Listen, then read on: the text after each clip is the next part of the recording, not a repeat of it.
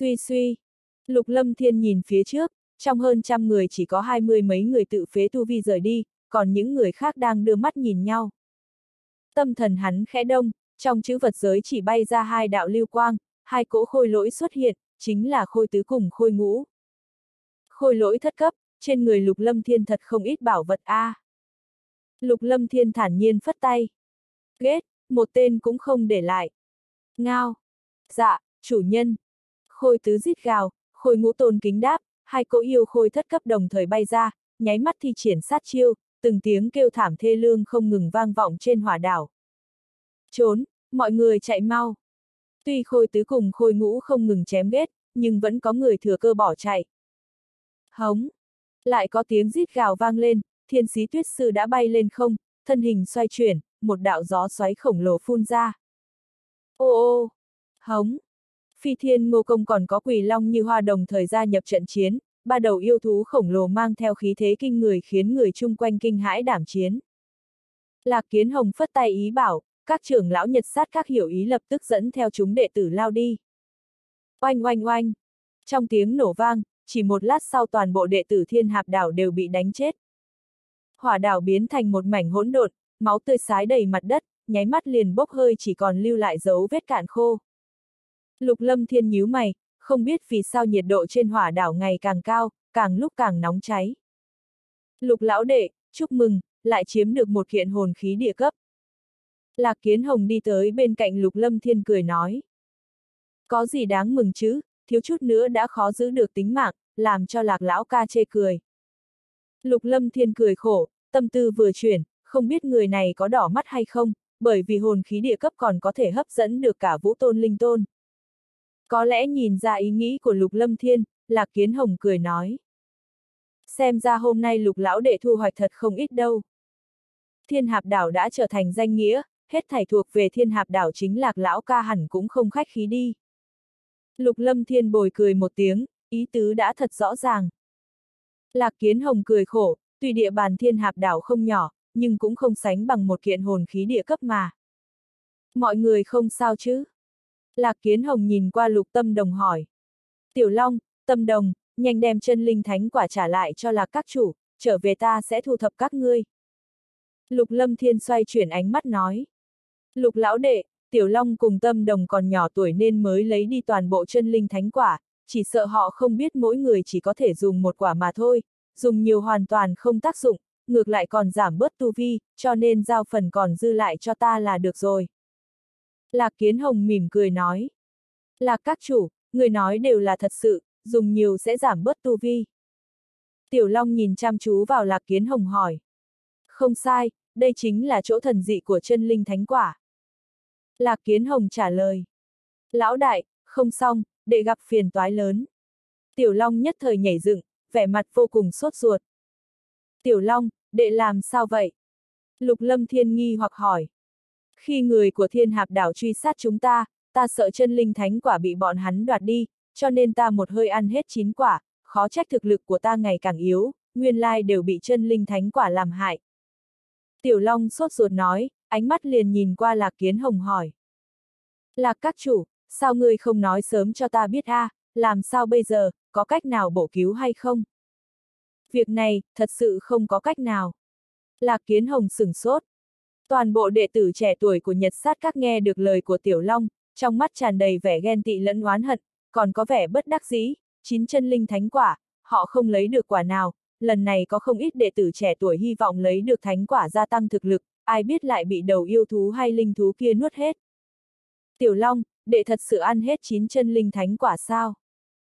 Trong lòng lục lâm thiên cả kinh, sắc mặt đại biến, kỳ thật suýt chút nữa hắn cũng cho rằng là sự thật, nhưng lập tức nghĩ tới với lực phòng ngự của Tiểu Long, sao lại sợ hãi bị người cướp chân linh thánh quả, chỉ sợ là trong lòng hắn có quỷ. Lão đại, đệ thảm rồi, thực lực của đệ càng ngày càng yếu. Tiểu Long buồn rười rượi, nhìn Lạc Kiến Hồng nói. Lạc các chủ, thật sự là có lỗi, ta không trả được chân linh thánh quả cho ngươi.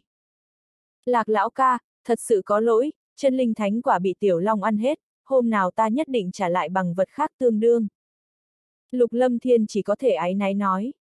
Việc này, Lạc Kiến Hồng chợt cười nói. Mặc dù chân linh thánh quả chân quý, nhưng đã không có thì thôi đi. Lạc Kiến Hồng nói xong cũng có chút đau lòng, tuy chân linh thánh quả chân quý nhưng cũng không tới nỗi xem là trọng bảo, nhưng chỉ là đối với nhật sát các mà thôi, đối với người bình thường, tuyệt đối là bảo vật, bằng không sẽ không hấp dẫn nhiều người vào thiên đảo như vậy.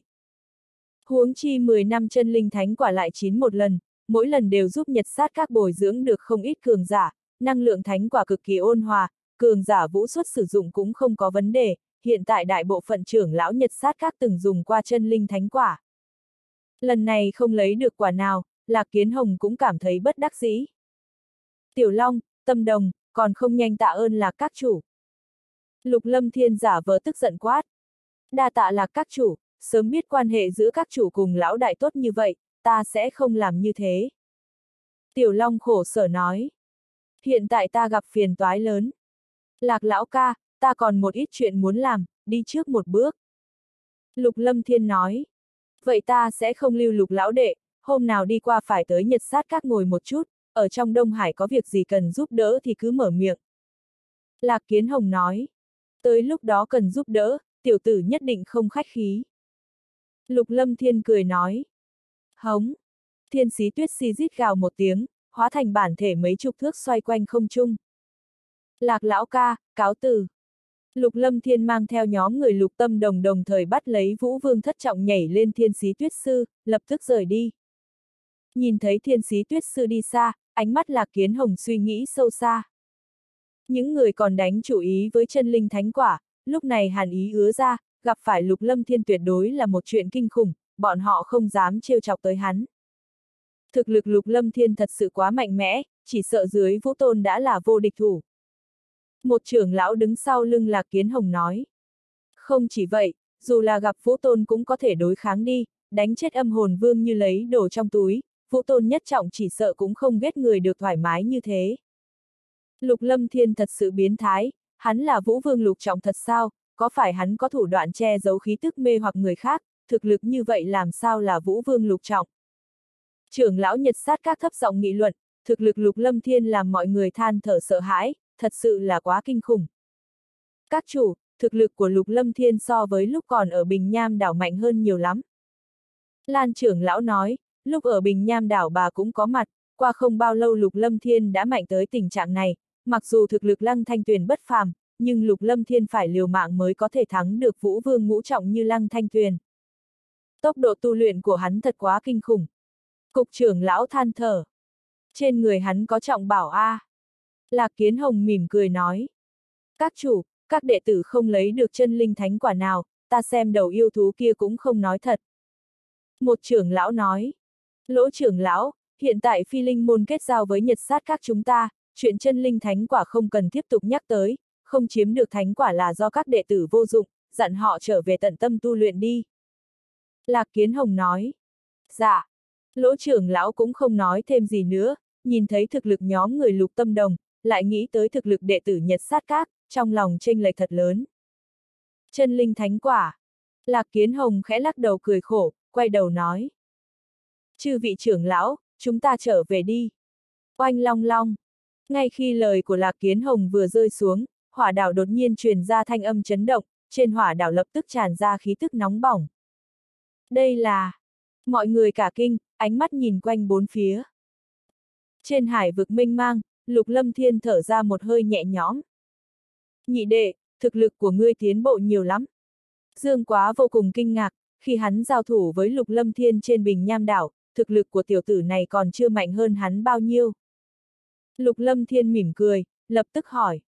Đại ca, lúc trước các ngươi làm sao thoát hiểm, sao lại đi tới thiên đảo cùng hỏa đảo?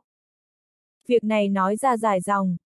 Nghe ba người tiểu long thuật lại, Lục Lâm Thiên đã biết chuyện gì xảy ra trong khoảng thời gian này, nghe được bốn người nhờ có tiểu long nữ giúp đỡ mới thoát hiểm, Lục Tâm Đồng lại nói dung mạo tuyệt mỹ như thiên tiên của tiểu long nữ. Lục Lâm Thiên chợt nhớ tới nữ tử tuyệt mỹ đã cứu mình từ tay phó giới chủ linh vũ giới, lúc này mới phát hiện đều là một người, không nghĩ tới tỷ tỷ của Dương Quá là cường giả, tựa hồ còn là một linh thú. Tiểu Long, chín chân linh thánh quả đâu? Lục Lâm Thiên hỏi. Hắc hắc, lão đại, đệ đã biết không thể gạt được ngươi. Tiểu Long cười hắc hắc. Chúng ta cực khổ lắm mới lấy được thánh quả, không trả lại cho nhật sát các đâu. Dứt lời, ánh mắt hắn xoay chuyển, nói.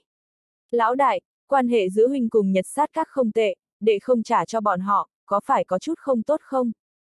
Tại sao phải trả, kẻ ngốc mới trả đi. Lục lâm thiên trừng mắt, khóe môi lộ nụ cười tà khí. Hắc hắc, đương nhiên rồi, đệ không ngu ngốc, không trả. Tiểu Long đắc ý cười nói. Lão đại, đệ lưu cho huynh một quả, còn lại cấp cho tuyết sư một quả. Đa tạ Tiểu Long. Thiên sĩ tuyết sư cao hứng rít gào. Không cần cảm tạ, người một nhà, khách khí cái gì. Bộ dáng Tiểu Long giống như tiểu thổ địa chủ, Lục Lâm Thiên không khỏi trừng mắt nhìn hắn. Lão đại, người có muốn ăn chân linh thánh quả bây giờ hay không? Tiểu Long hỏi. Các ngươi ăn đi, nhanh chóng khôi phục thương thế, tốt nhất là nhanh chóng đột phá. Lục Lâm Thiên nói xong, trong tay hiện lên hắc mang, chấn linh diệt hồn tháp hiện ra, nói. Tâm đồng, cho muội vật này. Ca ca, huynh lưu lại để dùng đi, muội có thiên linh hồn châm với tử kim độc chu rồi. Lục tâm đồng nói. Chấn linh diệt hồn tháp này không tệ lắm, ta không cần dùng, cho muội xem như có thêm thủ đoạn, có thể bảo hộ mình tốt hơn. Lục lâm thiên đã có kim sắc tiểu đao cùng tử lôi huyền đỉnh, cho nên cũng không cần dùng tới chấn linh diệt hồn tháp. Tạ ca ca. Lục tâm đồng cũng không tiếp tục chối từ, vui sướng thu hồi hắc tháp, đây chính là hồn khí địa cấp, nàng đương nhiên rất thích. Lão đại, cho huynh, chúng đệ đều lấy rồi, huynh một quả, tuyết sư một quả, đại trùng tử một quả, còn có oánh tỷ với lão độc vật, chỉ còn thiếu phần của phi thiên ngô công. Tiểu Long nói xong lấy ra năm hộp ngọc. Không sao, ta có yêu linh đan là đủ rồi. Phi thiên ngô công nói. Các ngươi ăn chân linh thánh quả tu luyện đi, phỏng chừng sắp tới vạn đảo nhai rồi. Lục lâm thiên cầm hộp ngọc nói. Tiểu Long, Dương Quá, Lục Tâm Đồng cùng Như Hoa đều lấy ra hộp ngọc, năng lượng cực kỳ khổng lồ, vừa mở nắp đã làm nhịp tim gia tốc. Đây là chân linh thánh quả sao, đúng là bảo vật, ăn vào hẳn đạt được không ít ưu đãi đi. Lục Lâm Thiên nhất thời có chút kinh ngạc, bốn người ăn thánh quả, khoanh chân tu luyện. Sau khi bốn người đã rơi vào trạng thái tu luyện, ánh mắt Lục Lâm Thiên nhìn qua hốt linh vương cùng Vũ Vương thất trọng, hắn đặc biệt lưu hai người lại dùng để cắn nuốt gia tăng thực lực. Cứ thế sau nửa canh giờ, vị Vũ Vương thất trọng kia đã biến thành một khối thây khô, thân hình hóa thành cho tàn rơi xuống không trung. Cắn nuốt một Vũ Vương thất trọng đối với Lục Lâm Thiên không thành vấn đề, chân khí đủ cho hắn dung nạp hoàn toàn. Bên trong một hải vực, nơi này có quần đảo liên miên, giữa không trung mỗi khi thủy triều rút xuống, sẽ xuất hiện dáng đỏ như lửa cháy, làm người ta nhìn thấy cũng giật mình. Trên quần đảo, kiến trúc liên miên, trên một hòn đảo lớn nhất nằm trung tâm, một tòa cung điện to lớn sừng sững bên trong hải vực, nơi này không có chim chóc bay qua, yêu thú không dám tới gần. Bên trong một thạch thất, mộ dung lan lan đang quỳ dưới đất, tựa hồ đang khẩn cầu gì đó. Thật lâu sau trong thạch thất vang lên một giọng nữ già nua. Lan Lan, người thật làm cho ta thất vọng, thân là đảo chủ thiên vân đảo, người nên biết mình đại biểu cho điều gì, truyền ra ngoài mặt mũi thiên vân đảo làm sao tồn tại. Sư phụ, đều là lỗi của đệ tử. Mộ dung lan lan dập đầu nói. Nói cho ta biết, là ai? Thanh âm già nua hỏi. Đệ tử không muốn nhắc lại, sư phụ không cần hỏi nữa, hết thảy đều là lỗi của đệ tử. Ngươi! Thanh âm già nua bất đắc dĩ, lại nói. Bất kể như thế nào ngươi lập tức xử lý thai nhi trong bụng ngươi, việc này không thể truyền ra ngoài, ngươi nên biết quy củ của thiên vân đảo, đảo chủ không thể lập gia đình, đây là quy củ do tổ sư truyền xuống, người vi phạm, người biết rõ hậu quả. Sư phụ, đây là cốt nhục của đệ tử, nó vô tội, cầu sư phụ thành toàn. Mộ dung lan lan khẩn cầu. Người có biết mình đang làm gì hay không, ngươi là đệ tử đắc ý nhất của ta, ta đem chức đảo chủ truyền cho ngươi, nhưng ngươi làm ra việc như thế, thậm chí cha của đứa con trong bụng cũng không biết làm sao mà tới, ngươi làm vậy sao không cảm thấy có lỗi với ta, có lỗi với sự bồi dưỡng của thiên vân đảo. Thanh âm già nua mang theo vẻ tức giận cùng bất đắc dĩ, lộ ra ngữ khí chỉ tiếc rèn sắt không thành thép. Cầu sư phụ thành toàn, đứa trẻ trong bụng là vô tội, sư phụ muốn trách phạt, đệ tử không một câu oán hận, chỉ cầu bảo vệ hài tử vô tội này, cầu sư phụ thương đệ tử, tha cho đứa nhỏ này đi. Mộ dung lan lan khẩn cầu. Ai? Thật lâu sau trong thạch thất truyền ra tiếng thở dài. Trong Đông Hải, cả hỏa đảo ngày càng nóng rực, giữa không trung giống như có minh hỏa thiêu đốt, làm cho người ta có cảm giác như không gian đều biến thành vặn vẹo. Trên hải vực mở mang, nước biển cuồn cuộn, sóng biển sôi trào, toàn bộ yêu thú trong nước đều vội vàng bỏ chạy, sinh vật bình thường trong biển đều bị phỏng mà chết, phạm vi vài vạn dặm hải vực đều biến thành biển chết, vô số thi thể sinh vật trong biển nổi lên, nước biển ngày càng nóng rực, cuối cùng sôi trào lên dữ dội. Oanh long long, trong hỏa đảo truyền ra tiếng nổ vang, tựa hồ núi lửa sắp phun trào, thiên đảo cũng bị liên lụy, mặt đất nứt nẻ, khe nứt bắt đầu lan tràn như mạng nhện. Trong khe nứt bắt đầu lan tràn năng lượng thiên địa bàng bạc khuếch tán. Không bình thường a. À. Xa giữa không trung, Lạc Kiến Hồng nhìn chằm chằm xuống hỏa đảo, sắc mặt không ngừng biến hóa. Thời gian chậm rãi trôi qua, giữa không trung bình tĩnh vạn lý không mây, một đầu yêu thú màu trắng khổng lồ lướt qua, nhanh như chớp biến mất. Hô! Lục Lâm Thiên mở mắt, lúc này chân khí luyện hóa chỉ đạt được gần một nửa. Đan điền khí hải thật quá khổng lồ rồi. Lục Lâm Thiên cười khổ nhủ thầm. Hô! Quanh thân lục tâm đồng bắt đầu lan tràn hắc mang, không gian không ngừng dao động. Cần đột phá. Trong lòng lục lâm thiên vui vẻ, nhà đầu này rốt cục lại đột phá, chân linh thánh quả thật sự không kém. Tuyết sư, tìm nơi gần nhất đặt chân. Lục lâm thiên thông chi thiên sĩ tuyết sư. Sau một lát, trên một hòn đảo chừng ngàn thước, mọi người nhảy xuống, lục tâm đồng lập tức tìm kiếm địa phương bằng phẳng chuẩn bị đột phá. Ba người dương quá cũng tìm địa phương tiếp tục luyện hóa thánh quả. Tuyết sư, người cũng ăn chân linh thánh quả luyện hóa đi. Lục lâm thiên lấy thánh quả đưa cho thiên sĩ tuyết sư. Chủ nhân, ta còn cần tiếp tục phi hành, sau này luyện hóa cũng không muộn. Thiên sĩ tuyết sư nói. Không sao, nơi này cách vạn đảo nhai không xa, còn có phi thiên ngô công ở đây. Lục lâm thiên nói. Nghe vậy thiên sĩ tuyết sư liền ăn thánh quả, lập tức đi sang một bên luyện hóa. Lúc này linh hồn lục lâm thiên đủ sức bao phủ toàn bộ phạm vi hải đảo cùng hải vực, hết thảy không có gì dị thường, lúc này mới đưa mắt nhìn hốt linh vương. Tới lượt ngươi. Ước chừng một canh giờ sau hốt linh vương đã biến thành một khối thây khô, linh hỏa toát ra, lập tức hóa thành cho tàn. Mà lúc này lục lâm thiên đã bị linh lực khổng lồ của hốt linh vương chướng lên làm khuôn mặt đỏ bừng, linh vương tứ trọng cắn nuốt bát trọng, bởi vì lục lâm thiên có bất diệt huyền thể mới dám điên cuồng như thế, nếu không đã sớm nổ tan xác mà chết. Luyện hóa. Dặn dò phi thiên ngô công hộ pháp, lục lâm thiên khoanh chân ngồi xuống, bắt đầu luyện hóa năng lượng. Sau một lát, quanh thân hắn tràn ngập bạch quang vô hình. Một ngày sau, quanh thân lục tâm đồng hình thành một không gian hắc mang, tựa hồ còn có độc khí quanh quẩn, chân khí đang dần dần kéo lên. Chân khí ngày càng mạnh, sau một lát không gian dao động sản sinh dao động kịch liệt, chân khí thăng lên như trẻ tre, uy áp dần dần khuếch tán. Phanh! Một tiếng nổ trầm đục truyền tới, đồng thời hắc mang cuồn cuộn sôi trào, nháy mắt bao phủ cả không gian. Đồng thời thiên địa năng lượng hội tụ vào trong thân thể lục tâm đồng. Chân khí cường hãn tới mức khủng bố, khiến dương quá, lục lâm thiên, như hoa, thiên sĩ tuyết sư đều mở mắt, chỉ có tiểu long rơi vào cảnh giới không minh, không bị ngoại giới ảnh hưởng nên không hay biết. Hắc mang dần dần co rút lại, một thân ảnh nhỏ sinh liền xuất hiện. Hô!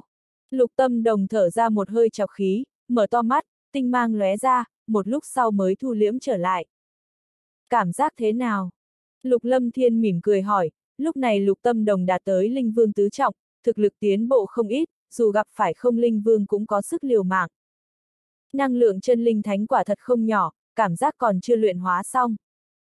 Lục tâm đồng nói, tiếp tục luyện hóa đi, tiểu long tựa hồ cũng sắp đột phá, chờ tiểu long đột phá xong, chúng ta tiếp tục đi.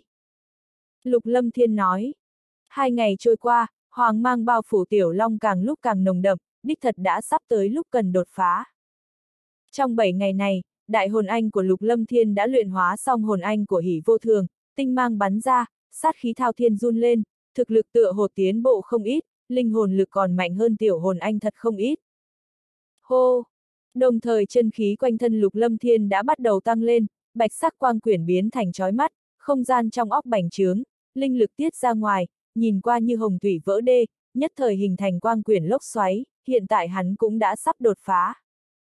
Không gian đột nhiên run lên, thiên địa năng lượng chống giống hội tụ, cùng một thời gian chân khí lục lâm thiên trực tiếp kéo lên, dần dần gia tăng. Ta rốt cục biết tốc độ tu luyện của nhị đệ vì sao nhanh như vậy, đây quả thật là yêu nghiệt a. À. Nhìn thấy lục lâm thiên đột phá, dương quá đổ mồ hôi lạnh. Tốc độ tu luyện của ca ca luôn như thế. Lục tâm đồng cũng không ngoài ý muốn, nàng đã sớm quen thuộc.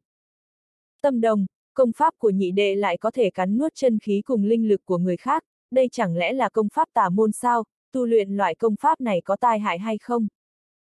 Sắc mặt dương quá đột nhiên ngưng tụ, trước kia hắn cũng không biết chuyện này, nhưng khi nhìn thấy lục lâm thiên cắn nuốt vũ vương thất trọng, mới hiểu rõ vì sao tốc độ tu luyện của lục lâm thiên nhanh chóng như thế, cắn nuốt linh lực cùng chân khí của người khác, tự nhiên là phải nhanh. Có lẽ không có tai hại gì, nếu không ca ca cũng sẽ không tu luyện. Lục tâm đồng trả lời, đột nhiên nói. Đại ca, ca ca tu luyện công pháp này tạm thời vẫn chưa thể nói cho người khác biết. Ta biết, loại công pháp khủng bố như vậy bị người biết được sẽ gây ra phiền toái lớn. Dương quá nói. Hô! Chân khí lục lâm thiên liên tục kéo lên, vài giờ sau vẫn chưa giảm bớt, kéo dài suốt một ngày sau. Hống!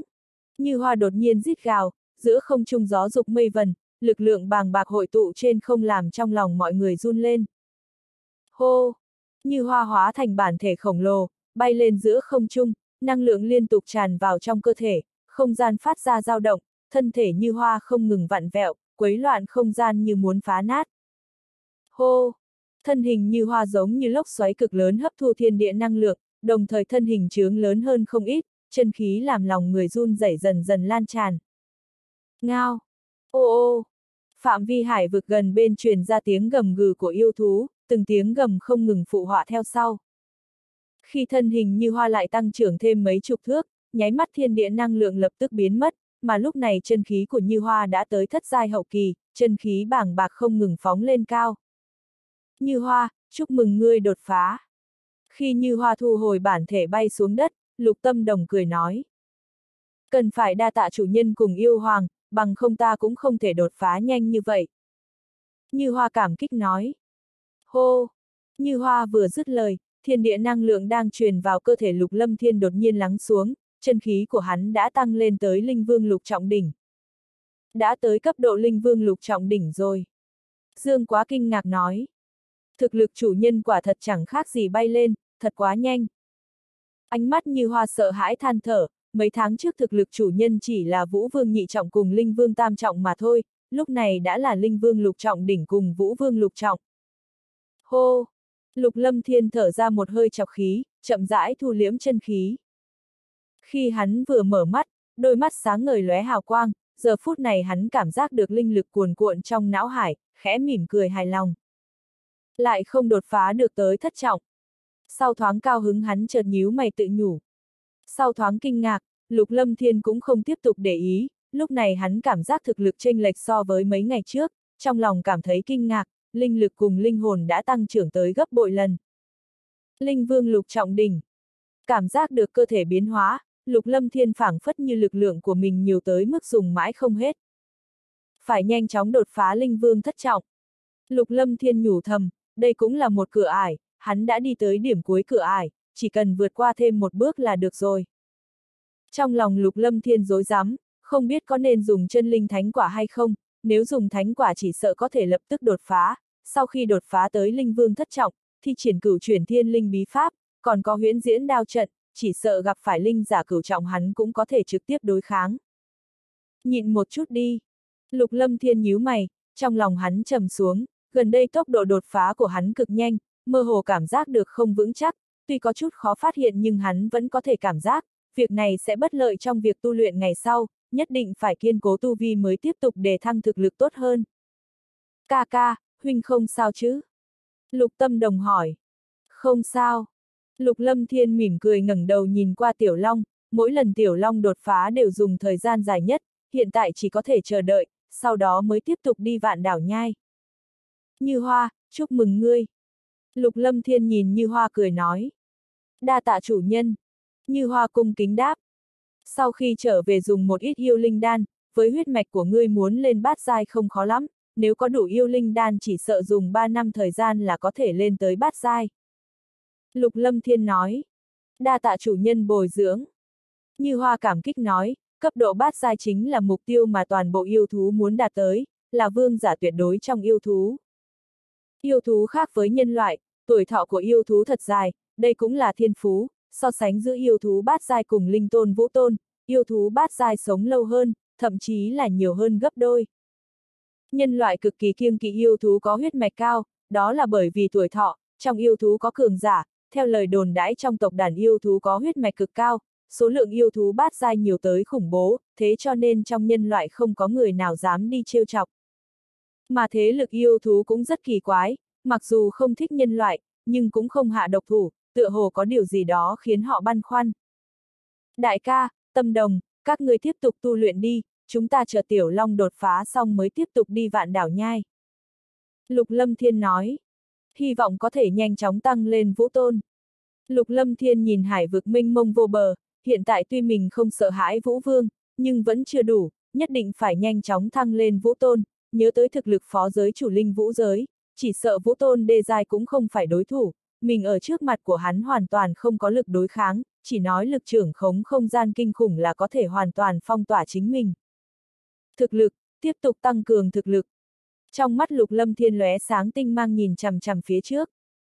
Không biết vô song thế nào, còn có cảnh văn, hồng lăng, tiểu linh. Lục lâm thiên nhíu mày, trong đầu lại hiện ra hình dáng tuyệt mỹ của Bạch Linh. Sau một lát lục lâm thiên khoanh chân ngồi xuống, trong đầu nhớ lại vũ kỹ mình thường tu luyện, bắt đầu lĩnh ngộ. Vũ kỹ lục gia long ảnh tí hình như là địa cấp trung giai đi. Lục lâm thiên sực nhớ, cho tới nay hắn vẫn chưa tu luyện long ảnh tí, vốn cho rằng thực lực của mình còn chưa đủ khả năng tu luyện, nhưng hiện tại hẳn là có thể. Nghĩ tới long ảnh tí, trong đầu lục lâm thiên liền hiện lên tin tức, một cỗ tin tức khổng lồ nhất thời xuất hiện trong đầu hắn, long ảnh tí là một bộ vũ kỹ đặc thù, bất kỳ vũ giả thuộc tính nào cũng có thể tu luyện, nhưng điều kiện làm người cảm thấy khủng bố. Đầu tiên muốn tu luyện long ảnh tí, phải có máu huyết yêu thú long tộc thất giai làm thuốc dẫn, tu vi yêu thú càng cao, huyết mạch càng nồng thì uy lực càng lớn. Linh thú long tộc, có thanh long bộ tộc của Long Hoàng, về phần yêu thú long tộc đều thuộc loại tạp long, tỉ như thiên độc yêu long, mà quỳ long như hoa lại không tính là tạp long, vốn chỉ là một chủng loại tự nhiên, cũng thuộc về long tộc nhưng huyết mạch kém xa thanh long bộ tộc, mà trong long tộc, thanh long bộ tộc thuộc về chính thống nhất. Điều kiện đầu tiên tu luyện long ảnh tí đã khiến người ta không biết phải làm sao, bởi vì máu huyết tinh luyện của yêu thú long tộc chẳng khác gì phải ghét một yêu thú long tộc thất giai, điều này đối với người bình thường mà nói chẳng khác gì đi tìm chết.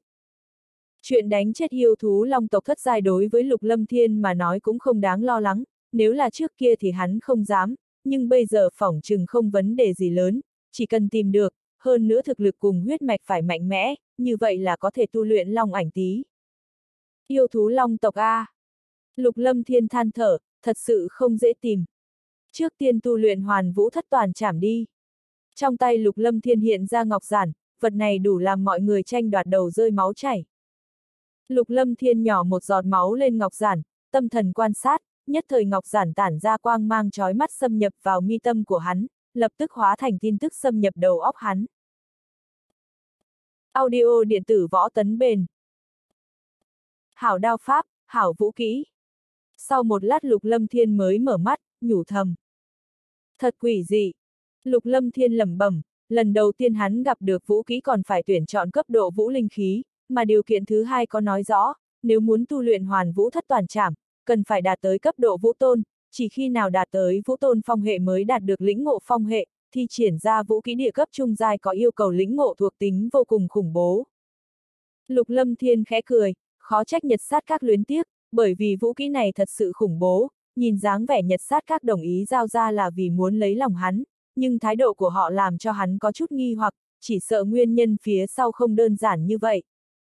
Còn có Vân Dương Tông cùng Linh Thiên Môn, ngay ban đầu đã ủng hộ phi linh môn quật khởi trong cổ vực, nguyên nhân vì sao làm cho hắn thật sự không hiểu, luôn có cảm giác bên trong có liên hệ. Hô hô!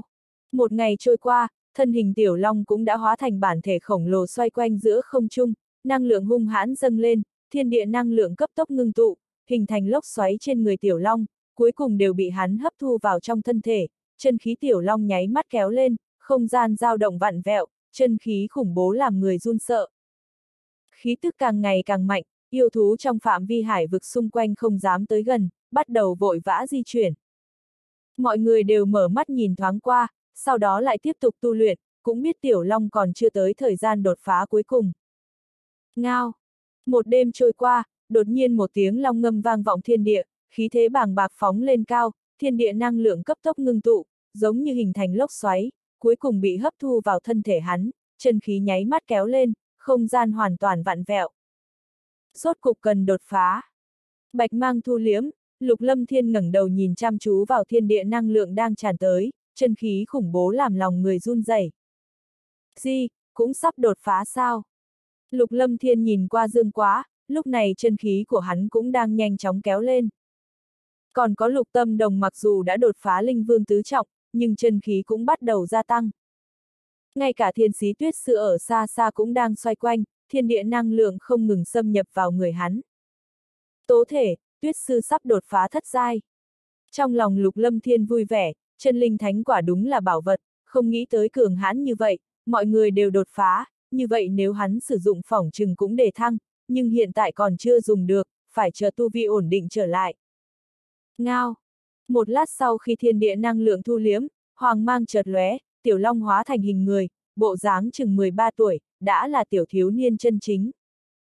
Tiểu long lăng không đứng thẳng, đôi mắt nhắm nghiền, phảng phất như đang trầm tư gì đó. Mẹ, con nhất định quay về tìm mẹ. Tiểu long chợt hét lớn một tiếng, trong con mắt thứ ba lóe sáng quang mang. Tiểu long, làm sao vậy? Lục lâm thiên đi tới bên cạnh tiểu long, cảm giác được tâm tình của hắn cực kỳ nặng nề. Lão đại, mẹ lưu lại linh hồn ấn ký trong đầu đệ, nói khi đệ đột phá tới thất giai, sẽ khiến trong tộc chú ý, có lẽ trong tộc đã phái ra cường giả tới truy sát đệ. Trong mắt tiểu long ướt át nói. Yên tâm, có lão đại ở đây, không ai động được tới đệ.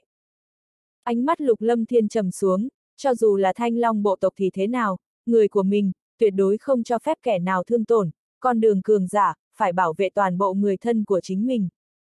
Lão đại, đệ không sợ có người truy sát đệ, đệ nhớ mẹ đệ, đệ có thể cảm giác được hiện tại mẹ rất thống khổ.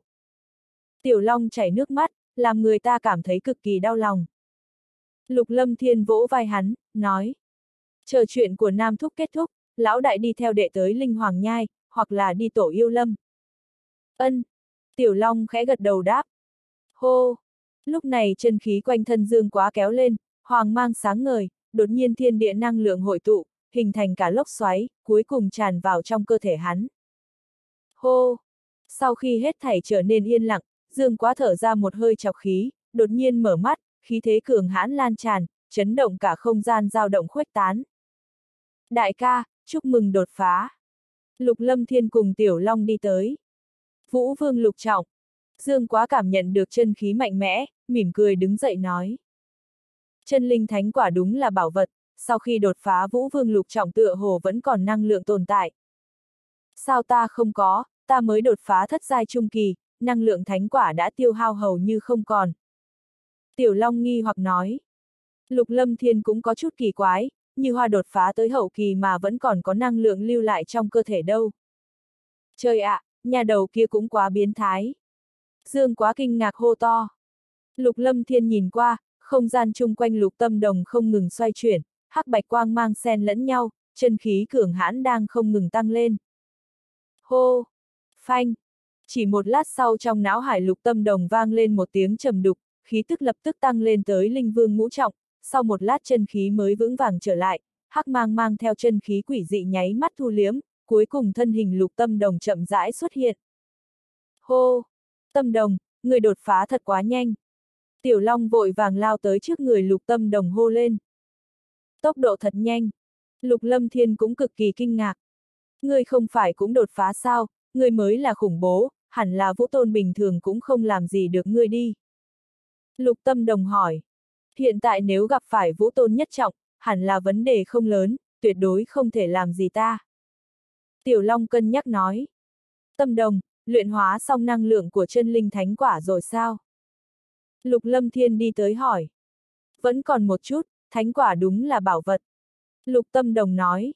Khoan hãy tiếp tục luyện hóa, củng cố tu vi, đột phá quá nhanh sẽ có tổn hại sau này.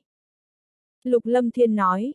Ca, muội đã biết, trong độc kinh có nhắc nhở, bằng không muội có thể đột phá linh tôn, nhưng về sau muốn tiến thêm vô cùng khó khăn. Lục Tâm Đồng nói. Được, chú ý là tốt rồi. Lục Lâm Thiên nói. Lão đại, tuyết sư đang tố thể, phỏng chừng thêm vài ngày mới đột phá. Tiểu Long nhìn qua thiên sĩ tuyết sư, nói. Mấy ngày nay mọi người củng cố tu vi chờ tuyết sư, sau đó chúng ta lại đi. Lục Lâm Thiên nói. Siêu siêu. Trong hải vực yên tĩnh, một đầu yêu thú phi hành khổng lồ gấp rút lao về hướng hỏa đảo, trên lưng yêu thú có không ít thân ảnh. Không linh vương, chẳng lẽ Lục Lâm Thiên thật sự đánh chết hỉ nộ vô thường sao? Âm trưởng lão, trên người Lục Lâm Thiên có thần khí tử lôi huyền đỉnh, còn có vũ linh khí phi hành địa cấp, thật sự không dễ trêu chọc. Không linh vương trầm giọng nói. Không nghĩ tới tử lôi huyền đỉnh đã rơi vào trong tay hắn, vài ngàn năm trước huyền thiên yêu tôn dựa vào thần khí này tung hoành toàn bộ đại lục đâu. Lão giả âm hàn nói. Đáng tiếc lần trước phó giới chủ tự mình ra tay cũng không bắt được lục lâm thiên. Không linh vương thở dài nói. Hắn cũng không đắc ý được bao lâu nữa đâu. Lão giả âm trầm nói. Âm trưởng lão, giới chủ cho chúng ta đi thiên đảo, chẳng lẽ thiên đảo có bảo vật xuất thế gì hay sao? Không linh vương hỏi. Trong giới truyền tới tin tức, lần này dưới thiên đảo có cự bảo xuất thế, tuyệt đối không thể bỏ qua, nếu bỏ lỡ chúng ta chờ lĩnh xử phạt đi, việc của Lục Lâm Thiên chỉ có thể tạm thời gác sang một bên, dù sao hắn cũng chạy không thoát, trong giới đang chuẩn bị đại sự, bằng không Lục Lâm Thiên sao có thể sống tới bây giờ. Âm trưởng lão nói, bên ngoài thiên đảo người người tấp nập, hàng vạn hàng ngàn ánh mắt đều hội tụ lên thiên đảo. Cả thiên đảo rậm rạp khe nứt như mạng nhện, năng lượng thật lớn lan tràn, điều này làm lòng người không ngừng run lên. Mau, tập hợp mời vạn đệ tử trong các tới bảo hộ thiên đảo. Trên một ngọn núi, ánh mắt lạc kiến hồng cực kỳ nghiêm trọng, chỉ sợ trong thiên đảo xảy ra chuyện không đơn giản, sẽ biến thành nơi thị phi. Thiên đảo biến hóa, tin tức này bắt đầu truyền khắp cả Đông Hải, càng ngày càng nhiều người tụ tập tới. Thật sự khó tu luyện a. À. Bổ ra vài đạo đao mang, sắc mặt lục lâm thiên trắng bệch, lộ ra nụ cười khổ, vũ kỹ này thật khó tu luyện, vượt xa sự tưởng tượng của hắn. Hống! Đúng ngay lúc này, thiên sĩ tuyết sư truyền ra thanh âm rít gào thật lớn, mở to đôi mắt, chân khí thăng lên, toàn thân tản ra hung sát khí. Uy áp lan tràn, tuy không bằng tiểu long nhưng không kém hơn như hoa. Hô hô! Chân khí thật mạnh. Dương quá thở dài, huyết mạch thiên sĩ tuyết sư cực cao, thực lực cường hãn, đặc biệt tốc độ chính là vương giả trong yêu thú phong hệ, cực kỳ khủng bố. Hống hống. Thật lâu sau chân khí mới bình ổn trở lại, bạch mang chợt lóe, thiên sĩ tuyết sư hóa thành một hình người cao ngất uy vũ. Đó là một nam tử cực kỳ anh tuấn, khoảng 24-25, mái tóc dài màu bạc buông xõa trên vai, đôi mắt sáng ngời lạnh lùng, mũi cao, mặc một bộ cẩm bào trắng tinh, cả người tản ra chân khí vương giả khiến người không thể rời mắt. Nam tử như vậy nếu để nữ nhân nhìn thấy tuyệt đối sẽ kinh hô, vẻ an tuấn lại không tiêu sái như lăng phong, lại không khí khái anh hùng như lam thập tam. Tuyết sư bái kiến chủ nhân. Nam tử lăng không đứng thẳng, lắc người đi tới trước mặt lục lâm thiên, phủ phục hành lễ. Đứng lên đi. Lục lâm thiên mỉm cười nói. Tuyết sư, người cũng đột phá, không sai, thoạt nhìn phong nhã. Tiểu Long nhảy dựng lên vỗ vai tuyết sư, mỉm cười nói. Vậy phải cần đa tạ ngươi cho ta chân linh thánh quả, đa tạ. Tuyết sư nói. Người một nhà, đã nói không cần khách khí. Tiểu Long hào phóng nói. Thời gian đã tới, chúng ta nên đi. Lục Lâm Thiên nói, mọi người đã chậm trễ không ít thời gian, nên xuất phát đi vạn đảo nhai. Hống! Trong tiếng rít gào của thiên sĩ tuyết sư, mọi người lập tức rời đi. Hô hô! Thiên sĩ tuyết sư vỗ cánh bay lên, chấn khai không gian dao động nhanh như chớp, tốc độ nhanh như thiểm điện chợt lóe rồi mất.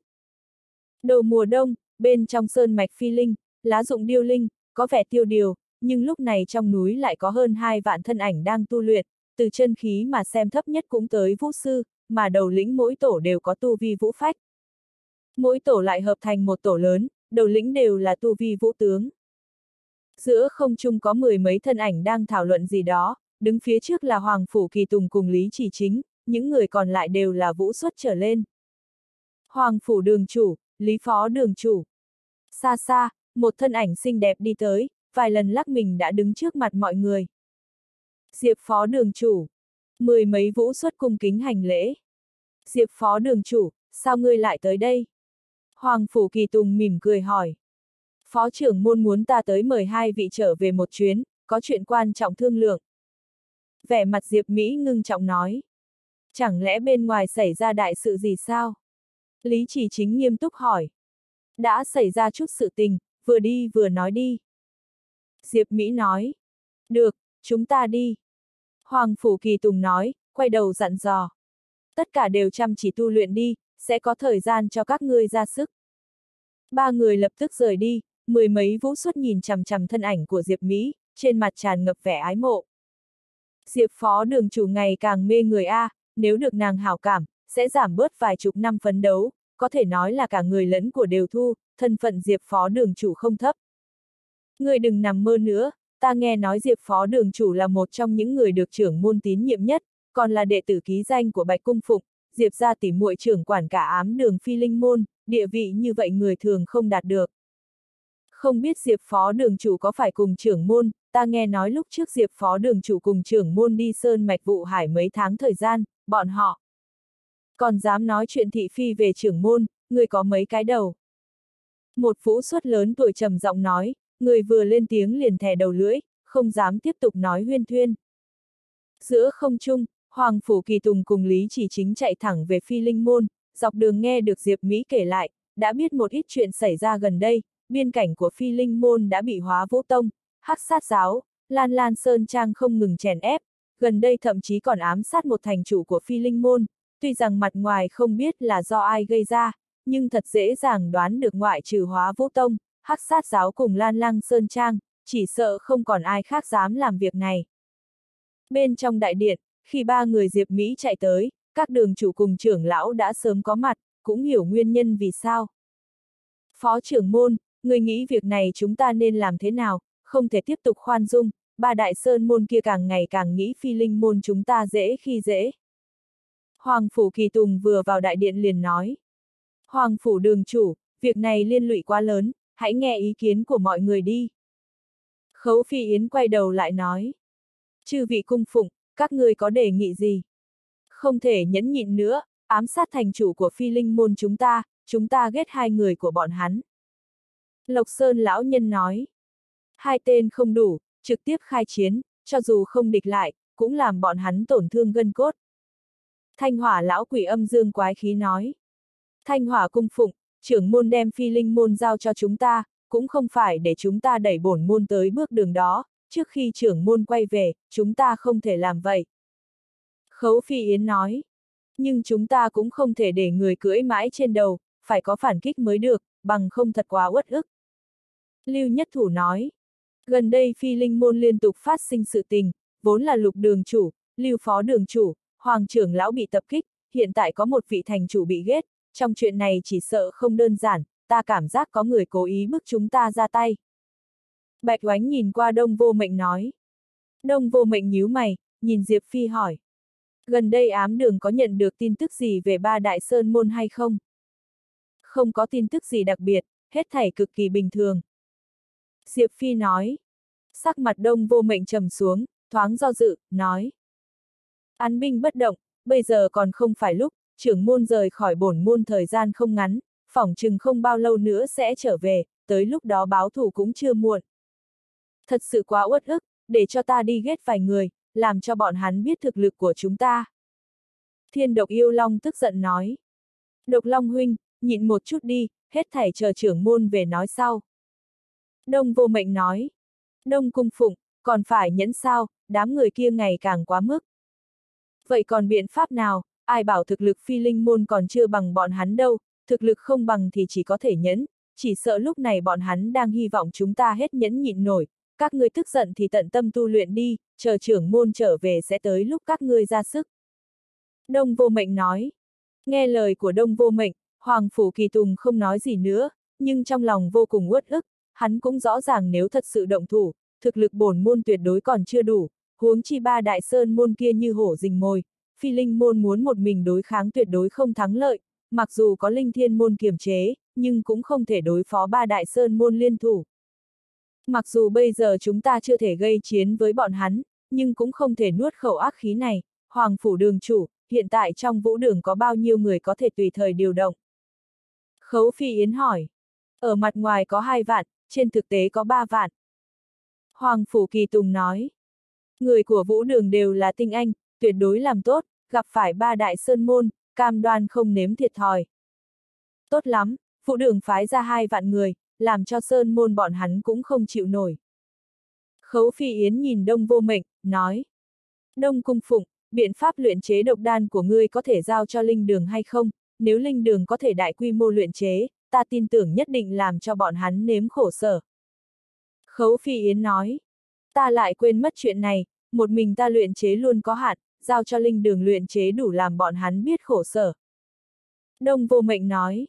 Mặc dù dược liệu không quý, nhưng lại không dễ tìm. Đông Cung Phụng yên tâm, chuyện dược liệu giao cho ta là được. Lục Tiểu Bạch nói.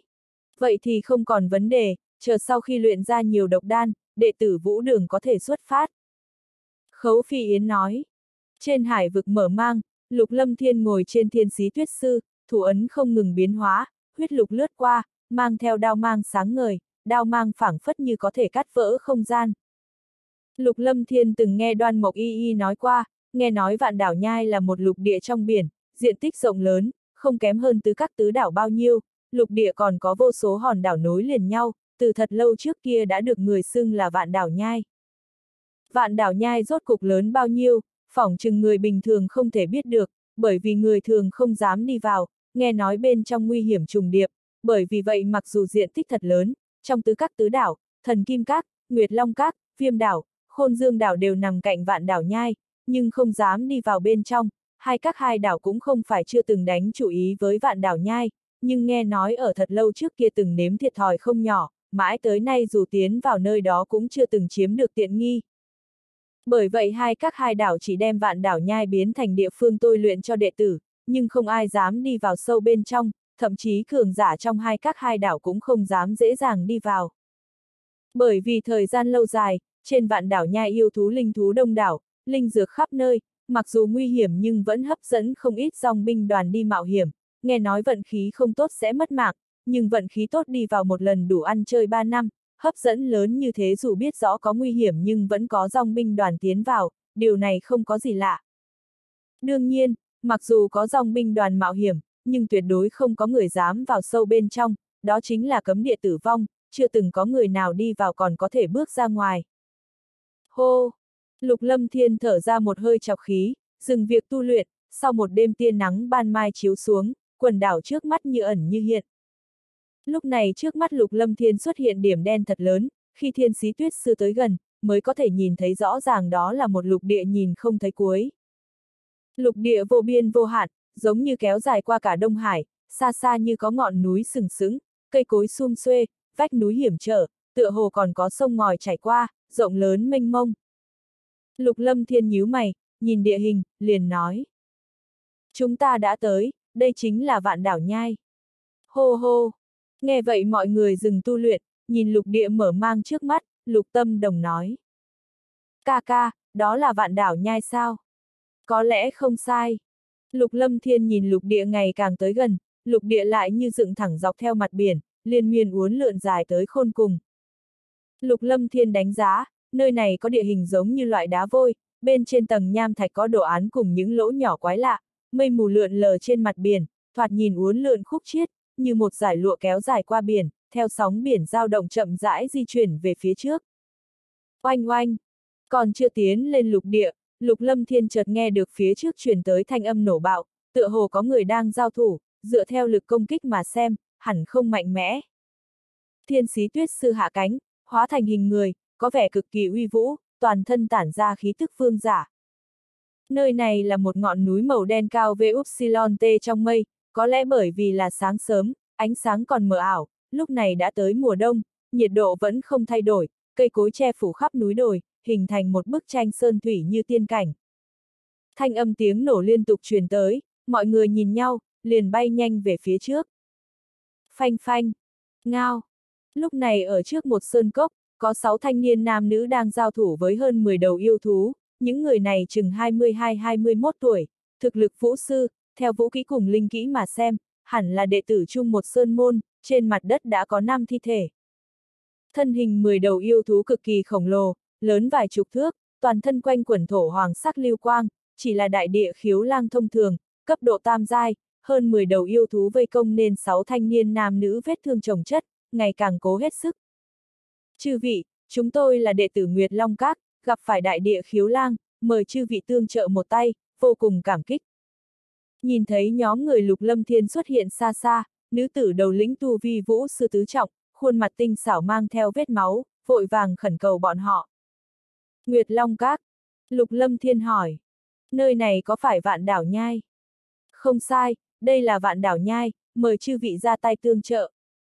Nữ tử thấy Lục Lâm Thiên không có ý xuất thủ, sắc mặt ngưng trọng, thân hình vội vàng tránh né một chảo của đại địa khiếu lang. Là vạn đảo nhai.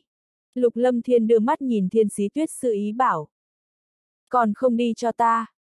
Tuyết sư hiểu ý, tiến lên chợt quát, một cỗ khí tức vô hình lập tức lan tràn. Ngao ngao.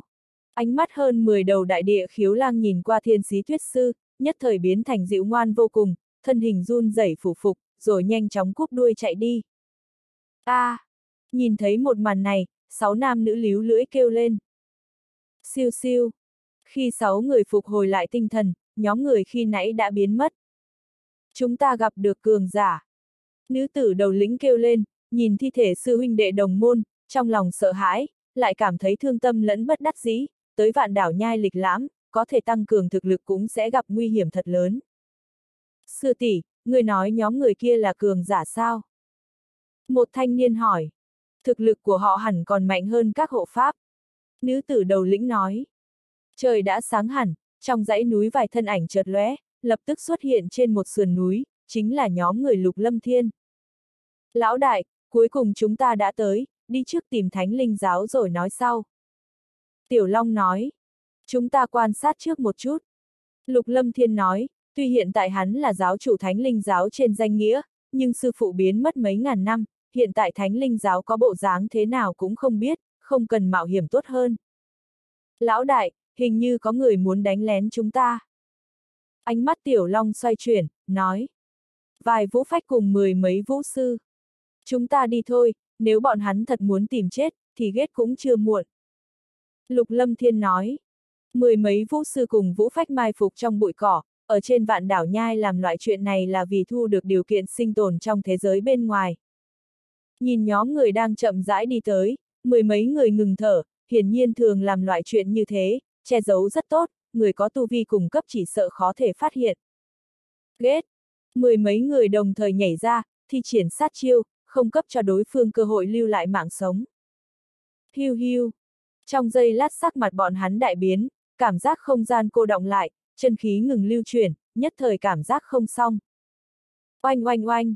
Không gian chung quanh vặn vẹo, thanh âm nổ tung trầm thấp truyền tới, dưới áp lực vô hình, hơn 10 người cùng phun ra máu tươi. Phốc! Thân hình bọn hắn rơi xuống đất, sắc mặt trắng bệch huệ oải cực độ, chỉ nháy mắt hơn 10 người đã biến thành phế nhân, chỉ lưu lại tính mạng. Ngay tiếp theo một bàn tay đặt lên thiên linh cái của vũ phách mạnh nhất, linh hồn không gian truyền tới cảm giác tê dại, chỉ nháy mắt người này phục hồi lại tinh thần, mà nhóm người bị họ đánh lén đã biến mất. Lão đại, tại sao lại không ghét bọn hắn? Xa xa, Tiểu Long chợt hỏi. Bỏ đi, lưu cho bọn hắn một mạng, có thể còn sống rời khỏi vạn đảo nhai hay không phải xem chính bọn hắn. Lục Lâm Thiên trả lời. Một lát sau thiên sĩ tuyết sư vỗ cánh bay lên, từ trong đầu óc của nhóm người kia, Lục Lâm Thiên đã biết một ít chuyện về vạn đảo nhai, vạn đảo nhai mênh mang khôn cùng, ở không ít địa phương bên ngoài còn có không ít đại trấn cùng thành nhỏ phồn hoa, bên trong có đầy đủ mọi thứ, thậm chí là nơi vận chuyển linh dược bán xỉ của cả Đông Hải, mỗi ngày có không ít dược liệu được vận chuyển ra ngoài. Bên trong vạn đảo nhai có không ít thế lực, linh dược trên đảo tạo nên lợi nhuận thật lớn, bởi vậy làm không ít cường giả thèm muốn, theo chỉnh thể mà nói tình huống hiện tại trên đảo thậm chí có chút giống cự giang thành, cực hỗn loạn phức tạp. Dựa theo lời của sư phụ Thánh Thủ Linh Tôn, vạn đảo nhai cực kỳ phồn hoa, đều là địa bàn của Thánh Linh Giáo, nhưng hiện tại bên ngoài không còn chút dấu vết của Thánh Linh Giáo. Lục Lâm Thiên thi triển siêu linh thuật, vốn định tìm kiếm tin tức Thánh Linh Giáo, nhưng không nghĩ tới trong đầu người kia hoàn toàn không có chút bóng dáng của Thánh Linh Giáo, điều này làm trong lòng hắn cảm thấy vô cùng ngưng trọng. Sư phụ lưu lại thánh linh giáo, trong lòng lục lâm thiên cực kỳ để ý, dù sao là đồ vật của sư phụ, huống chi hiện tại hắn còn là giáo chủ, đương nhiên cũng là của hắn. Trong lòng tuy lo lắng, nhưng hắn cũng dự tính vào sâu trong đảo tìm hiểu tình huống, cũng không biết có phải đã xảy ra biến cố gì hay không. Nửa yêu đan tứ giai hỏa hệ sơ giai, còn có thi thể yêu thú tứ giai. Vừa mới hái được linh thảo tam tinh, 300 kim tệ, 8 lá nguyệt linh thảo, 1.000 kim tệ. Binh khí tốt nhất, do luyện khí sư linh tướng luyện chế, 4.800 kim tệ.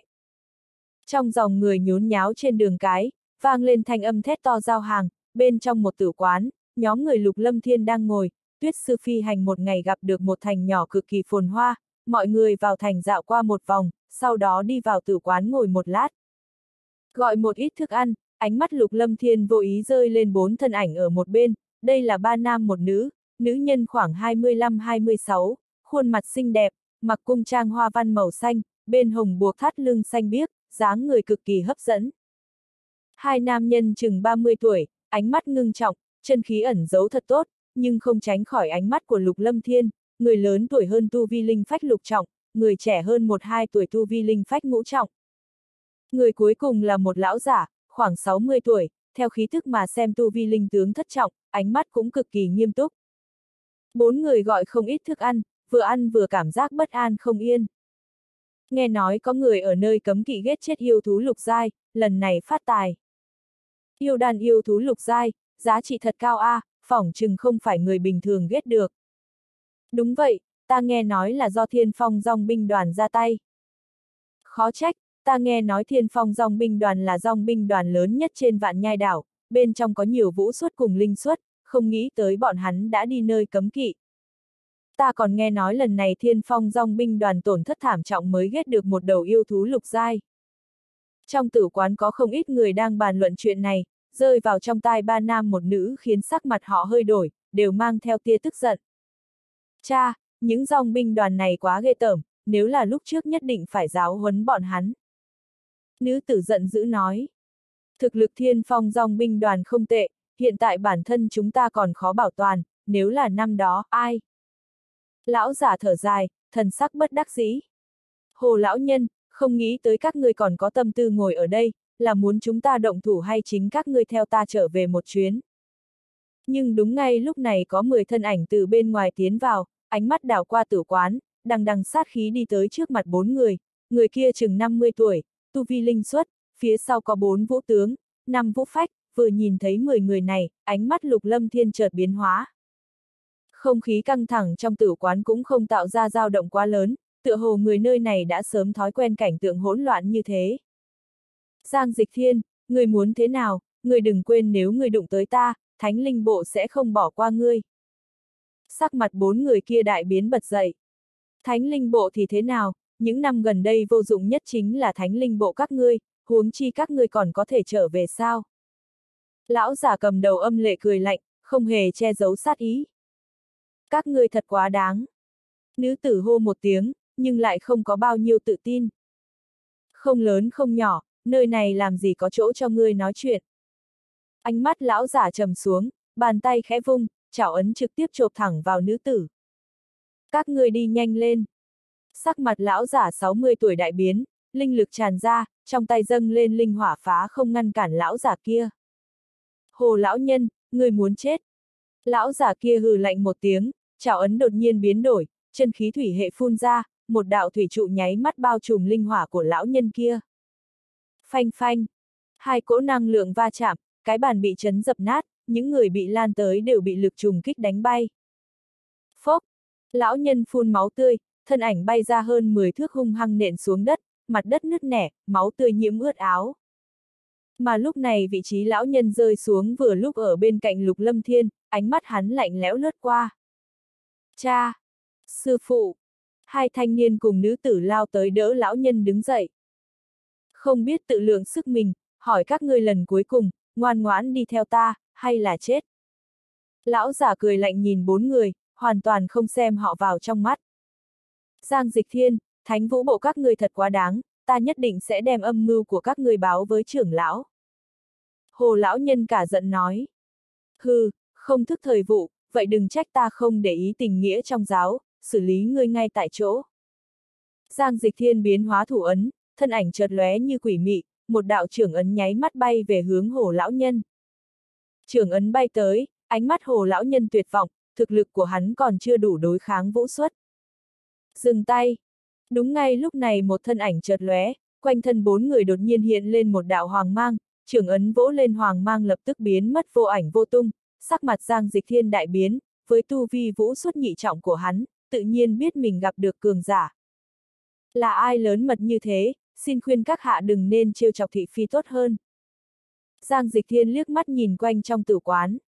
Điều thứ 18 trong giáo quy, đồng môn tự ghét lẫn nhau, phế bỏ tu vi, người phải bị tội gì? Một thanh âm lạnh lùng lại truyền tới. Ánh mắt Giang Dịch Thiên rơi lên người Lục Lâm Thiên, đồng thời cũng đảo qua những người ngồi bên cạnh hắn, bốn người hồ lão nhân đang rơi vào trong tuyệt vọng, ánh mắt cũng nghi hoặc nhìn qua, trong lòng hồ lão nhân cảm thấy ngoài ý muốn, hắn không nhận ra những người này, nhưng nghe khẩu khí lại giống như người trong giáo, biết rõ giáo quy. Ánh mắt lục lâm thiên nhìn lướt qua đoàn người, quần áo của họ có đồ án hoa văn phức tạp, lại giống như đồ án trên thánh linh sắc lệnh như đúc. Vì vậy hắn liền đoán ra những người này là đệ tử thánh linh giáo, nhìn thấy đồng môn chém ghét lẫn nhau, trong lòng hắn dâng lên hàn ý, nhìn dáng vẻ thánh linh giáo thật sự xuất hiện không ít vấn đề. Ngươi là ai, chẳng lẽ ngươi cũng là người trong giáo, không biết là huynh đệ thuộc bộ nào? Nghe khẩu khí của Lục Lâm Thiên, Giang Dịch Thiên lướt mắt nhìn hắn, có chút nghi hoặc, vừa rồi người ra tay chẳng lẽ là thanh niên này sao, với tuổi tác của hắn sao lại có thực lực mạnh như vậy, chẳng lẽ mình cảm giác sai lầm. Giáo quy thứ 18, đồng môn chém ghét lẫn nhau, từ chức hộ pháp trở lên đều có quyền chấp pháp, người chém ghét đồng môn, tội đáng phế tu vi, còn có lời gì muốn nói. Lục Lâm Thiên thản nhiên hỏi. Tiểu tử, người rốt cục là ai, đừng ở đây giả thần giả quỷ. Ánh mắt Giang Dịch Thiên trầm xuống, cũng không dám hành động thiếu suy nghĩ. Nên phạt. Lục Lâm Thiên vừa dứt lời, thân ảnh đã xuất hiện bên cạnh Giang Dịch Thiên. Ngươi! Sắc mặt Giang Dịch Thiên kinh hãi, lời vừa ra khỏi miệng lập tức bị áp chế, một trường ấn đặt lên thiên linh cái của hắn, nhất thời linh hồn tê dại, còn có chút đau đớn. Giang hộ pháp! Chín người còn lại sắc mặt đại biến, nháy mắt lao tới. Cút ngay! Một tiếng gầm truyền ra, tuyết sư giận quát một tiếng, thân ảnh lướt tới nhanh như tàn ảnh. Oanh oanh! Chín thanh âm trầm đục vang lên, không gian liên tục nổ tung, thân hình chín người kia trực tiếp văng lên vách tường, nhất thời xuyên thành lỗ thủng. Dựa theo giáo quy hẳn phải phế tu vi của ngươi, món nợ này nhớ kỹ trước, mang theo người của ngươi mau cút. Lục lâm thiên quát một tiếng, buông giang dịch thiên, thuận tay ném ra, trực tiếp ném ra ngoài lỗ thủng vách tường. Phanh!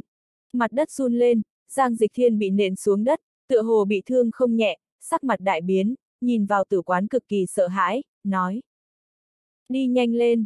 Mười người chật vật rời đi, không dám lưu lại thêm giây phút nào. Bên trong tử quán một mảnh hỗn độn, mọi người hít sâu một hơi, ánh mắt rơi lên người lục lâm thiên, mới biết được thực lực nhóm người này khủng bố tới như thế. Đa tạ đại nhân xuất thủ tương trợ, vô cùng cảm kích. Bốn người hồ lão nhân phục hồi lại tinh thần, ánh mắt hồ lão nhân lộ vẻ kinh ngạc, cung kính nói. Không biết đại nhân có phải là người trong giáo hay không? Đại nhân thì không dám, xin hỏi các hạ có phải là hồ nhất đao hồ hộ pháp? Lục lâm thiên hỏi. Không sai, ngài là. Sắc mặt hồ nhất đao có chút nghi hoặc, người này tựa hồ nhận thức hắn. Nguyên lai là hồ sư huynh, đệ tử lục du thiếu gặp qua hồ sư huynh. Khóe môi lục lâm thiên nhếch lên, mỉm cười nói. Nhưng nơi này không phải chỗ nói chuyện, chúng ta rời khỏi nơi này trước đi. Cũng tốt. Hồ lão nhân nhìn xung quanh, gật đầu nói. Lục lâm thiên đặt một tấm ngọc tinh lên bàn, kim tệ bên trong đủ bồi thường hư hao trong quán, sau đó mới mang theo mọi người rời đi.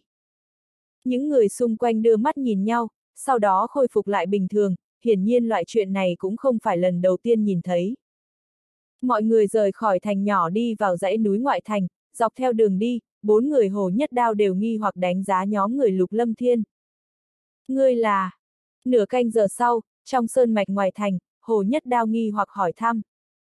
Hồ sư huynh, ta quên giới thiệu, đệ tử lục su thiếu, gia sư thiết trưởng cổ chỉ phi, thường xuyên nghe gia sư nói hồ sư huynh là đệ tử giỏi nhất của sư thúc, không nghĩ tới hôm nay gặp được.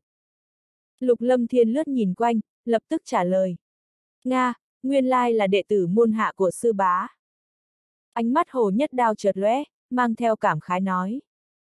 Ta mới nghe nói sư bá gặp được chuyện ngoài ý muốn qua đời, vốn định tới thăm viếng, nhưng sự tình quá nhiều nên chưa đi được. Mối thù của sư phụ lão nhân gia, sư huynh đệ chúng ta nhất định sẽ báo.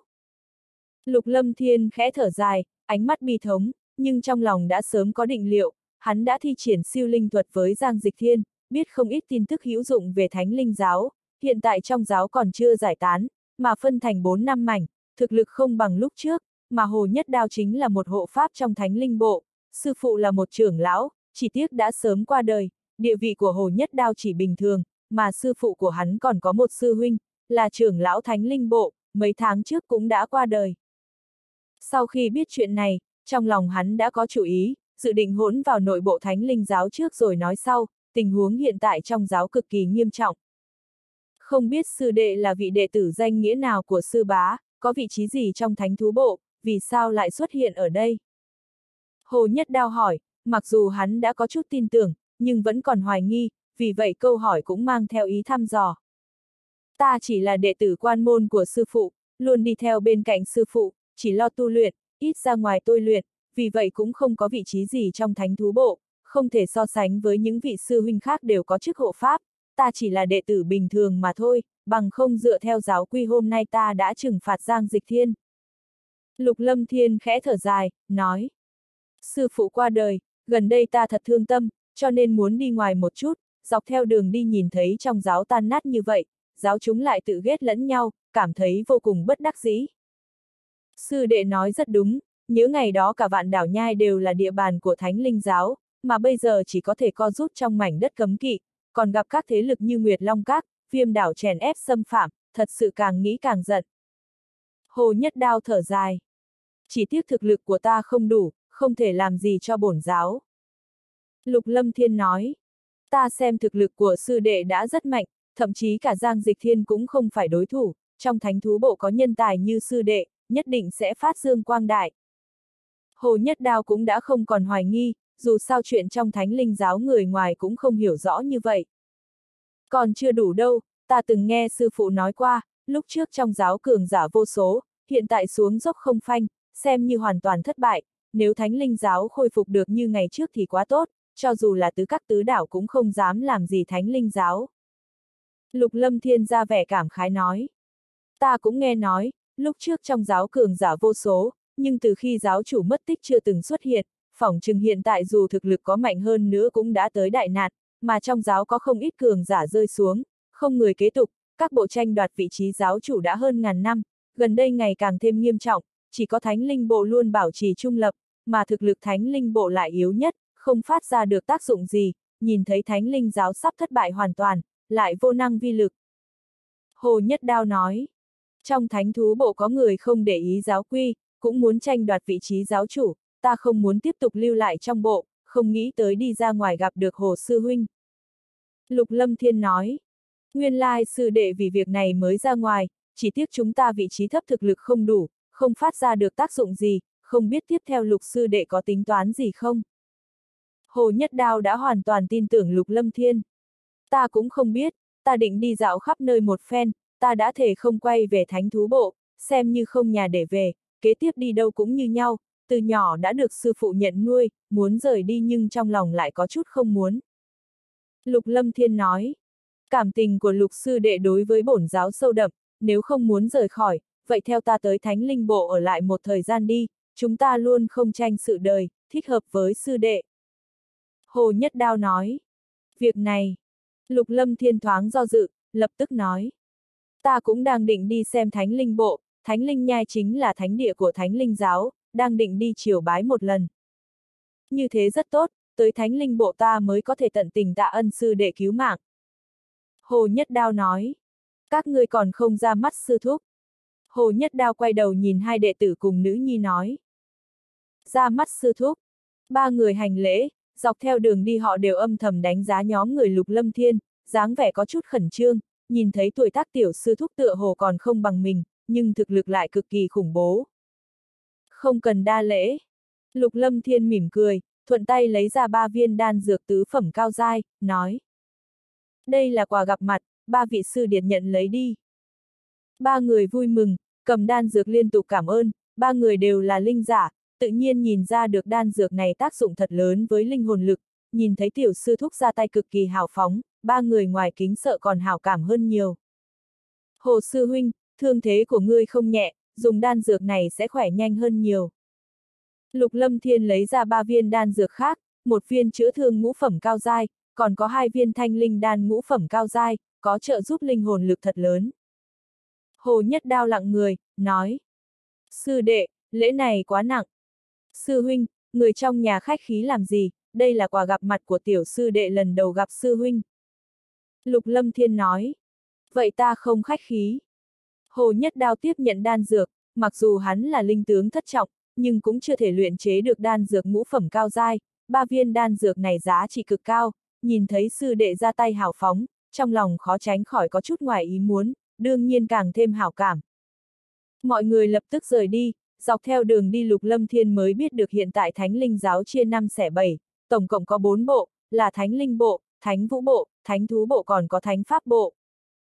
Hiện tại ngoại trừ Thánh Linh bộ, ba bộ khác đã sâu xé nhau hơn ngàn năm, gần đây càng lúc càng ác liệt, đại chiến tiểu chiến không ngừng, tử vong vô số, thế cho nên hiện tại thực lực xuống dốc không phanh. Khi Lục Lâm Thiên hỏi trong giáo còn những cường giả nào, Hồ Nhất Đao cũng lắc đầu không biết, địa vị của hắn không cao, thực lực lại bình thường, có thể trở thành hộ pháp là nhờ mặt mũi của vị sư phụ đã chết, mà sư phụ chỉ có một mình hắn là đệ tử, khi còn sống là trưởng lão thánh linh bộ, nhờ vậy các trưởng lão trong bộ niệm tình cho hắn làm hộ pháp, an ổn ở trong thánh linh bộ, sống cũng tự tại, nhưng xử lý việc trong bộ lại không có phần hắn, có việc cũng không ai thông chi hắn, dần dần hắn cũng không nhận được tin tức gì trong bộ. Hồ Nhất Đao còn giải thích, lần này hắn đi Thánh Vũ Bộ thăm một vị lão hiếu, vô tình đánh vỡ cuộc thương nghị của Thánh Vũ Bộ với Thánh Thú Bộ muốn liên thủ đối phó Thánh Pháp Bộ, kết quả bị người đuổi ghét. Một đường chạy tới tòa thành nhỏ kia, định nghỉ ngơi một chút, không nghĩ tới lại bị Giang Dịch Thiên đuổi kịp. Ngoại trừ nội loạn, Thánh Linh Giáo còn gặp ngoại loạn, vạn đảo nhai gần kề cùng Nguyệt Long Các, Thần Kim Các, Viêm Đảo, Khôn Dương Đảo, bị bốn môn phái này chèn ép, Thánh Linh Giáo chia năm xẻ bảy, không cách nào chống đỡ, nhưng bởi vì cường giả Thánh Linh Giáo ngày trước đã lưu lại một tay, ở địa phương trung tâm trên vạn đảo nhai tràn ngập nguy hiểm, vì vậy người của hai các hai đảo không cách nào dốc lực chiếm cứ. Lục sư đệ, đã tới rồi. Một ngày sau đi tới một dãy núi mênh mông, Hồ Nhất Đao thở ra một hơi nhẹ nhõm quay đầu nói. Lục Lâm Thiên nhìn phía trước, trong núi non chập trùng, một mảnh xanh biếc tươi tốt, nhưng có chút không tầm thường. Đây là lối vào Thánh Linh Giáo, lúc trước được cường giả bổn giáo lợi dụng địa hình chung quanh bố trí không ít trận pháp cùng cơ quan thiên nhiên, người dám đi vào khó thể còn sống đi ra, cũng bị người ngoài gọi là nơi cấm kỵ, trên vạn đảo nhai có vài nơi được gọi là nơi cấm kỵ, nhưng không biết bốn nơi này là lối vào bốn bộ của thánh linh giáo chúng ta. Hồ Nhất Đao nói, đi vào dãy núi, Lục Lâm Thiên liếc mắt nhìn quanh, thật sự có không ít vị trí nguy hiểm, nơi nơi được bố trí cực kỳ xảo diệu, có trận pháp, cơ quan, khôi lỗi thậm chí là độc vật. Bên trong nơi cấm kỵ có nhiều yêu thú cao dai, trên mặt đất ngẫu nhiên còn lưu hài cốt của nhân loại, người tử vong trong này thật không ít. Một canh giờ sau hồ nhất đao dừng bước trước một khe sâu. Thất tinh bắt đầu trận. Nhìn lối vào khe sâu, lục lâm thiên nhíu mày, khe sâu thoạt nhìn bình thường, trên thực tế cực kỳ bí ẩn, bên trong còn có một động thiên khác, nếu không biết nội tình mà đi vào, chỉ sợ dù là vũ vương cũng có thể rơi xuống. Lục lâm thiên nghe sư phụ nói qua, lối vào thánh linh giáo có đại trận do hắn tự tay bố trí, tên là thất tinh bắt đầu trận, uy lực không kém tinh nguyệt thiên sát đại trận, dù là cường giả vũ tôn mạnh mẽ ra tay cũng khó thể phá trận. Hồ Nhất Đao nói, lục sư đệ, đi vào chính là địa phương của thánh linh bộ, tới nơi này sẽ không còn ai đuổi theo sông loạn, nhiều năm nay không ít cường giả viêm đảo, Nguyệt Long Các, Khôn Dương đảo, thần kim các đều tử vong bên trong, bọn hắn làm sao có khả năng phá vỡ hộ giáo đại trận của bổn giáo. Trong lúc nói chuyện, Hồ Nhất Đao có chút tự hào. Uy lực của thất tinh bắt đầu đại trận không kém hơn hộ sơn đại trận của tứ các tứ đảo, tự nhiên không dễ phá vỡ. Lục Lâm Thiên nói, nhưng trong lòng cảm thấy thật khó chịu, hiện tại không ngờ Thánh Linh Giáo phải mở hộ sơn đại trận mới có thể sinh tồn, khó trách người thường không nghe nói về Thánh Linh Giáo, chỉ sợ người hiểu biết chỉ còn có cường giả trong các thế lực lớn mà thôi. Cha, vì sao còn không có người mở ra lối vào, chẳng lẽ đã xảy ra chuyện gì sao? Nữ tử đột nhiên lên tiếng. Nghe Hồ Nhất Đao giới thiệu, nữ tử tên Hồ Đình Đình, là nữ nhi của hắn, hai thanh niên là đệ tử của hắn tên Cam Linh Long, một người là Cam Linh Hổ, đều là Hồ Nhất Đao nhận nuôi nhiều năm trước, từ nhỏ đều mang theo bên người, tình cảm sư đồ rất tốt. Dọc đường Lục Lâm Thiên phát hiện cả hai huynh đệ đều ái mộ Hồ Đình Đình, phỏng chừng chính bản thân Hồ Đình Đình cũng không biết mình nên lựa chọn ai. Gì, chẳng lẽ đã xảy ra chuyện gì sao? Hồ Nhất Đao cũng nghi hoặc, thường ngày vừa tới lối vào sẽ có người mở cửa, nhưng hôm nay lại không có động tĩnh gì. Suy! Nhưng đúng ngay lúc này trong khe sâu đột nhiên truyền ra dao động, không gian dao động nổi lên, cuối cùng hiện ra một cánh cửa cao vài thước, một cỗ khí tức cực kỳ thần dị lan tràn khuếch tán. Siêu siêu! Đồng thời từ bên trong cánh cửa dao động có trên trăm thân ảnh nhảy ra, chân khí lan tràn, không gian dao động chợt khôi phục, hết thảy lập tức biến mất không còn nhìn thấy. Hồ Nhất Đao, người trở về đúng lúc, mau theo chúng ta đi thiên nhai than. Người đi đầu chừng 60 tuổi, chán rộng mặt lớn, chân khí cực kỳ cường hãn, đã tới linh vương nhị trọng, hơn trăm người phía sau cũng có hơn 20 linh xuất cùng vũ xuất, mặt khác đều là linh tướng vũ tướng, khí thế tuyệt đối mạnh mẽ. Lư trưởng lão, đã xảy ra chuyện gì? Hồ Nhất Đao vội vàng hỏi. Vài ngày trước thiên phong dòng binh đoàn đánh chết yêu thú lục giai của thánh linh bộ chúng ta, bây giờ còn liên hợp với ám minh tông tấn công thiên nhai than, đã có không ít đệ tử thánh linh bộ đã thương vong, ta vừa nhận được tin tức, ta muốn đám vương bát đàn kia tuyệt đối có tới mà không có về, nghĩ thánh linh giáo chúng ta dễ khi dễ sao. Lão giả phẫn nộ nói, ánh mắt rơi lên nhóm người lục lâm thiên, hỏi. Hồ Nhất Đao, bọn họ là. Hồi lư trưởng lão, đây là sư đệ lục du thiếu, chính là đệ tử sư bá thiết trưởng cổ trì phi bên thánh thú bộ. Hồ Nhất Đao trả lời. Mặc kệ người thuộc bộ nào, hiện tại kẻ thù bên ngoài tấn công, các người đều đi theo ta, không thể để cho người ngoài khi nhục thánh linh giáo. Lư trưởng lão nhìn thoáng qua nhóm người lục lâm thiên, thả người bay đi. Lục sư đệ, chúng ta đi thôi, thiên phong dòng binh đoàn cùng ám minh tông thật quá đáng, lần này phải giáo huấn bọn hắn mới được. Hồ Nhất Đao nói. Hồ Nhất Đao dứt lời lập tức cấp tốc theo sau. Lục lâm thiên nhíu mày, ngày đó ở bên trong tử quán hắn nghe nhắc tới thiên phong dòng binh đoàn, hình như là dòng binh đoàn lớn nhất vạn đảo nhai, bọn hắn từng ghét chết một đầu yêu thú lục giai ở nơi cấm kỵ. Từ trong trí nhớ lục soát được khi trước, Lục Lâm Thiên cũng có chút tin tức về Ám Minh Tông, Ám Minh Tông là thế lực lớn nhất vạn đảo nhai, nắm giữ không ít địa bàn cùng dược liệu, cường giả không ít. Mọi người cấp tốc đi nhanh trong núi, sau một lát đột nhiên có tiếng xé gió vang lên, một đạo lưu quang bay tới, tiếp theo sau lại có ba đạo lưu quang truy đuổi theo sau. Bốn đạo lưu quang nháy mắt đã tới, lập tức hiển lộ ra thân ảnh. Thân ảnh đầu tiên cấp tốc bỏ chạy, theo chân khí mà xem hẳn có tu vi linh phách, sắc mặt cực kỳ ngưng trọng, thậm chí có vẻ sợ hãi, trong giây lát nhìn thấy trên trăm thân ảnh phía trước, sắc mặt mừng rỡ lớn tiếng hô. Lư trưởng lão cứu mạng. Thân ảnh lư trưởng lão nhảy lên, cấp tốc đi tới trước người đệ tử đang bỏ chạy chối chết kia. Suy suy, nhìn thấy trên trăm thân ảnh đang chạy tới, sắc mặt ba người truy phía sau đại biến, nháy mắt quay đầu chạy trốn. Còn muốn đi, các ngươi nằm mơ. Ánh mắt lư trưởng lão trầm xuống, thân ảnh nhảy lên phong tỏa đường lui của ba người. Ba người không chút do dự, thủ ấn kết xuất, chân khí bạo tuôn, đột nhiên ngưng tụ thành công kích, một vũ tướng cùng hai vũ phách bát trọng, ba đạo công kích đồng thời oanh về hướng lư trưởng lão, ba đạo công kích mang theo kình khí cực kỳ sắc bén, lướt qua không gian lưu lại cả dấu vết trong hư không. Muốn chết! Lư trưởng lão giận dữ, phung tay lên, linh lực hóa thành giải lụa xuyên qua không gian đi tới trước ba người. Phanh! Năng lượng tiếp xúc, ba đạo công kích nháy mắt va chạm vài giải lụa, bốn thanh âm trầm đục nổ tung. Phốc! Không gian dao động chấn vỡ, kinh khí ngập trời thổi quét, thân hình ba người trực tiếp phun máu tươi bay ngược ra xa, lập tức bị đánh chết. Sao lại thế này, đã xảy ra chuyện gì? Lư trưởng lão liền hỏi. Những người khác đâu?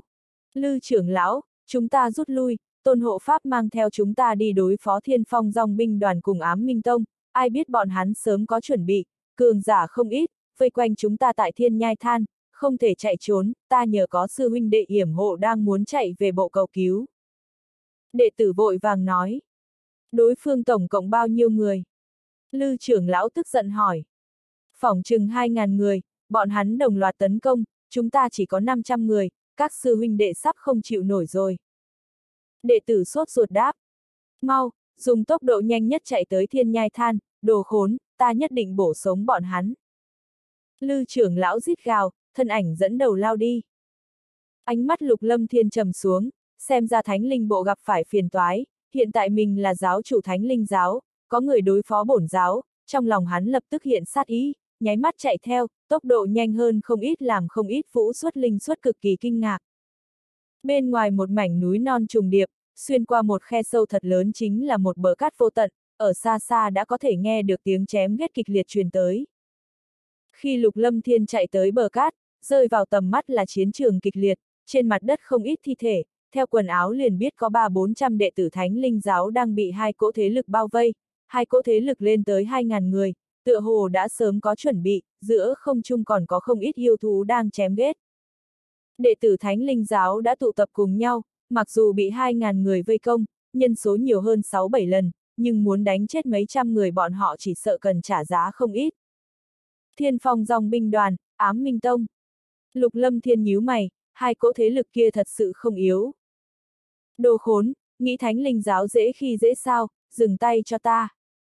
Lư trưởng lão vừa xuất hiện, dùng thủ đoạn lôi đình đánh chết mấy người, hét lớn một tiếng, thanh âm khiến những người có mặt đều nghe được rõ ràng. Lư trưởng lão đã tới, chúng ta được cứu rồi. Người của thánh linh bộ vừa nhìn thấy lư trưởng lão xuất hiện, nhất thời phấn khởi tinh thần. Hai cỗ thế lực khác vừa nhìn thấy có cường giả xuất hiện, không khỏi giảm chậm thế công. Siêu siêu. Lúc này những cường giả khác của thánh linh bộ đều đuổi tới, bốn người hồ nhất đao nhìn thấy lục lâm thiên đã tới phía trước, lập tức đi tới bên cạnh hắn. Kiệt kiệt, ta suy đoán không sai, thánh linh giáo thật sự có cường giả. Nhưng vào lúc này có năm thân ảnh nhảy lên không. Năm người lăng không đứng thẳng, không gian dao động run lên, ba lão giả cùng một trung niên đại hán, còn có một trung niên phụ nhân vẫn còn phong vận. Ba lão giả chừng 70 tuổi, cực kỳ già nua, nhưng chân khí vô cùng sắc bén, rõ ràng có tu vi vũ vương. Trung niên chừng 40 tuổi, cơ thể mạnh mẽ thô lỗ, mà phụ nhân dáng người là lướt, bộ ngực buộc chặt có vẻ cực kỳ mê người. Lục sư đệ, là ám minh tam quỷ, còn có thiên phong song vương. Sắc mặt hồ nhất đao đại biến. Ám minh tam quỷ, thiên phong song vương. Lục lâm thiên đã sớm có hiểu biết về thân phận năm người này, nghe nói ám minh tam quỷ là tán tu, 200 năm trước sáng lập ám minh tông, hiện tại đã trở thành thực lực cực mạnh trên vạn nhai đảo, mà thiên phong song vương là phu thê, cũng đã ở vạn nhai đảo thật lâu, nắm giữ thiên phong dòng binh đoàn lớn nhất vạn nhai đảo. Lục lâm thiên nhìn năm người, thực lực ám minh tam quỷ đã là vũ vương lục trọng cùng hai ngũ trọng, mà thiên phong song vương là vũ vương tam trọng. Các đệ tử mau lui về, mau. Nhìn thấy năm người kia, sắc mặt lư trưởng lão đại biến, lập tức quát lớn, hắn đã nhìn ra thực lực năm người này vượt trên hắn, khuôn mặt nháy mắt liền ngưng trọng, như vậy ám minh tông cùng thiên phong dòng binh đoàn đã có chuẩn bị nên mới đại quy mô xâm phạm. Muốn chạy sao, chậm. Ám minh tam quỷ cười lạnh, hắn đã sớm chuẩn bị cạm bẫy chờ người của thánh linh giáo, làm sao cho họ rời đi, ở lại trên vạn nhai đảo mấy trăm năm, bọn hắn cũng biết thánh linh giáo, đều biết tận sâu trong vạn nhai đảo còn có một thế lực lánh đời, cỗ thế lực này không nhỏ, hơn nữa còn có không ít bảo vật, nhưng bên ngoài có hộ sơn đại trận, bọn hắn thử qua nhiều lần cũng không cách nào đi vào, mỗi lần đều hiểm hiểm thoát thân, không dám xâm nhập sâu hơn, vì vậy liên hợp với thiên phong dòng binh đoàn dẫn rắn ra khỏi hang. Cố ý dẫn dụ người của thánh linh giáo đi ra ngoài. Mau, đánh chết người của thánh linh giáo, không buông tha một ai. Một người trong ám minh tam quỷ âm lệ nói, hai ngàn người của hai thế lực lập tức điên cuồng vây công đệ tử thánh linh giáo. Ghét, liều mạng với bọn hắn. Lư trưởng lão nhìn thấy đệ tử bị đánh chết, phẫn nộ quát. Liều mạng với bọn hắn. Hơn trăm người đi cùng lư trưởng lão nhìn thấy đồng môn bị đánh chết, lửa giận ngút trời lao thẳng tới. Hồ Nhất Đao, người mau trở về thông chi các trưởng lão khác tới cứu viện, nhanh đi. Lư trưởng lão quát một tiếng. Kiệt kiệt, tự quản ngươi trước đi. Lão đại ám minh tam quỷ nháy mắt lao thẳng tới chỗ lư trưởng lão, tay phải vung cao, năm ngón tay gấp khúc, đột nhiên siết chặt. Hô! Không gian chung quanh đột nhiên ngưng lại, một đạo chảo ấn áp xuống. Ta liều mạng với ngươi. Lư trưởng lão hét lớn một tiếng, ánh mắt lạnh băng nhìn chằm chằm chảo ấn, thủ ấn kết xuất, từ trong ấn đường bắn ra hào quang chói mắt, linh hồn lực lan tràn, hóa thành một đầu ác điểu màu trắng thật lớn, hung hăng lao về hướng chảo ấn kia. Hai đạo công kích va chạm vào nhau. Oanh long long. Lực va chạm khủng bố, trong khoảnh khắc bộc phát ra tiếng nổ kinh thiên động địa, cả không gian đều run rẩy lên. Linh hồn công kích, nhưng thực lực của ngươi quá thấp. Tiếng cười âm lệ truyền ra, linh hồn ác điểu nháy mắt hóa thành mảnh nhỏ, trong tích tắc một đạo trưởng ấn đã rơi lên người lư trưởng lão. Phanh phanh. Sắc mặt lư trưởng lão trắng bệch nện xuống mặt đất, khe nứt lan tràn rậm rạp như mạng nhện, kéo dài thật xa. Phốc. Lư trưởng lão phun máu tươi, tu vi kém quá nhiều, một chiêu đã trọng thương. Mang ta vào trong trận, ta sẽ tha cho ngươi một mạng thế nào? Lão giả lăng không đứng thẳng, ánh mắt mang theo hàn ý, thản nhiên hỏi. Nằm mơ, thánh linh giáo tuyệt đối sẽ không bỏ qua các ngươi. Lư trưởng lão lau vết máu trên miệng, dãy dụa đứng lên. Ta thật muốn biết thánh linh giáo gì đó của các ngươi rốt cục có thực lực gì. Đại hán trung niên cười lạnh nói. Bắt được người này, không sợ hắn không nói. Phụ nhân nhìn lư trưởng lão lạnh lùng nói, không đem hắn để vào trong mắt. Hồ nhất đao, người còn thất thần làm gì, mau trở về thông chi các trưởng lão khác tới cứu viện. Lư trưởng lão quát lớn. Hồ Nhất Đao nhìn thấy Lư trưởng lão chỉ đánh một chiêu đã bị trọng thương, còn đang sửng sốt, nghe tiếng quát liền phục hồi lại tinh thần, thân ảnh nhảy lên lui ra sau, muốn rời đi. Còn muốn chạy, đi chết đi. Phụ nhân nhíu mày, thân ảnh lướt qua trời cao với tốc độ cực nhanh, hỏa hệ khí tức tràn ra, trưởng ấn vặn vẹo không gian hung hăng va chạm về hướng Hồ Nhất Đao. Thân hình Hồ Nhất Đao thối lui thật nhanh, nhưng thân thể giống như bị áp chế, không thể nhúc nhích, căn bản vô năng vô lực. Cha! Sư phụ! Ba người Hồ Đình Đình theo bản năng ngẩng đầu khẩn cầu lục sư thúc đang đứng bên cạnh, lúc này mới phát hiện không còn nhìn thấy bóng dáng của hắn. Chỉ là một vũ vương tam trọng nhỏ nhỏ cũng dám cản rỡ với thánh linh giáo, khi dễ thánh linh giáo không người hay sao?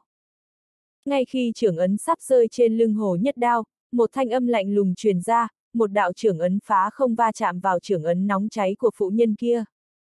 Phanh phanh. Hai đạo trưởng ấn va chạm, bộc phát ra quang mang chói mắt, năng lượng dao động sắc bén khuếch tán, cuối cùng nặng nề oanh kích lên thân thể phụ nhân. Hừ. Sắc mặt phụ nhân tái nhợt, phát ra tiếng kêu rên, phun ra ngụm máu tươi. Phốc. Thân hình bà ta lập tức bị đánh bay, nặng nề rơi xuống xa xa.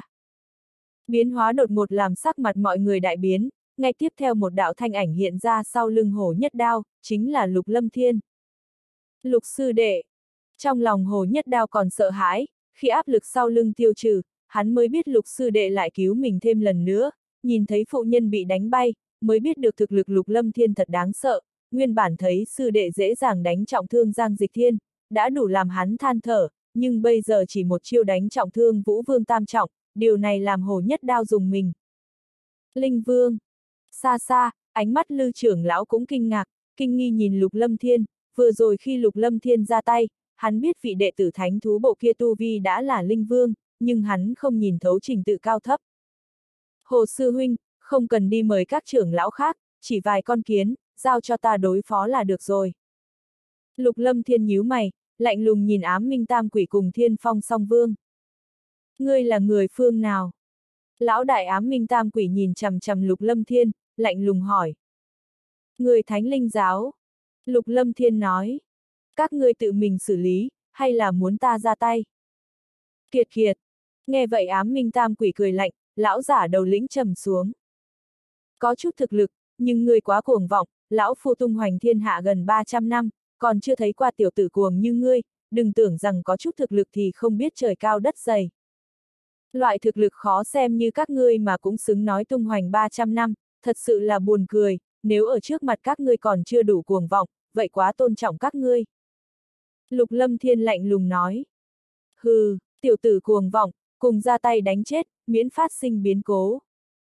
Lão đại ám minh tam quỷ lao tới.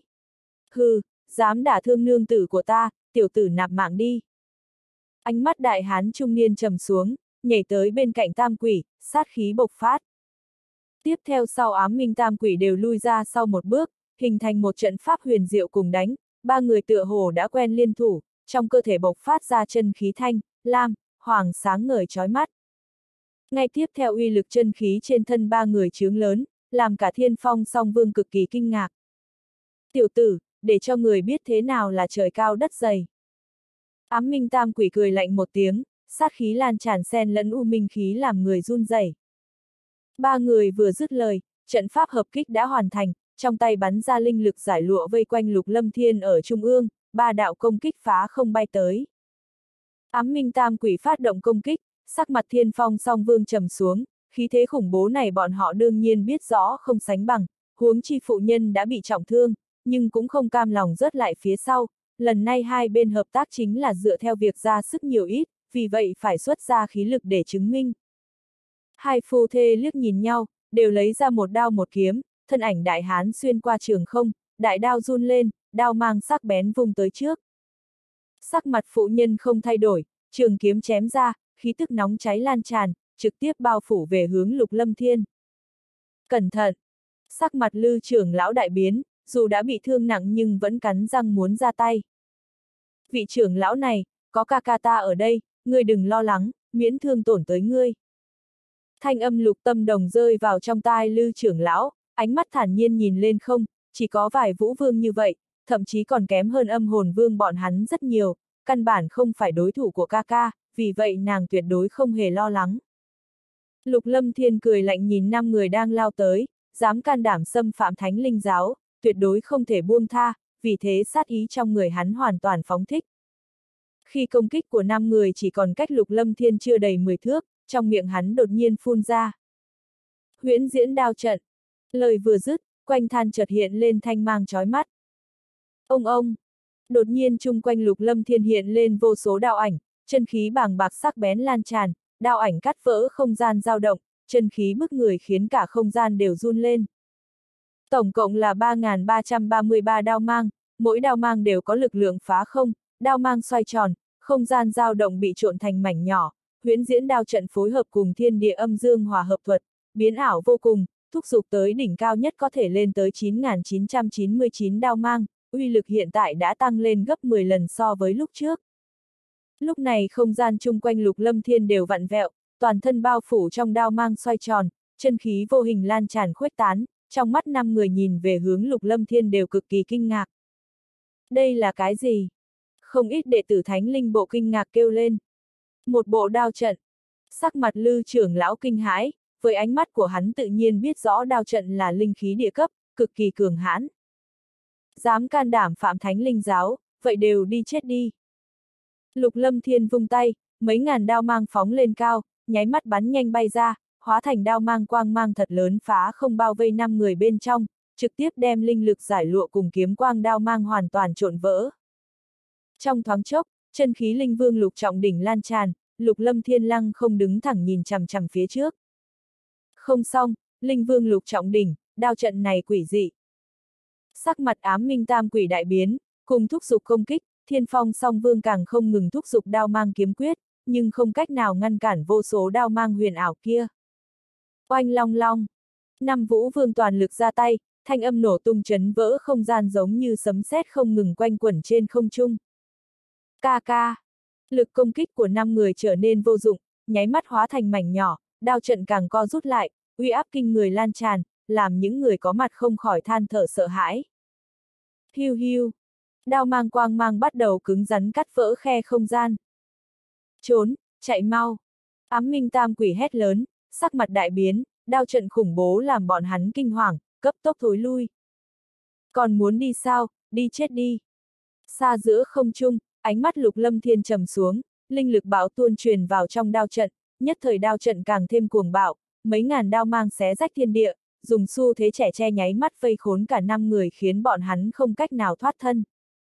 Năm người kinh hoàng, từ sâu trong linh hồn dâng lên hàn ý, bọn hắn không hề nghĩ tới thực lực thanh niên kia khủng bố như vậy, trong thánh linh giáo lại có cường giả như thế, thân hình không ngừng thối lui, bố trí hộ thân cương quyển nhưng cũng khó thể ngăn cản đao trận huyền ảo liên miên không dứt kia. Hiu hiu, mấy ngàn đao mang quang mang dâng lên, khí thế sắc bén ngập trời, đao mang cuồn cuộn phá hủy hộ thân cương quyển, lập tức bao vây lấy thân thể của năm người, tiếp theo liền xoắn thành mảnh nhỏ, một mảnh máu tươi tuôn tràn xuống. Suy suy, thân hình năm người hóa thành huyết vụ nát vụn, chỉ có ba đạo bạch quang bắn vọt ra ngoài. Hồn anh còn muốn bỏ chạy, thực lực các người còn chưa đủ. Trong đao trận, thân ảnh lục lâm thiên bay ra, nháy mắt ngăn cản trước ba hồn anh đang chạy trốn. Hiu hiu, ba đạo chảo ấn đánh ra nhanh như chớp, đem hồn anh ám minh tam quỷ trộp trong chảo ấn. Bên trong chảo ấn tản ra hấp lực thật lớn, đem ba hồn anh trực tiếp cắn nuốt, tiếp theo liền bị đại hồn anh hấp thu. Giữa không trung, lục lâm thiên thu lại thủ ấn, vài ngàn đao mang bay vòng hóa thành một thanh sắc trường đao, trường đao liền tiến nhập cơ thể khiến những người có mặt đều trợn mắt há hốc mồm. Cường giả linh vương cao dai. Thanh âm khàn khàn không dám tin kinh hô. Thật mạnh. Nhóm người hồ nhất đao ngây người, ám minh tam quỷ cùng thiên phong song vương nháy mắt bị đánh chết, thậm chí hồn anh còn chưa kịp bỏ chạy, thực lực như thế làm họ khiếp sợ không nói nên lời. Ánh mắt lư trưởng lão dại ra, hắn rõ ràng thực lực năm người kia đáng sợ cỡ nào, nhưng một màn trước mắt thật sự làm hắn rung động, không nghĩ tới chỉ một chiêu năm người kia đã bị đánh chết, loại thực lực này dù là trong thánh linh bộ cũng chỉ có những trưởng lão lánh đời mới có thể so sánh. Lão tông chủ đã chết, chạy mau. Đoàn trưởng bị đánh chết. Giữa không trung, không ít phú xuất linh xuất sắc mặt đại biến, bắt đầu bỏ chạy, trái lại đệ tử thánh linh bộ quá đỗi vui mừng, lực công kích nhất thời biến thành sắc bén. Tuyết sư, như hoa, phi thiên ngô công, không buông tha cho một tên vũ xuất linh xuất nào. Lời của lục lâm thiên vừa rơi xuống, thủ ấn kết xuất, năm cỗ khôi lỗi lăng không đứng thẳng, nháy mắt đánh thẳng về hướng những cao thủ đang bỏ chạy tứ tán. Ô ô! Khôi lỗi thất cấp! Lư trưởng lão cảm giác được khí thức của khôi tứ cùng khôi ngũ, vô cùng kinh ngạc, nhưng khi ngẩng đầu nhìn thấy phi thiên ngô công hóa thành bản thể khổng lồ, độc khí bao phủ, dưới ngàn móng vuốt còn bao trùm độc khí khủng bố, nháy mắt đã đánh tới những vũ suất đang chạy trốn. Đi chết đi! Thân ảnh thiên sĩ tuyết sư bay lên không, một đạo quyền ấn tung ra, một vũ xuất bát trọng lập tức bị đánh bay. Thân ảnh như hoa xuyên toa, những nơi nàng đi qua chính là đổ sát, không ai sống sót. Lư trưởng lão mang tới không ít cường giả, được người của Lục Lâm Thiên hỗ trợ, hết thảy tình thế bắt đầu nghịch chuyển. Nửa canh giờ sau hết thảy đều kết thúc, hơn 2.000 người của Ám Minh Tông cùng Thiên Phong Dòng Bình đoàn ít nhất lưu lại 800 thi thể tại Thiên Nhai Than, mà người có tu vi ngoài linh tướng, vũ tướng không ai đào thoát, những người chạy thoát thực lực thấp không có gì đáng lo ngại. Khi hết thảy đều bình tĩnh trở lại, mấy trăm người của Thánh Linh Giáo đều nhìn lên Lục Lâm Thiên, trong mắt tràn ngập vẻ kính sợ. Không biết vị huynh đệ kia là vị tiền bối nào trong thánh thú bộ. Lư trưởng lão điều tức thương thế, nhìn thấy Lục Lâm Thiên rơi xuống đất, liền đi tới hỏi. Không dám, ra mắt Lư trưởng lão, đệ tử Lục Du Thiếu, chính là đệ tử trưởng lão cổ trì phi thuộc thánh thú bộ. Lục Lâm Thiên nói, ngươi là đệ tử của cổ trưởng lão. Lư trưởng lão ngẩn ra, hắn nhận thức cổ trì phi, nghe nói vài tháng trước đã chết, mà thực lực vị kia cũng không mạnh hơn hắn bao nhiêu, vì sao đệ tử lại mạnh tới như thế? Không sai, đệ tử đúng là đệ tử của cổ trưởng lão. Lục Lâm Thiên trả lời. Ánh mắt Lư trưởng lão kinh ngạc nhìn qua hồ nhất đao dò hỏi. Lư trưởng lão, lục sư đệ đúng là đệ tử của sư bá. Hồ Nhất Đao trả lời, hắn thật sự tin tưởng không chút nghi ngờ. Thứ cho ta mạo muội, thực lực của cổ trưởng lão còn chưa tới mức này đi, lục huynh đệ thật sự là đệ tử của hắn sao, không biết đã đảm nhiệm chức vụ gì trong thánh thú bộ. Lư trưởng lão hoài nghi hỏi, không phải hắn không tin, nhưng hắn thật sự là không dám tin. Đệ tử ở trong thánh thú bộ không nhậm chức, thực lực mạnh hơn gia sư là vì đệ tử hữu duyên chiếm được truyền thừa của một vị tiền bối trong thánh thú bộ. Lục Lâm Thiên cẩn thận đáp, thánh linh giáo có bốn bộ, mỗi bộ đều hành sự theo ý mình, chỉ sợ sẽ không ai rõ ràng tình huống của bộ khác, cho nên Lục Lâm Thiên không lo lắng lời nói dối bị vạch trần, huống chi hắn là giáo chủ thánh linh giáo, bất đắc dĩ muốn chui vào trong sơn môn của mình đã đủ uất ức, nếu bị vạch trần cũng không sao, chẳng qua biểu lộ thân phận là được. Thì ra là thế, khó trách thực lực tiểu huynh đệ mạnh như vậy, nguyên lai chiếm được truyền thừa của cường giả thánh linh bộ. Lư trưởng lão cảm khái, thậm chí có chút hâm mộ, cũng không còn hoài nghi, có hồ nhất đao làm chứng, hắn đã tin hơn phân nửa, bởi vì sư phụ hồ nhất đao chính là sư huynh đệ với trưởng lão cổ trì phi, việc này hắn cũng biết rõ ràng. Không nghĩ tới thánh linh giáo lại tới nông nỗi này, chỉ là ám minh tông cùng thiên phong dòng binh đoàn nho nhỏ cũng không đem chúng ta để vào trong mắt. Lục lâm thiên trầm giọng nói.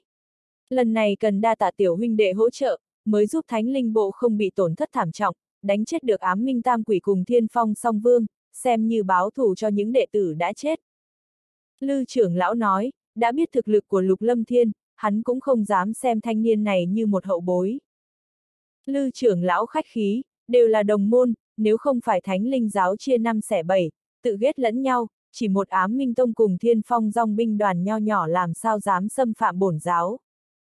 Lục Lâm Thiên nói, nói rất đúng, nếu không phải cường giả thánh linh bộ không để ý tới việc bên ngoài, cũng không tới lượt đám người kia luôn hung hăng càn quấy.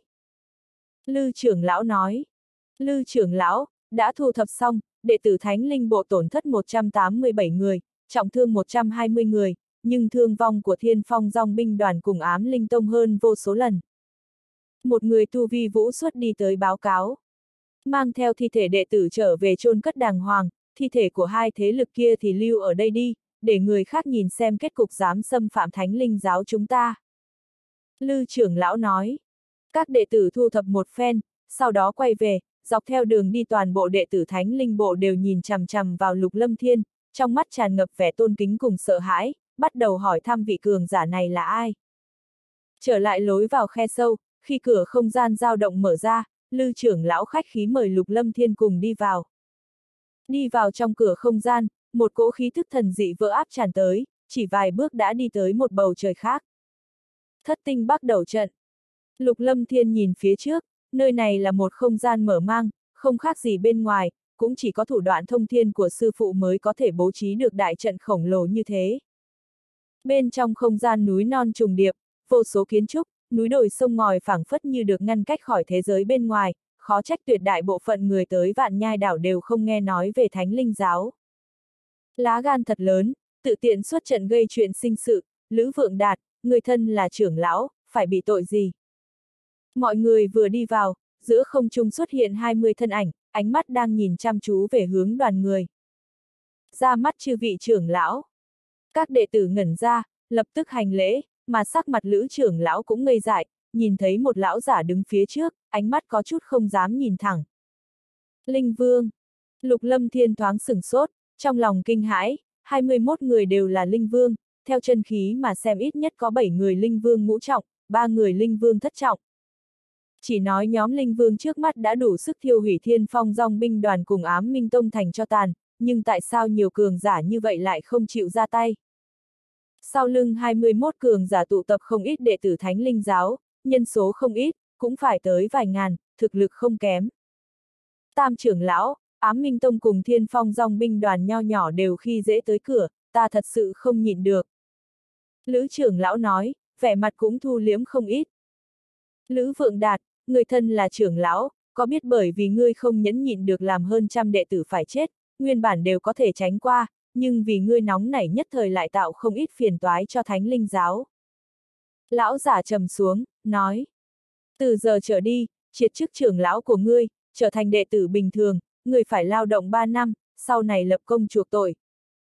Tam trưởng lão, ta không phục, trong thánh linh giáo cường giả vô số, cũng phải chịu đựng tiểu phái khi nhục Upsilon, ta không cảm thấy mình có sai. Lư trưởng lão nhìn thẳng lão giả nói. Lão giả thở dài, nói. Lữ Vượng Đạt, người còn không biết hối cải sao, người có nhớ ngày ngươi trở thành trưởng lão từng thể như thế nào? Thân là trưởng lão bổn giáo, cần vĩnh viễn trung tâm, lấy việc bảo vệ an nguy đệ tử trong giáo làm nhiệm vụ của mình.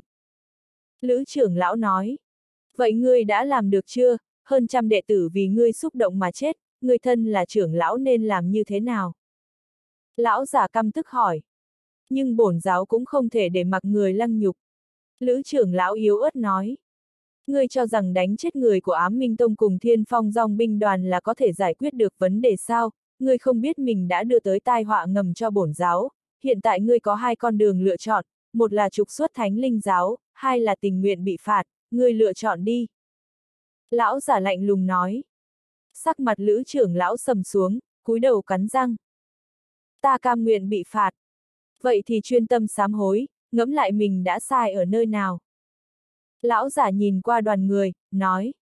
Toàn bộ những người tham dự việc này, chức hộ pháp đều đi xuống chỗ đệ tử mới nhận xử phạt lao động nửa năm, đệ tử bình thường nhận 3 tháng lao động, người bị thương đi về dưỡng thương, đem đệ tử đã chết mai táng.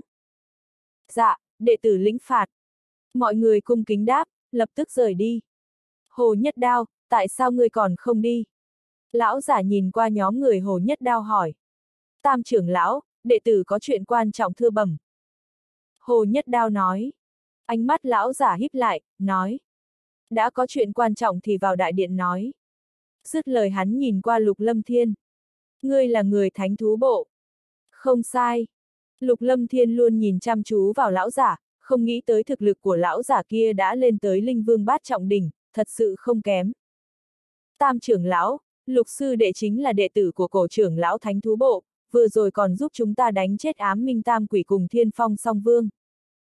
Hồ Nhất Đao vội vàng nói. Ánh mắt tam trưởng lão không chút biến hóa, thản nhiên nhìn lục lâm thiên, nói. Nếu là người thánh thú bộ, vậy cũng là người một nhà, ở lại thánh linh bộ nghỉ ngơi vài ngày đi, đình đình, người mang theo vài vị này đi nghỉ ngơi đi. Lục sư thúc, mời đi theo ta. Hồ Đình Đình nói. Đa tạ tam trưởng lão. Lục Lâm Thiên nói, lập tức đi theo Hồ Đình Đình, ánh mắt cũng không chút dao động. Xuyên qua vài con đường đá, trong rừng cây trước mắt xuất hiện từng dãy đình viện, Hồ Đình Đình dẫn người đi tới nơi này, đi vào một tòa đình viện, nói. Lục sư thúc, các người ở lại đây nghỉ ngơi, ta ở cách đây không xa, có gì cần tùy thời có thể phân phó. Nói xong nàng mới rời đi. Lão đại, trong này tựa hồ có vài cường giả, vừa rồi một mực rình chúng ta. Tiểu Long kết xuất thủ ấn, bố trí một đạo cấm chế. Đúng là có vài cường giả, vẫn còn rất mạnh. Lục Lâm Thiên nói, sau khi đi vào nơi này hắn mơ hồ cảm giác có vài đạo khí thức đảo qua trên người mình, có lẽ là cường giả thánh linh bộ. Nhị đệ, nơi này cực kỳ quỷ dị. Dương quá nhíu mày nói. Chúng ta chú ý một chút là được rồi. Lục Lâm Thiên nói, nhìn dáng vẻ trong thánh linh giáo nước thật sâu đậm, cho dù hắn nói mình là thánh linh giáo chủ phỏng chừng cũng sẽ gặp phiền phức, ai biết có người nào chịu thừa nhận sự hiện hữu của mình hay không. Thương nghị một lúc, Lục Lâm Thiên mang theo tâm tính tới đâu hay tới đó, lại đi dạo bên trong đình viện, phong cảnh nơi này cũng thật xinh đẹp. Nơi nơi đều có đệ tử thánh linh bộ, tựa hồ tin tức hắn đánh chết ám minh tam quỷ cùng thiên phong song vương được truyền ra, mọi người đều đang thấp giọng nghị luận, không ít đệ tử xưng hô sư thúc, tỏ vẻ cực kỳ ủng hộ, những đệ tử còn nhỏ tuổi, vì vậy rất căm thức thiên phong dòng binh đoàn cùng ám minh tông, nhưng do các trưởng lão luôn ngăn cản cho nên họ cũng không biện pháp, lần này có người ra tay đánh chết toàn bộ cường giả hai thế lực kia, bọn họ đương nhiên vô cùng ủng hộ. Mọi người đi dạo chung quanh, cũng có nhiều chỗ không được vào, bởi vì có đệ tử canh gác. Vào đêm, ánh trăng bao phủ trời cao, nơi nơi một mảnh hôn ám. Hô! Vào giờ tí, Lục Lâm Thiên thở ra một hơi chọc khí, trong mắt lóe sáng tinh mang. Lão đại, người muốn đi ra ngoài sao? Tiểu Long mở mắt nhìn Lục Lâm Thiên hỏi. Chúng ta đi thôi, đi tìm một nơi. Lục Lâm Thiên nói. Dưới ánh trăng, hai thân ảnh nhảy ra khỏi đình viện, biến mất nhanh như chớp. Nửa canh giờ sau, bên dưới một ngọn núi thật lớn, dưới bóng đêm tối tăm, ngọn núi cao về Upsilon T trong mấy lộ ra khí thế hùng hậu nguy nga. Hai thân ảnh một lớn một nhỏ xuất hiện, nhìn chăm chú lên núi. Lão đại, chúng ta tới đây làm gì? Thanh âm tiểu long truyền ra trong đầu lục lâm thiên. Nơi này hẳn là trọng địa thánh linh bộ, chúng ta đi nhìn xem mấy năm nay thánh linh giáo có bao nhiêu biến hóa. Lục lâm thiên nói, thân ảnh hai người nháy mắt nhảy lên sườn núi.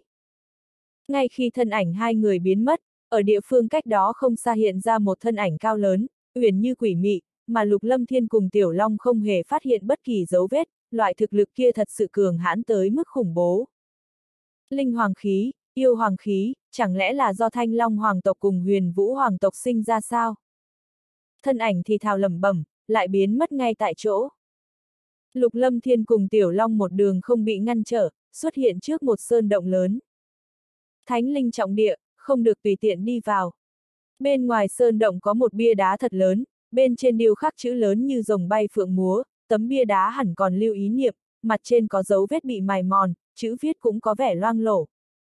Tiểu Long, chúng ta cẩn thận một chút.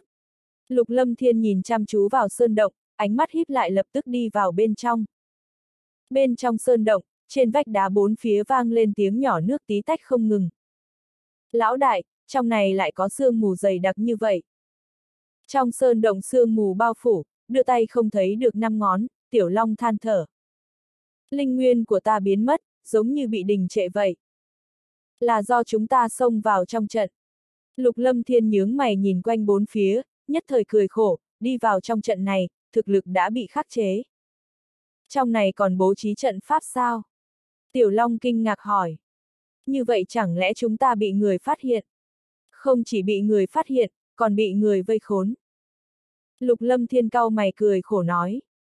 Các ngươi là ai, sớm biết các ngươi lẫn vào thánh linh bộ có ý xấu, nhưng không nghĩ tới nhanh như vậy đã lộ ra chân tướng. Một thanh âm thản nhiên truyền tới. Lục lâm thiên nghe được là thanh âm của tam trưởng lão, ánh mắt quét nhìn bốn phía, nói. Tam trưởng lão, đệ tử là đệ tử thánh thú bộ, bởi vì nhất thời tò mò cho nên mới đi lên, thỉnh tam trưởng lão thứ lỗi. Đệ tử thánh thú bộ, Hồ Nhất Đao cùng Lư trưởng lão tin tưởng ngươi, ngươi cảm thấy ta sẽ tin ngươi sao, nếu ngươi không nói vậy cứ bị nhốt trong tam thập lục tinh mê huyễn đại trận này đi, khi nào ngươi muốn nói thì cho ta biết là được. Thanh âm tam trưởng lão truyền tới. Tam thập lục tinh mê huyễn đại trận. Ánh mắt lục lâm thiên run lên, nói. Nếu tam trưởng lão không chịu thả ta đi ra, ta chỉ có thể tự mình đi ra thôi. Dứt lời, lục lâm thiên lôi kéo tiểu long dùng những bước chân thật huyền ảo đi tới, những nơi đi qua sương mù đều biến mất không còn nhìn thấy. Tam thập lục tinh mê huyễn đại trận, đây là đại trận tuyệt đối, nếu không biết trận này dù là vũ tôn cũng đừng mong đi ra, thực lực hoàn toàn bị khắc chế, cho dù hiểu về trận này cũng khó thể xông qua, đại trận thay đổi thất thường, càng hiểu biết càng khó thể vượt qua. Nhưng lục lâm thiên thì khác, tuy không phải hắn bố trí đại trận, nhưng là do sư phụ thánh thủ linh tôn sáng lập, trong thiên tinh lục đều ghi chép thật rõ ràng. Thân ảnh lục lâm thiên lách trái tránh phải, nhất thời tạo ra không ít tiếng hô kinh nghi, không bao lâu khi hắn nhảy ra khỏi sương mù dày đặc, trước mắt liền xuất hiện một thạch thất thật lớn. Đó là một địa phương làm cho người ta cực kỳ khiếp sợ, thạch thất giống như do nhân công tạo ra, diện tích khổng lồ, bốn vách đá khắc lên không ít bí văn, lúc này trong thạch thất xuất hiện không ít thân ảnh, chính là tam trưởng lão, 20 linh vương đều xuất hiện, bên cạnh tam trưởng lão còn có hồ nhất đao. Hồ nhất đao nhìn lục lâm thiên, hai mắt trừng lớn, lúc này hắn thật sự hoài nghi thân phận của lục lâm thiên. Sao ngươi có thể đi ra khỏi tam thập lục tinh mê huyễn đại trận? Một trưởng lão nhìn lục lâm thiên kinh ngạc hỏi, những trưởng lão khác cũng ngạc nhiên vô cùng. Rất khó sao, tựa hồ thật dễ dàng thôi. Lục lâm thiên vuốt vuốt mũi cười nói, nhưng trong lòng cực kỳ bất đắc dĩ, xem ra lời nói dối của mình đã bị vạch trần. Nguyên lai là có chuẩn bị mà tới, rốt cục ngươi là người nào, tự tiện xông vào trọng địa thánh linh giáo có mục đích gì? Tam trưởng lão nhíu mày, vẻ mặt ngưng trọng nhìn lục lâm thiên. Tam trưởng lão, ta thật sự là người của thánh linh giáo, nơi này là bổn giáo, vì sao ta không thể đi vào? Lục lâm thiên cười khổ nói.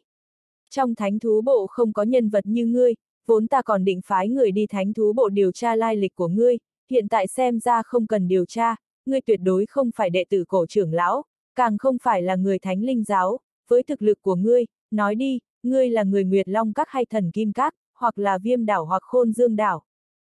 Một linh vương đứng cạnh tam trưởng lão hỏi. Ta thật sự là người thánh linh giáo. Lục Lâm Thiên nói. Không cần biết ngươi là ai, xem ra hai các hai đảo kia vẫn chưa tà tâm bất tử, những năm gần đây người chui vào thánh linh giáo cũng không chỉ có ngươi, không cần ngươi nói, bắt được ngươi ta tự nhiên có biện pháp biết ngươi là ai. Tam trưởng lão nói xong nghiêng người nói. Người này thực lực không kém, bạch trưởng lão hồng trưởng lão, các ngươi bắt hắn. Dạ, tam trưởng lão.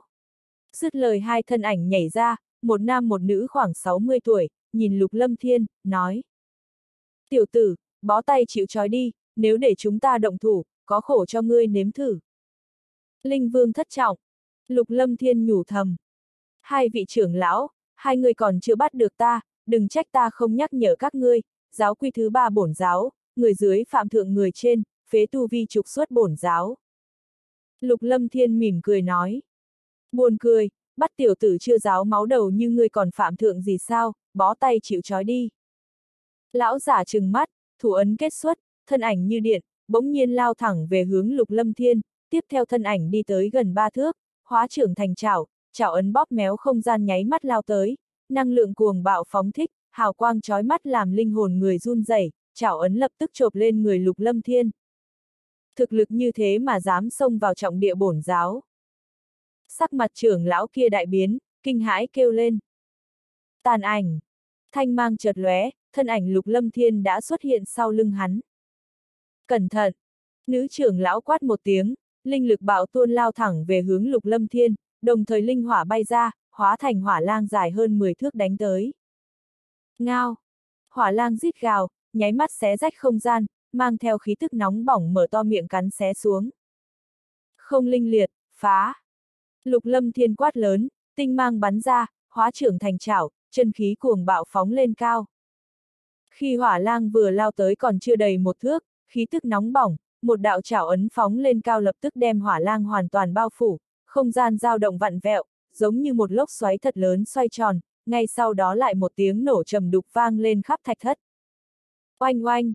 Linh lực cuồng bạo kích tán, kinh khí cường hãn phóng lên cao, thân ảnh hỏa lan tán loạn, nữ trưởng lão tựa hồ nhận ra điều gì, sắc mặt thay đổi, nhưng còn chưa kịp lui về phía sau thì một thanh ảnh đã hiện ra, một đạo chảo ấn lập tức vỗ lên người bà.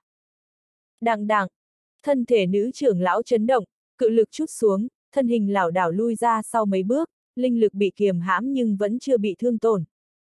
Tiểu tử hung hăng càn quấy. Lão giả 60 nháy mắt xoay người, thủ ấn kết xuất, linh hồn lực bay ra, bao phủ cả không gian chung quanh lục lâm thiên, tiểu long lại lui sang một bên giống như chuyện không liên quan tới mình. Linh hồn lực bao phủ, nháy mắt va chạm lên người lục lâm thiên. Thân ảnh lục lâm thiên lao thẳng tới vị trưởng lão kia, thân hình hóa thành thiểm điện bay thẳng tới trước. Song hồn khốn linh trận. Nữ trưởng lão quát một tiếng, linh hồn lực bạo tuôn, không gian thạch thất nháy mắt động lại, linh hồn lực của hai người hô ứng lẫn nhau, hoàn toàn bao vây lục lâm thiên bên trong, trong nháy mắt hình thành làn sóng linh hồn hung hăng va chạm về hướng lục lâm thiên. Lục lâm thiên chỉ mỉm cười, linh hồn công kích là điều băn khoăn cùng kiêng kỵ của người khác, nhưng với hắn không có tác dụng gì. Gì? Phản ứng của lục lâm thiên làm mọi người nghi hoặc kêu lên.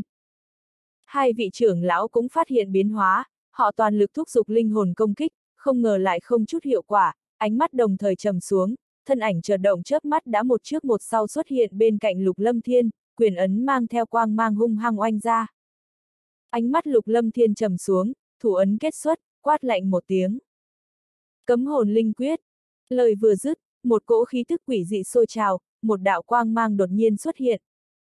Mọi người nhất thời cảm giác linh hồn bị kiềm hãm, giống như bị phong tỏa, linh hồn lực lượng bàng bạc bao phủ không gian, uy áp mơ hồ làm mọi người cảm giác thật áp lực. Mà lúc này bị ảnh hưởng lớn nhất chính là hai vị trưởng lão đang xuất chiến, cả hai người bỗng nhiên cảm giác linh hồn của mình giống như bị cấm cố, trong đầu cực kỳ khó chịu, hồn anh giống như bị cự lực áp chế như muốn phá vỡ, lực công kích lập tức tán loạn, trong tích tắc trên vai hai người đều bị công kích. Phanh phanh, hai đạo trưởng ấn rơi xuống vai hai người, không gian vặn vẹo, thân hình cả hai nặng nề rơi xuống đất, mặt đất bỗng nhiên run rẩy, không ngừng nứt nẻ. Tuy hai người bị đánh ngã, nhưng chỉ bị chút ít cấm chế mà không bị thương tổn gì quá lớn. Nguyên lai thực lực của ngươi mạnh mẽ như vậy, lão phu đã nhìn lầm. Sắc mặt tam trưởng lão đại biến, trong linh kỹ quỷ dị kia hắn cũng bị ảnh hưởng không ít, hai vị trưởng lão không địch lại, linh lực cấp tốc khởi động, lập tức chém ra một trường, một cỗ khí lãng kinh người thổi quét, hào quang dâng lên hóa thành một đầu bạch báo uy vũ, lực lượng sắc bén khuếch tán, cả không gian vặn vẹo, bạch báo lập tức lao về hướng lục lâm thiên. Linh lực ngưng vật sao? Lục lâm thiên quan sát đầu bạch báo kia. Hóa thú linh ấn. Lục lâm thiên quát một tiếng, quang mang chói mắt hiện ra, năng lượng đáng sợ chấn động không gian truyền ra thanh âm trầm đục, nháy mắt một đạo thú ảnh cự hổ khổng lồ lặng yên xuất hiện. Hống!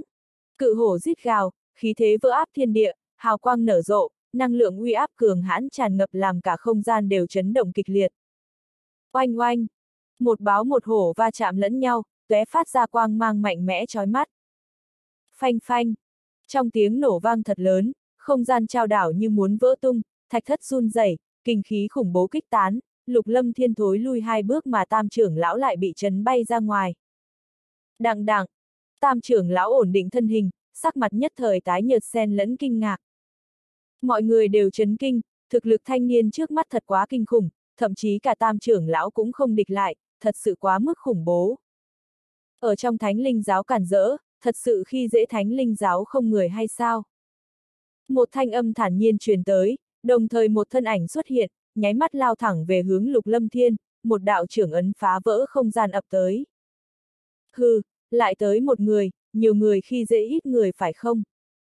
Tiểu Long quát lạnh một tiếng, thân ảnh lao ra nhanh như chớp, sắc mặt trầm xuống, một quyền nho nhỏ vung ra, quyền ấn bao phủ hàn mang hóa thành tàn ảnh nháy mắt va chạm cùng trường ấn kia. Oanh! Một quyền cùng một trường va chạm, kinh khí thổi quét, không gian run lên. Đặng đặng! Thân hình tiểu long bị chấn lui mấy bước, bàn chân dẫm mạnh mặt đất, ổn định đứng cạnh lục lâm thiên. Đặng đặng! Thân ảnh lão thái lập tức bị đẩy lui mấy bước mới đứng vững thân hình, người này chừng 60 tuổi, khuôn mặt có không ít nếp nhăn. Người kia vừa hiện thân, nháy mắt lại xuất hiện một thân ảnh, là một lão ẩu 70 tuổi, tóc bạc xám trắng, trên mặt đầy nếp nhăn, trên người mặc trường sam tố y, thoạt nhìn dung mạo bình thường nhưng thần thái thật khỏe khoắn. Đại trưởng lão, nhị trưởng lão. Hai người vừa xuất hiện, các trưởng lão lập tức hành lễ. Linh vương cửu trọng, linh vương cửu trọng đỉnh. Lục lâm thiên nhủ thầm. Nhiều người như vậy vẫn không làm gì được một hậu bối cùng một đầu linh thú thất giai, đều lui ra đi. Ánh mắt phụ nhân già nua đảo qua toàn trường, dừng lại trên người lục lâm thiên, nói. Các hạ còn trẻ tuổi, thực lực đã cường hãn như thế, làm lão bà tử cũng cảm thấy xấu hổ, nhưng người tự tiện xông vào thánh linh giáo, ta là đại trưởng lão thánh linh bộ cũng không thể không giáo huấn ngươi, thánh linh giáo còn chưa luân lạc tới nông nỗi mặc người khi nhục. Lão ẩu vừa dứt lời, thân ảnh chợt lóe, linh lực tràn ra, chân khí mạnh mẽ hơn những người vừa rồi rất nhiều, một đạo trưởng ấn ngưng tụ, kinh khí ngập trời lập tức thổi quét. Hừ, Tiểu Long hiện tại không sợ trời không sợ đất, trước khi đột phá thất giai trung kỳ, thậm chí dưới linh tôn vũ tôn hắn cũng không sợ, huống chi là bây giờ, vừa định ra tay. Tiểu Long, để cho ta là được rồi. Lục Lâm Thiên nói, thân hình chợt lui về phía sau, vận chuyển cửu chuyển thiên linh quyết, thiên địa năng lượng chung quanh đột nhiên gào thét. Suy suy, chỉ nháy mắt trưởng ấn vỡ áp về hướng Lục Lâm Thiên, sắc mặt các trưởng lão đều biến hóa, không nghĩ tới thực lực đại trưởng lão lại khủng bố như thế. Cửu chuyển thiên linh bí pháp, đệ nhất chuyển, đệ nhị chuyển, đệ tam chuyển.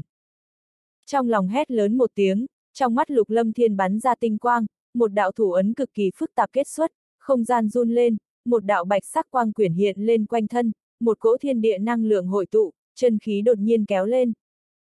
Chỉ trong khoảnh khắc ngắn ngủi, chân khí quanh thân lục lâm thiên bỗng nhiên từ linh vương lục trọng thăng lên tới cửu trọng. Cửu chuyển thiên linh bí quyết, đệ tứ chuyển. Cấp độ của linh vương cửu trọng cũng chưa làm lục lâm thiên hài lòng, trong lòng trầm xuống, trong tay lại kết xuất thủ ấn, thiên địa năng lượng tiếp tục hội tụ, bạch quang càng thêm chói mắt, đột nhiên chân khí của hắn lại tiếp tục kéo lên, từ linh vương cửu trọng kéo thẳng lên cửu trọng đỉnh, nhưng đã có cảm giác vô lực, không cách nào tiếp tục tăng lên. Linh lực bí pháp, chân khí lục lâm thiên tiêu thăng làm toàn bộ trưởng lão thánh linh giáo kinh hãi, bọn họ đều biết rõ ràng, mặc dù loại bí pháp này cực kỳ khó gặp, nhưng tuyệt đối từng nghe nói qua, nhưng chỉ có thể tăng lên một tầng đã là không sai, tăng lên hai tầng tuyệt đối bất phàm, nhưng thanh niên kia lại tăng lên tới cửu trọng đỉnh, thật sự làm người kinh hãi. Cũng đủ rồi. Không thể đột phá tới linh tôn, lục lâm thiên khẽ cười một tiếng, trường ấn vỡ áp tràn tới, trong tay hắn dâng lên một đạo quang mang, năng lượng đáng sợ chấn động không gian không ngừng truyền ra thanh âm trầm đục, nháy mắt một đạo thú ảnh cự hổ khổng lồ xuất hiện. Hống! Cự hổ rít gào, khí thế áp chế, năng lượng uy áp cường hãn tràn ngập, nháy mắt va chạm cùng trưởng ấn, so sánh với chiêu thức vừa rồi hiện tại Lục Lâm Thiên đã để thăng thực lực lên tới Linh Vương cửu trọng đỉnh, vì vậy lực lượng mạnh hơn gấp mấy lần, tuy rằng là vũ kỹ huyền cấp cao giai, nhưng uy thế kinh người, làm cả không gian thạch thất đều triệt để đông cứng lại, kinh khí cùng linh hồn lực khủng bố không ngừng thổi quét tán phát ra ngoài. Oanh long! Hai đạo lực lượng va chạm, không gian đột nhiên dừng lại, khe không gian nhanh chóng vỡ ra, nổ tung. Công kích thật đáng sợ. Phanh! Hai cỗ lực lượng dây dưa, rốt cục nổ tung, lực va chạm khủng bố bộc phát ra thanh âm kinh thiên động địa, cả thạch thất đều run rẩy lên, khe không gian dạn vỡ lan tràn rậm rạp như mạng nhện răng đầy. Ngay lúc lực lượng đánh lên vách thạch thất, đột nhiên trên vách chợt lóe hào quang, một cỗ lực lượng vô hình đem lực lượng trùng kích đánh tan, vách đá không hề có chút hư hao. Đặng đặng, lực trùng kích lan tới trên người lục lâm thiên, thân hình hắn lảo đảo thối lui ra sau mấy bước, nhưng nhờ có bất diệt huyền thể cho nên không bị tổn thương. Mặc dù thực lực lục lâm thiên tăng lên tới linh vương cửu trọng đỉnh, nhưng dù sao không phải thực sự, so sánh với đại trưởng lão không thể ngưng thật hoàn toàn. Đặng đặng, mà đại trưởng lão cũng không dễ chịu, thân hình bị đẩy lui lảo đảo vài bước, nhưng vẫn tốt hơn lục lâm thiên một ít. Khi ánh mắt đại trưởng lão nhìn qua lục lâm thiên, sắc mặt đại biến, thực lực đối phương cao hơn bà tưởng tượng, không nghĩ tới còn mạnh mẽ hơn. Ai? Nhưng đúng ngay lúc này một thanh âm thở dài không biết từ đâu truyền tới. Oanh long long. Ngay sau đó một thanh âm ầm vang ở một bên vang ra. Lục lâm thiên đưa mắt nhìn qua, chỉ thấy cửa đá chậm rãi mở ra, ba thân ảnh đi tới, không mang theo chút ba động nào, chỉ nháy mắt đã đi tới trước mặt mọi người. Linh tôn, ba cường giả linh tôn. Ánh mắt lục lâm thiên híp lại, rốt cục kinh động chính chủ, đây mới là thực lực cực mạnh ẩn giấu của thánh linh bộ đi. Bái kiến thánh linh thiên tôn, bái kiến hai vị tả hữu hộ giáo tôn lão. Toàn bộ trưởng lão lập tức cúi người hành lễ, vẻ mặt vô cùng cung kính. Tất cả đứng lên đi. Trong ba người, người đi đầu mặc áo choàng, bộ dáng giả nua, quanh thân không hề có chút chân khí dao động. Hai người đi bên cạnh bộ dáng cũng tuổi già sức yếu, một người mặc trường bào màu xám, một người màu xanh, quần áo của họ phủ kín cho bụi, giống như đã ngồi một chỗ vài năm, mười mấy năm thậm chí càng lâu hơn. Ba người không có bất kỳ chân khí dao động, vô thành vô tức đứng trước mặt mọi người, thậm chí làm người ta dễ dàng xem thường sự hiện hữu của bọn họ. Chẳng qua trong lòng lục lâm thiên cực kỳ khiếp sợ, theo ba người kia xuất hiện, linh lực trong thân thể hắn nháy mắt như ngừng lại, trong không gian tản ra linh hồn lực cực kỳ nồng đậm, tựa hồ có thể trong tích tắc đánh chết người trong vô hình.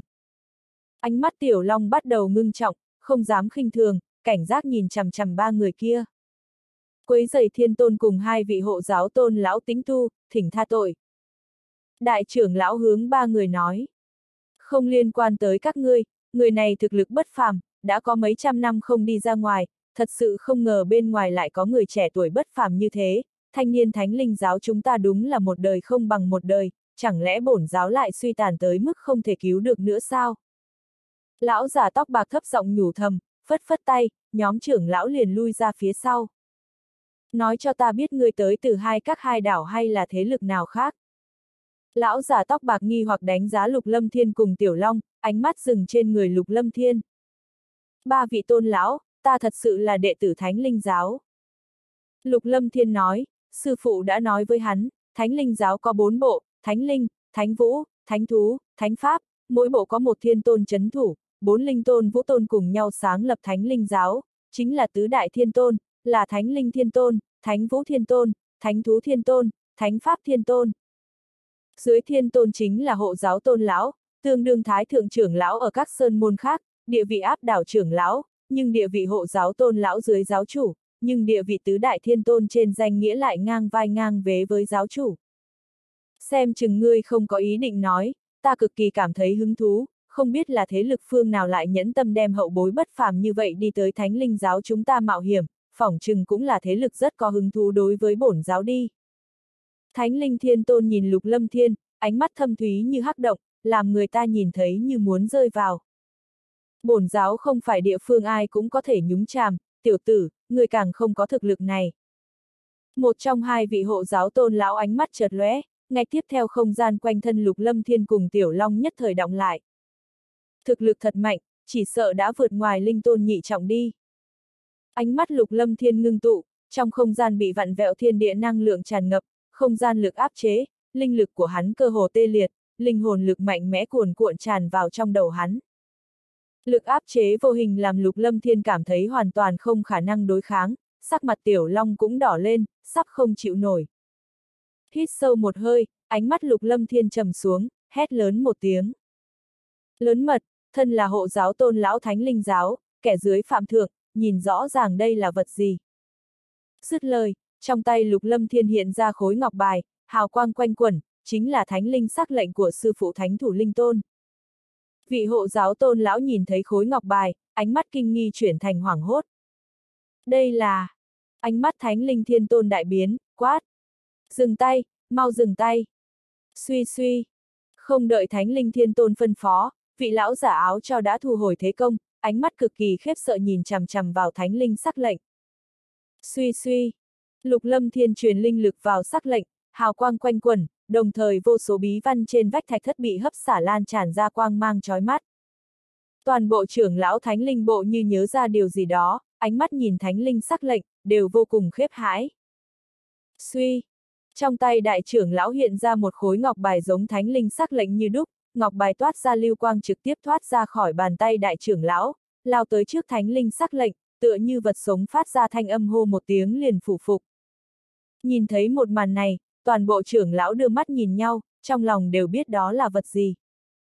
Thánh linh sắc lệnh, là thánh linh sắc lệnh của giáo chủ. Trong mắt ba vị cường giả linh tôn đồng thời hiện lên tinh mang, thân hình run rẩy kích động. Nhìn thấy giáo chủ còn không hành lễ, các người muốn kháng lệnh bất tuân sao? Ánh mắt lục lâm thiên run lên, nhìn chăm chú vào nhóm cường giả. Thánh linh bộ trưởng lão bái kiến giáo chủ. Hộ giáo tôn lão bái kiến giáo chủ. Thánh linh giáo, thánh linh thiên tôn đời thứ ba ra mắt giáo chủ. Toàn bộ trưởng lão đưa mắt nhìn nhau, lập tức cúi lạy. Hai đại hộ giáo tôn lão đồng thời quỳ một gối cung kính hành lễ, mà thánh linh thiên tôn cúi đầu chắp tay chào. Lục lâm thiên thở ra một hơi nhẹ nhõm, xem ra thánh linh sắc lệnh của sư phụ vẫn còn tác dụng, mấy ngàn năm trôi qua vẫn không ai dám chống lại. Đều miễn lễ đi. Lục lâm thiên ngẩng đầu nói. Mọi người đứng dậy, ánh mắt mang theo nỗi khép sợ cùng kinh hãi, hồ nhất đao tuôn mồ hôi lạnh, toàn thân hư thoát, trộm nhìn thanh niên nhân, biến cố thật sự vượt qua sự tưởng tượng của hắn. Xin hỏi giáo chủ, thánh linh sắc lệnh từ đâu mà có, có quan hệ như thế nào với lão giáo chủ? Ánh mắt thánh linh thiên tôn mang theo vẻ kinh ngạc hỏi. Thánh linh sắc lệnh là do gia sư truyền lại, phụng lệnh gia sư, tiếp nhận chức vụ giáo chủ đời thứ hai của thánh linh giáo. Lục lâm thiên thu hồi sắc lệnh, mà ngọc bài còn lại cũng quay về trong tay đại trưởng lão. Không biết sư phụ giáo chủ là người phương nào? Thánh linh thiên tôn kích động hỏi. Thánh thủ linh tôn đoan mộc khung thiên. Lục lâm thiên gần từng tiếng nói.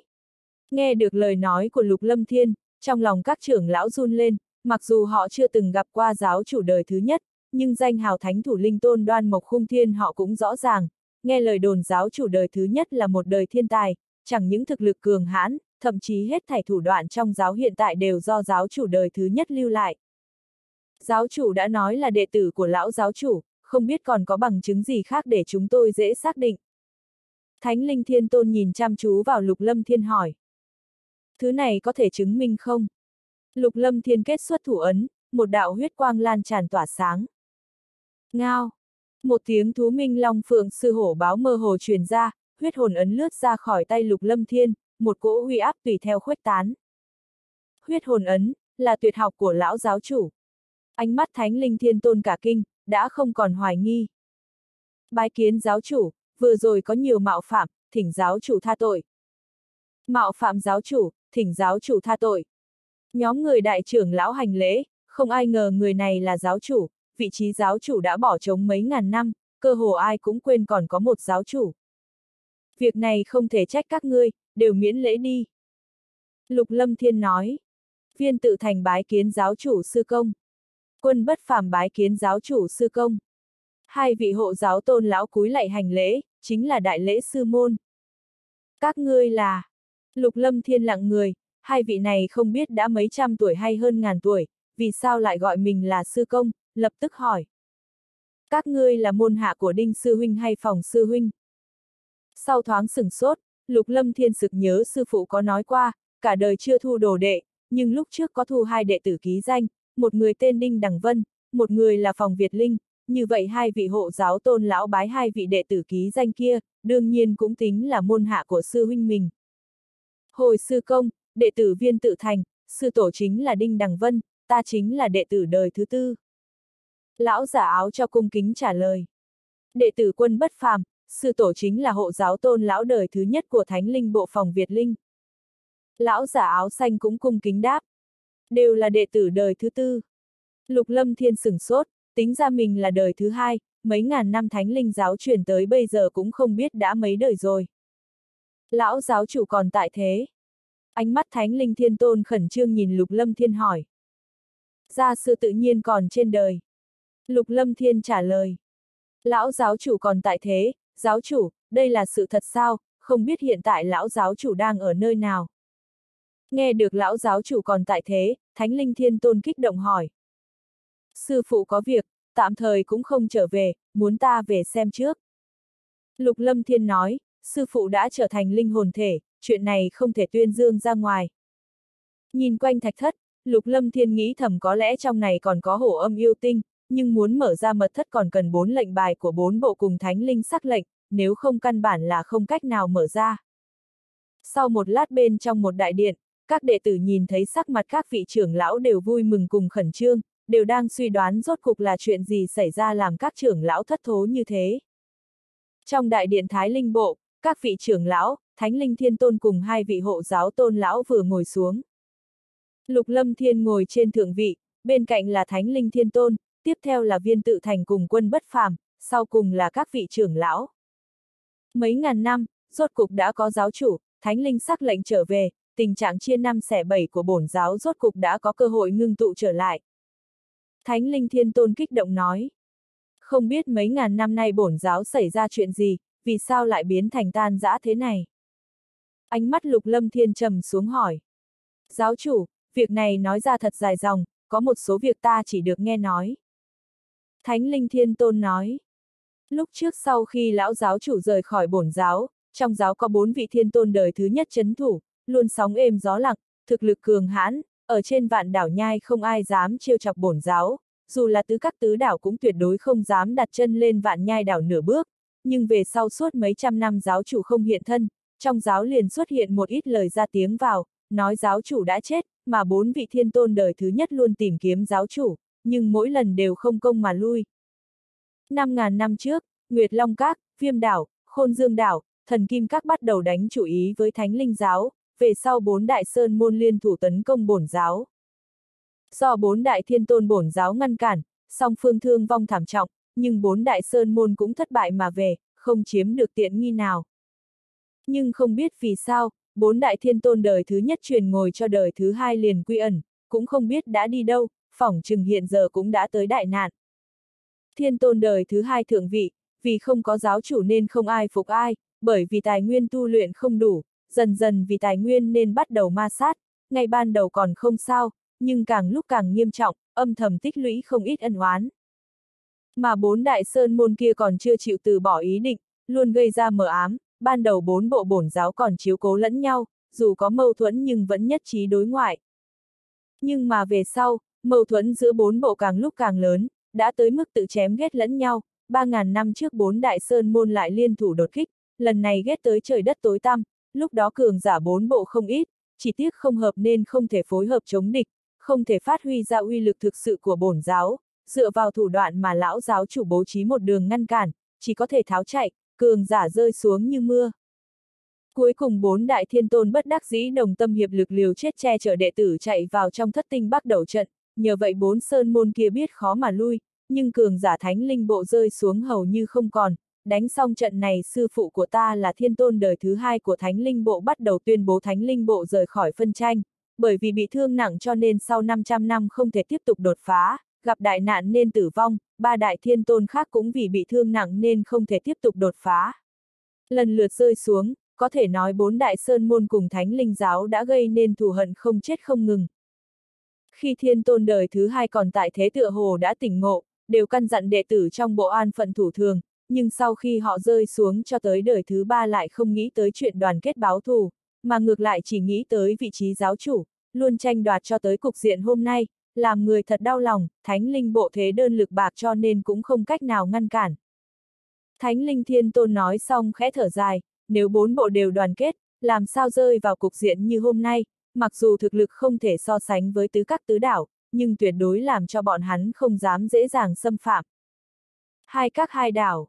Trong mắt lục lâm thiên lộ lạnh ý, hỏi. Thiên tôn, không biết thánh linh bộ còn được bao nhiêu thực lực. Giáo chủ khách khí, dựa theo vai vế ta chính là đệ tử đời thứ ba của thánh linh giáo, giáo chủ là đệ tử đời thứ hai, ta còn phải gọi giáo chủ là tiểu sư thúc, ta họ tập tên hạo nhiên, ngàn năm trước cũng từng lăn lộn bên ngoài thời gian không ngắn, nhớ rõ khi đó từng có danh hiệu là thủ hồn vương, nhưng không ai biết hắn lại là Thánh Linh Thiên Tôn của Thánh Linh Giáo. Thánh Linh Thiên Tôn mỉm cười nói. Đã hơn 800 năm ta không đi ra ngoài, phỏng chừng bên ngoài không còn ai nhớ rõ danh hiệu của ta nữa. Hơn 800 năm không ra ngoài sao? Lục Lâm Thiên cảm khái, vị này hơn 800 năm không ra ngoài, không biết người này đã sống bao lâu, Lục Lâm Thiên cũng nhìn không thấu thực lực hắn, nhưng xem ra mạnh hơn viên tự thành cùng quân bất phàm không ít. Không nghĩ tới thiên tôn còn có danh hiệu như vậy ở bên ngoài. Lục Lâm Thiên cười nói.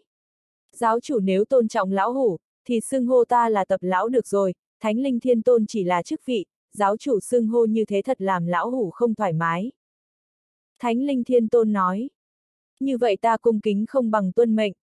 Lục Lâm Thiên nói.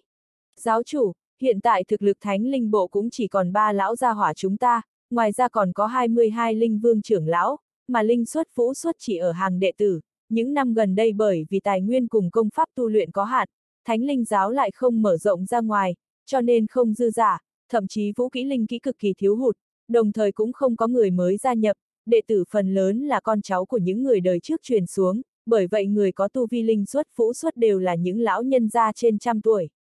Nhân số khoảng 150, hơn ngàn linh tướng vũ tướng, ngoài ra đệ tử có hơn vạn, đây là toàn bộ thực lực thánh linh bộ, nhưng bởi vì như thế họ cực kỳ trung thành với bổn giáo. Tập hạo nhiên nói, trong lòng lục lâm thiên khẽ thở dài, thực lực thánh linh bộ cũng như trong tưởng tượng của mình, cũng không hơn kém bao nhiêu. Tập lão, thực lực ba bộ khác như thế nào? Lục lâm thiên hỏi. Thực lực ba bộ khác mạnh hơn thánh linh bộ không ít, lúc trước khi bị bốn sơn môn vây công, cường giả thánh linh bộ chết nhiều nhất, cho nên thực lực yếu nhát, theo ta phỏng chừng ở những bộ khác phải có 5-6 linh tôn vũ tôn, mà cường giả linh vương vũ vương thật không ít. Tập hạo nhiên nói xong nhìn qua đại trưởng lão.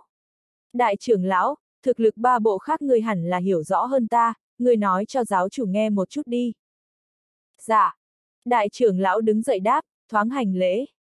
Giáo chủ, thực lực ba bộ khác mạnh hơn chúng ta một nửa, trong ba bộ, bên thánh vũ bộ tuyệt đại bộ phận là vũ giả, nhân số nhiều nhất.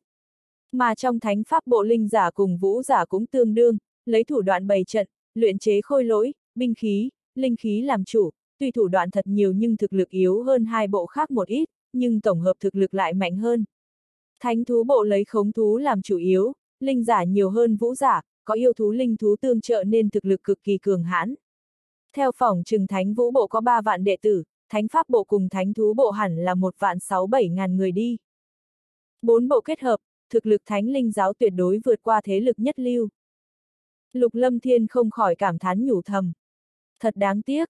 Lục Lâm Thiên lắc đầu, bốn bộ chia năm xẻ bảy, nếu còn tiếp tục như thế, sớm muộn cũng bị người tiêu diệt từng bộ phận. Phải rồi giáo chủ, có một việc ta không biết nên làm sao quyết đoán, nếu hiện tại giáo chủ cùng thiên tôn đều ở đây, có cả hộ giáo tôn lão, vậy mời giáo chủ cùng thiên tôn quyết định đi. Đại trưởng lão nói. Mời đại trưởng lão cứ nói. Lục Lâm Thiên nói. Ánh mắt đại trưởng lão nhìn ra ngoài đại điện, rơi lên hồ nhất đao, nói. Hồ nhất đao, đem những gì ngươi nghe được từ thánh vũ bộ cùng thánh thú bộ lặp lại cho giáo chủ nghe đi. Hồ nhất đao nghe vậy, nhìn thanh niên mà hôm qua mình còn xưng hô là lục sư đệ, hôm nay đã trở thành giáo chủ, cũng không biết khẩn trương hay kích động, lảo đảo tiến lên hai bước, hành lễ nói. Giáo chủ, lần này đệ tử đi ra ngoài, trong lúc vô ý gặp được đồng môn thánh vũ bộ cùng thánh thú bộ đang nói chuyện, lại nghe được bọn họ tựa hồ muốn liên thủ, ít ngày nữa sẽ cùng nhau vây công thánh pháp bộ, sau đó giáo chủ cũng biết ta bị người đuổi bắt. Hừ, thánh vũ bộ, thánh thú bộ, càng lúc càng lớn mật, đồng môn ghét nhau, thật không ra thể thống gì. Ánh mắt thánh linh thiên tôn chợt lóe hàn mang, vỗ mạnh lên bàn, cái bàn lan tràn khe nứt lập tức hóa thành bột phấn rơi tán loạn dưới đất. Ba bộ kia luôn muốn mạnh mẽ mở ra bảo tàng bổn giáo, đoạt vị trí giáo chủ tranh bá đại lục, vì muốn đạt mục đích đã tranh đấu mấy ngàn năm, không nghĩ tới lại đấu tới loại tình trạng này, quả nhiên là làm cho kẻ thù thống khoái A. Ánh mắt phiên tự thành lạnh lùng, trong mắt đầy tức giận. Bọn hắn đã sớm không để ý tới giáo quy. Quân bất phàm siết chặt nắm tay, cực kỳ bất đắc dĩ. Giáo chủ, nếu ngài đã trở lại, vậy mời ngài quyết định đi, mặc dù thánh linh bộ không nhúng ta vào việc ba bộ khác, nhưng việc này thật không tầm thường. Tập hạo nhiên nói. Hồ Nhất Đao, người có biết bọn hắn sẽ ra tay lúc nào hay không? Lục Lâm Thiên hỏi. Đệ tử không biết, chỉ nghe nói hôm nay xuống tay. Hồ Nhất Đao trả lời. Đại trưởng lão, từ nơi đây đi thánh pháp bộ cần bao lâu? Lục Lâm Thiên hỏi. Mỗi bộ đều tự có địa bàn, không xa nhau lắm, nếu tu vi vũ tôn đi qua chỉ cần dùng một ngày thời gian, vũ vương chỉ sợ phải dùng ba bốn ngày thời gian. Tập hạo nhiên trả lời, chợt nhíu mày hỏi. Ý của giáo chủ chẳng lẽ muốn đi cứu viện thánh pháp bộ sao? Không sai, thánh linh giáo do sư phụ lưu lại, nói thế nào ta cũng không thể trơ mắt nhìn bổn giáo bị tiêu diệt. Lục Lâm Thiên nói. Không sai, giáo chủ có thánh linh sắc lệnh, chẳng lẽ bọn hắn còn dám ngang nhiên kháng lệnh bất tuân hay sao? Quân bất phàm nói. Chỉ sợ bọn hắn đã không tuân thủ giáo quy suốt mấy ngàn năm, mấy ngàn năm qua đều tự làm theo ý mình, chưa bao giờ nghĩ tới giáo chủ, hiện tại giáo chủ trở về, bọn hắn còn nghe lệnh hay không thật khó mà nói, vàng đỏ nhọ lòng son, giáo chủ có thánh linh sắc lệnh chỉ sợ càng khơi dậy lửa giận của bọn họ. Tập hạo nhiên có chút lo lắng nói. Lục lâm thiên nhíu mày, muốn nắm giữ thánh linh giáo tuyệt đối không dễ dàng, thánh linh bộ là địa phương duy nhất không thay đổi, mà ba bộ kia chỉ sợ sớm cảnh còn người mất, ba đại thiên tôn thay phiên nhậm chức, thậm chí cả lão giáo chủ cũng không tiếp thu, nếu một khi có giáo chủ xuất hiện, muốn đông đảo linh tôn vũ tôn thần phục, nói dễ hơn làm. Nhưng cho dù khó khăn, hắn cũng không thể trơ mắt nhìn thấy thánh linh giáo chia năm xẻ bảy, trong lòng hắn thật ngưng trọng, như vậy lần này hắn chỉ có thể liều lĩnh một lần, đáng mừng chính là hắn còn có thánh linh bộ đi theo, nhưng thực lực thánh linh bộ yếu nhược hơn ba bộ kia thật không ít. Đại trưởng lão, phân phó đi xuống, giờ tị ngày mai toàn bộ người có tu vi linh xuất vũ xuất đi thánh pháp bộ cứu viện. Lục Lâm Thiên ngẩng đầu nói, đồng thời trả lại lệnh bài của đại trưởng lão. Dạ, giáo chủ. Đại trưởng lão đáp. Lục Lâm Thiên lại đi kiểm tra thạch thất, xem thử mấy ngàn năm qua nơi này có từng bị mạnh mẽ mở ra hay không, hiện tại xem ra vẫn còn bảo tồn hoàn hảo, phỏng chừng nếu không có thánh linh bộ luôn ngăn cản, đã sớm bị người phá hủy, cũng không ai biết sư phụ đã sớm bố trí thủ đoạn, nếu có người mạnh mẽ phá cửa, mật thất sẽ tự động thiêu hủy hoàn toàn. Rời khỏi đại điện, Lục Lâm Thiên cùng Tiểu Long quay về đình viện của mình, lúc này trời còn chưa sáng, phỏng chừng còn hai canh nữa mới tới giờ tị. Ca ca, hai người đi ra ngoài không có sao chứ, tại sao lâu như thế? Hai người vừa quay về đình viện, bốn người lục tâm đồng lo lắng đi tới hỏi. Không có việc gì. Lục Lâm Thiên kể lại đại khái chuyện đã xảy ra cho mọi người nghe qua, bốn người cực kỳ kinh ngạc. Không nghĩ tới thánh linh bộ còn có tới ba cường giả linh tôn. Dương quá kinh ngạc nói. Ca ca, ba linh tôn có thực lực thế nào? Lục tâm đồng tò mò hỏi. Không biết. Lục lâm thiên lắc đầu. Hộ giáo tôn lão hẳn là linh tôn nhị trọng hay tam trọng đi, mà thánh linh thiên tôn rất cao. Đều là siêu cấp cường giả rồi. Lục tâm đồng kinh ngạc nói. Nhị đệ, thánh linh giáo tựa hồ có chút phiền phức a, người có nắm chắc không? Dương quá cân nhắc một lúc hỏi. Chuyện gì cũng có cách giải quyết. Lục lâm thiên cười bất đắc dĩ, hắn thật sự không chút nắm chắc, mặc dù hắn là giáo chủ thánh linh giáo, nhưng lại không có thực lực tuyệt đối chẳng khác gì là bài trí, căn bản không thể đại biểu điều gì, lần này hắn cần đối mặt đều là vũ tôn linh tôn, chỉ có thể đi bước nào hay bước đó. Sau một lát mọi người tán đi, còn hai canh giờ mới tới giờ tị, sau khi thi triển cửu chuyển thiên linh bí pháp, hiện tại trong người lục lâm thiên giống như hư thoát, cần phải khôi phục. Sắc trời sáng dần. Bên trong dãy núi nguy nga, dưới ánh mặt trời chiếu xuống phủ lên một tầng ánh vàng như hoàng kim, có vẻ vô cùng xinh đẹp, gió xuân thổi tan mây mù, sóng nước nhộn nhạo lăn tăn, mỹ luân mỹ hoán. Bên trong thánh linh bộ vẫn luôn luôn tường hòa, lúc này đã truyền ra tin tức kinh người, nhất thời làm mọi người như nổ tung. Nghe nói giáo chủ đã trở lại. Thánh linh giáo chúng ta làm gì có giáo chủ, đã mấy ngàn năm không có giáo chủ. Ta nghe hàn trưởng lão cùng la trưởng lão nói, giáo chủ là đệ tử của lão giáo chủ, dựa theo vai vế còn là sư công của hai hộ giáo tôn lão đâu, tối hôm qua toàn bộ trưởng lão đều gặp giáo chủ trong đại điện. Giáo chủ rốt cục là ai vậy? Hôm nay sẽ biết, trưởng lão cho chúng ta đi bái kiến giáo chủ. Không ít đệ tử nghe tin liền tụ tập tới, xôn xao nghị luận không ngừng. Hô! Lục lâm thiên thở ra một hơi chọc khí, linh lực khôi phục rất nhanh, qua hai canh giờ điều tức vẫn chỉ khôi phục gần một nửa mà thôi. Cảm giác linh lực trong cơ thể, Lục Lâm Thiên nhíu mày, kế tiếp hắn phải đối mặt không ít chuyện, phải nhanh chóng gia tăng thực lực mới tốt, nếu dùng chân linh thánh quả đủ làm cho hắn đột phá tới linh vương thất trọng, nhưng nếu vội vàng sử dụng thật quá lãng phí, nhưng biện pháp có thể lập tức để thăng dù dùng cách cắn nuốt cũng không kịp. Cũng nên tu luyện thứ này. Lục Lâm Thiên lẩm bẩm, lấy ra một khối ngọc giản, đây là do hắn tìm được bên trong tàng bảo của triệu vô cực tại Vân Dương Tông, là linh kỹ địa cấp sơ giai, vốn chưa có thời gian tu luyện, xem như vừa lúc. Lục Lâm Thiên nhỏ một giọt máu tươi, trên ngọc giản tràn ra huỳnh quang, tâm thần hắn bắt đầu quan sát. Suy suy, một đạo bạch mang bắn ra, chui vào trong ấn đường của hắn, thiên địa năng lượng không ngừng tràn vào, tin tức khổng lồ tràn vào đầu óc Lục Lâm Thiên. Chỉ một thoáng sau hết thảy biến mất, khi hắn mở mắt lập tức hiện lên vẻ kinh ngạc. Thiên linh diệt hồn chỉ, vũ kỹ địa cấp sơ giai, đặc biệt công kích linh hồn, tu luyện tới uy lực cực hạn chỉ một chỉ có thể ghét chết hồn anh đối thủ. Khuôn mặt hắn lộ vẻ vui mừng. Dọc đường tiếp tục tu luyện đi. Lục Lâm Thiên đứng dậy, đã nên khởi hành, hắn phải đem hết toàn lực bảo vệ thánh linh giáo, dù không vì hổ âm yêu tinh cũng phải vì sư phụ. Khi Lục Lâm Thiên đi ra khỏi phòng, nhóm người Lục Tâm Đồng đang đợi trong đại sảnh. Ở bên ngoài đình viện tụ tập không ít người, thân ảnh chấp động, ước chừng phải lên 5-6 ngàn người, đang cung kính đứng ở bên ngoài. Đứng phía trước có hơn 10 linh vương đang cung kính cúi đầu chờ đợi, vì vậy dù các đệ tử thật tò mò nhưng không ai dám gây động tĩnh gì quá lớn. Giát chi. Khi Lục Lâm Thiên đẩy cửa bước ra, trước mắt liền xuất hiện mấy ngàn thân ảnh. Bái kiến giáo chủ. Nhìn thấy thanh ảnh đi ra đình viện, nhóm người đại trưởng lão lập tức hành lễ. Bái kiến giáo chủ. Các đệ tử thánh linh bộ cũng không dám ngẩng đầu, vội vàng hành lễ. Chư vị trưởng lão miễn lễ, mọi người cũng miễn lễ đi. Lục Lâm Thiên nói, nơi này hẳn là đại bộ phận thực lực thánh linh bộ, nhân số không nhiều nhưng cường giả cũng không ít. Có một ít đệ tử gan lớn ngẩng đầu nhìn lên, thấy giáo chủ chính là thanh niên mới tới hôm qua, sắc mặt liền biến đổi, không ít đệ tử ngày hôm qua cũng nhìn thấy thanh niên kia, thậm chí từng kề vai chiến đấu cùng nhau. Giáo chủ thật trẻ tuổi, đây thật sự là giáo chủ thánh linh giáo sao, thực lực có phải không đủ hay không? Những ai không nhận thức thanh niên kia, trong lòng có chút kinh ngạc nói.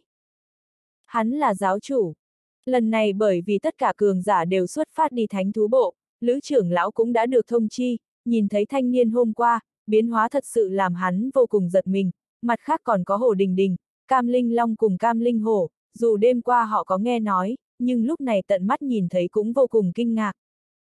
Hô hô! Giữa không trung vang lên tiếng xé gió, năm đầu yêu thú phi hành khổng lồ bay qua, yêu thú đi đầu toàn thân tràn ngập hào quang nóng cháy, không gian chung quanh nhiễm lên đỏ đậm, hai cánh giống như lợi khí, hình dáng lại như yến, lông chim xích hồng sắc bao phủ, mỗi khi vỗ cánh lại kéo theo thiên địa năng lượng tràn đầy. Xích viêm yêu yến thất giai sơ kỳ. Lục lâm thiên có chút kinh ngạc, tốc độ cùng lực công kích của xích viêm yêu yến đều cực nhanh, thân là yêu thú hỏa hệ, không biết là tòa kỵ của ai, lúc này trên lưng chỉ có thánh linh thiên tôn cùng hai vị hộ giáo tôn lão, đoán chừng là của một trong ba người. Sau lưng xích viêm yêu yến còn có bốn đầu lam vũ yêu thứ lục giai trung kỳ, bộ dáng dữ tợn, là một loại yêu thú cực kỳ hung hãn, không biết thánh linh bộ làm sao thu phục. Bái kiến thánh linh thiên tôn, bái kiến hai vị hộ giáo tôn lão. Các trưởng lão hành lễ, các đệ tử bình thường cũng chưa từng gặp họ, nhưng có nghe nói qua, lúc này không dám chậm trễ vội vàng hành lễ, lại trộm đánh giá ba vị siêu cấp cường giả trong lời đồn đãi. Tập lão, lần này thánh linh bộ dốc toàn bộ lực lượng rồi. Lục Lâm Thiên nói, chỉ sợ dốc toàn bộ lực lượng cũng không đủ, thực lực của bọn họ vô cùng mạnh mẽ. Thánh linh thiên tôn thở dài nói. Lục Lâm Thiên khẽ gật đầu, ánh mắt lướt qua mọi người, thầm cảm khái, nếu đội hình như vậy đặt lên cổ vực hoặc đại lục linh vũ, tuyệt đối là gió thổi cỏ dạp, đã vượt qua thế lực nhất lưu, ngoại trừ tam tông tứ môn cùng nhất tông nhất môn nhất giáo nhất trang, hẳn không ai có thể đối kháng, nhưng đây chỉ là thực lực yếu nhất trong thánh linh giáo mà thôi. Giáo chủ, chúng ta đi thôi. Thánh linh thiên tôn nói. Tập lão, ta dùng tọa kỵ của mình thói quen hơn. Lục lâm thiên vừa dứt lời, quanh thân thiên sĩ tuyết sư chợt lóe bạch mang, nháy mắt hóa thành bản thể khổng lồ. Hống! Một tiếng gầm gừ trầm thấp truyền ra, một cỗ khí thức phương giả lan tràn, xích viêm yêu yến cùng lam vũ yêu thú đều run lên. Thiên sĩ tuyết sư thất giai. Không ít người hiểu biết đều kinh ngạc, yêu thú như vậy lại là tòa kỵ, thật sự hiếm thấy.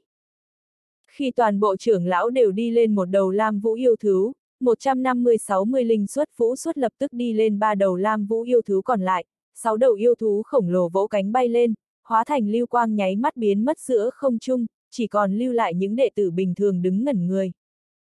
Sau khi sáu đầu yêu thú khổng lồ rời đi, giữa không trung dao động đột nhiên hiện ra một thân ảnh, ánh mắt nhìn chăm chú vào viễn không, lập tức liền biến mất, lại không có đệ tử nào nhìn thấy.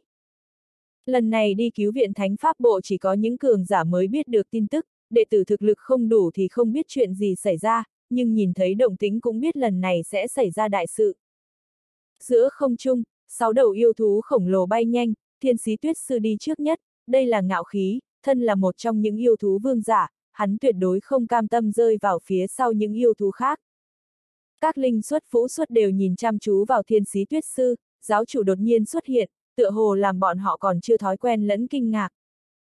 Lục lâm thiên khoanh chân ngồi xuống, bắt đầu tu luyện thiên linh diệt hồn chỉ, từng đạo thủ ấn kết xuất, động tới thiên địa năng lượng, mặc dù vậy hắn tu luyện cũng không dễ dàng, đương nhiên hắn tin tưởng có thể tu luyện thành công, bởi vì khó khăn cũng không quá lớn.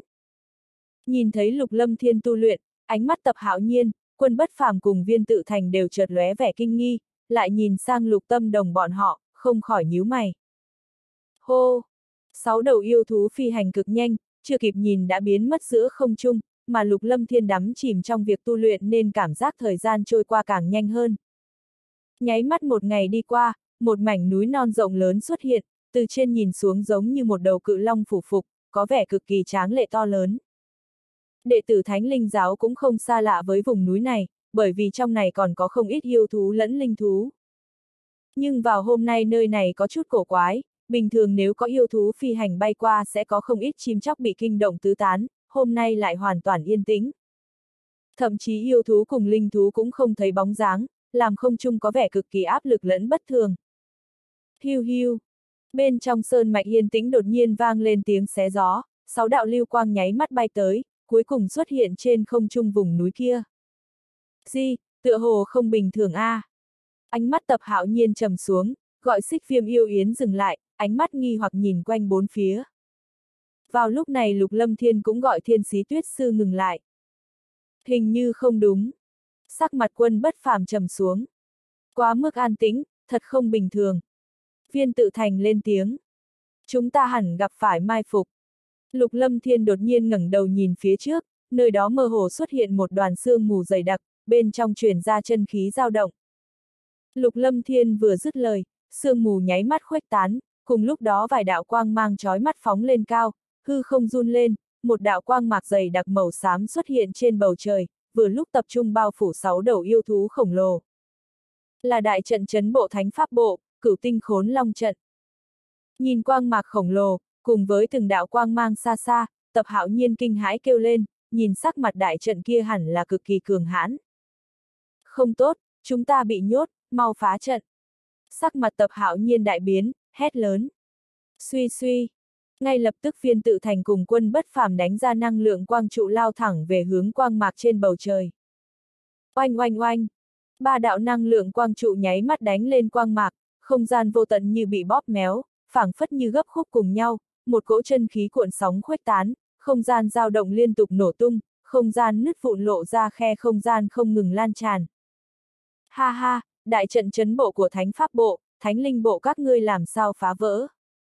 Một thanh âm băng xương vang lên, năng lượng tràn ra, cả không gian run lên, trên quang mạc nhất thời phủ kín bí văn huyền ảo, lại thêm chín đạo quang mang bắn tới, cuối cùng nhanh như chớp hội tụ trên bầu trời. Chín đạo quang mang hội tụ ầm ầm va chạm lẫn nhau, cả không gian giống như bị sơn băng điện liệt, chân khí cường hãn lan tràn khiến yêu thú linh thú hốt hoảng bỏ chạy. Phanh phanh, chín đạo quang mang va chạm phát ra quang mang chói mắt chiếu xuống, tốc độ nhanh tới kinh người, cả không gian đều bị quang mạc bao phủ, giống như gia cố cho màn trời, khe không gian bị ba người tập hạo nhiên xé mở lập tức bị lấp kín lại. Ba người ngẩng đầu nhìn chằm chằm thiên không, sắc mặt ngưng trọng, linh lực tràn ra ngày càng nồng đậm. Phá!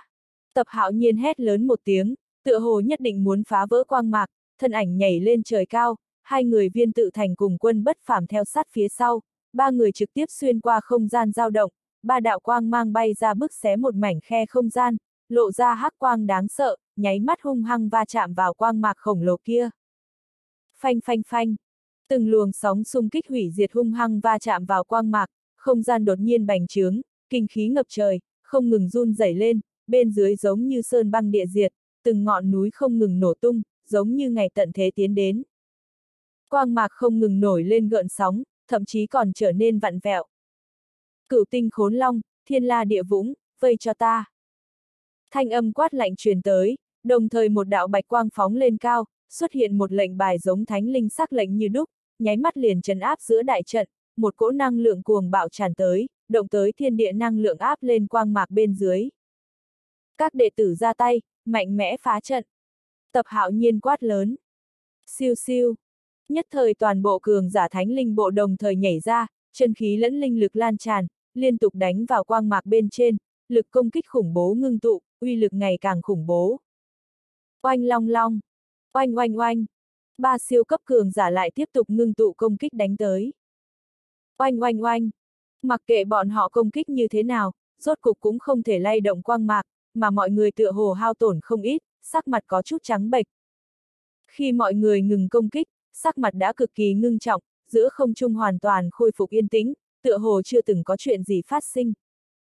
Ánh mắt lục lâm thiên nhìn quanh, nhìn thấy cửu tinh khốn long trận, trong mắt hiện hàn ý. Tập lão, chúng ta trúng kế. Lục lâm thiên nhìn chằm chằm phía trước, khóe môi hiện lãnh ý, rõ ràng mọi người đã trúng kế, thánh vũ bộ cùng thánh thú bộ không phải muốn đối phó thánh pháp bộ, mà là ba bộ muốn liên thủ đối phó thánh linh bộ. Thánh vũ bộ cùng thánh thú bộ không phải muốn đối phó thánh pháp bộ, mà là muốn liên thủ đối với thánh linh bộ, lừa hồ nhất đao mắc mưu, nhân cơ hội dẫn dụ chúng ta đi viện binh thánh pháp bộ, vây khốn chúng ta trong trận, ta thật không ngờ điểm này, cũng thật không ngờ bốn bộ thánh linh giáo lại tới nông nỗi hôm nay, thật đáng buồn, thật đáng tiếc a. À. Tập hạo nhiên thở dài nói. Ha ha, tập hạo nhiên, không nghĩ tới lão gia hỏa ngươi còn chưa chết. Một tiếng cười lạnh truyền tới, quanh quẩn trong tai mọi người, ai cũng nghe được đó là một giọng nữ giả nua. Tiết Linh Phượng, Thánh Linh bộ niệm tình đồng môn, đi cứu viện thánh pháp bộ của ngươi, nhưng thật không ngờ các ngươi lại mai phục tính kế đồng môn, xem ra các ngươi đã bị lợi dục huân tâm mất đi lý trí, hoàn toàn không để ý tới giáo quy. Tập hạo nhiên lạnh lùng quát. Tập hạo nhiên, nói thật, người nghe được thánh pháp bộ gặp nạn lại tới tương trợ, ta thật cảm kích, nhưng ta không ngu ngốc, thánh linh bộ các ngươi làm việc thật cao minh, chỉ hy vọng nhìn thấy ba bộ chúng ta đều tổn thương, thánh linh bộ của ngươi ngư ông đắc lợi, nghe nói chúng ta bị vây công, ngươi chỉ lo lắng thực lực ba bộ không cân bằng, sẽ không đạt mục đích làm cho chúng ta đều tổn thương nên mới tới tương trợ đi. Giọng nữ già nua ngừng một lát lại nói. Lấy bụng tiểu nhân đo lòng quân tử, ở trong lòng những kẻ luôn mang quỷ kế như các ngươi, bất cứ chuyện gì cũng biến thành âm mưu, trong mắt của các ngươi chưa từng có tình đồng môn. Tập hạo nhiên thở dài nói.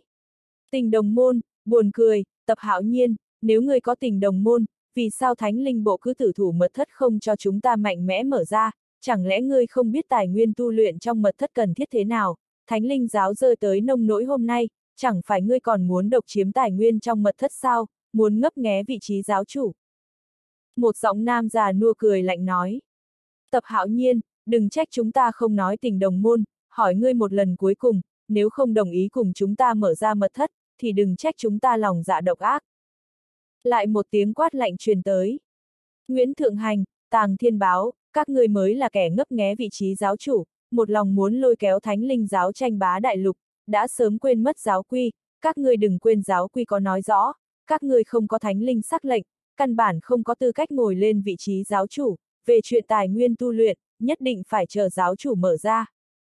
Tập hạo nhiên nói, mấy ngàn năm, giáo chủ đã sớm chết rồi đi, cho dù không chết phỏng chừng cũng đã sớm tới đại nạn, làm sao còn giáo chủ trở về, chẳng lẽ không có giáo chủ thì thánh linh giáo luôn uất ức như vậy sao?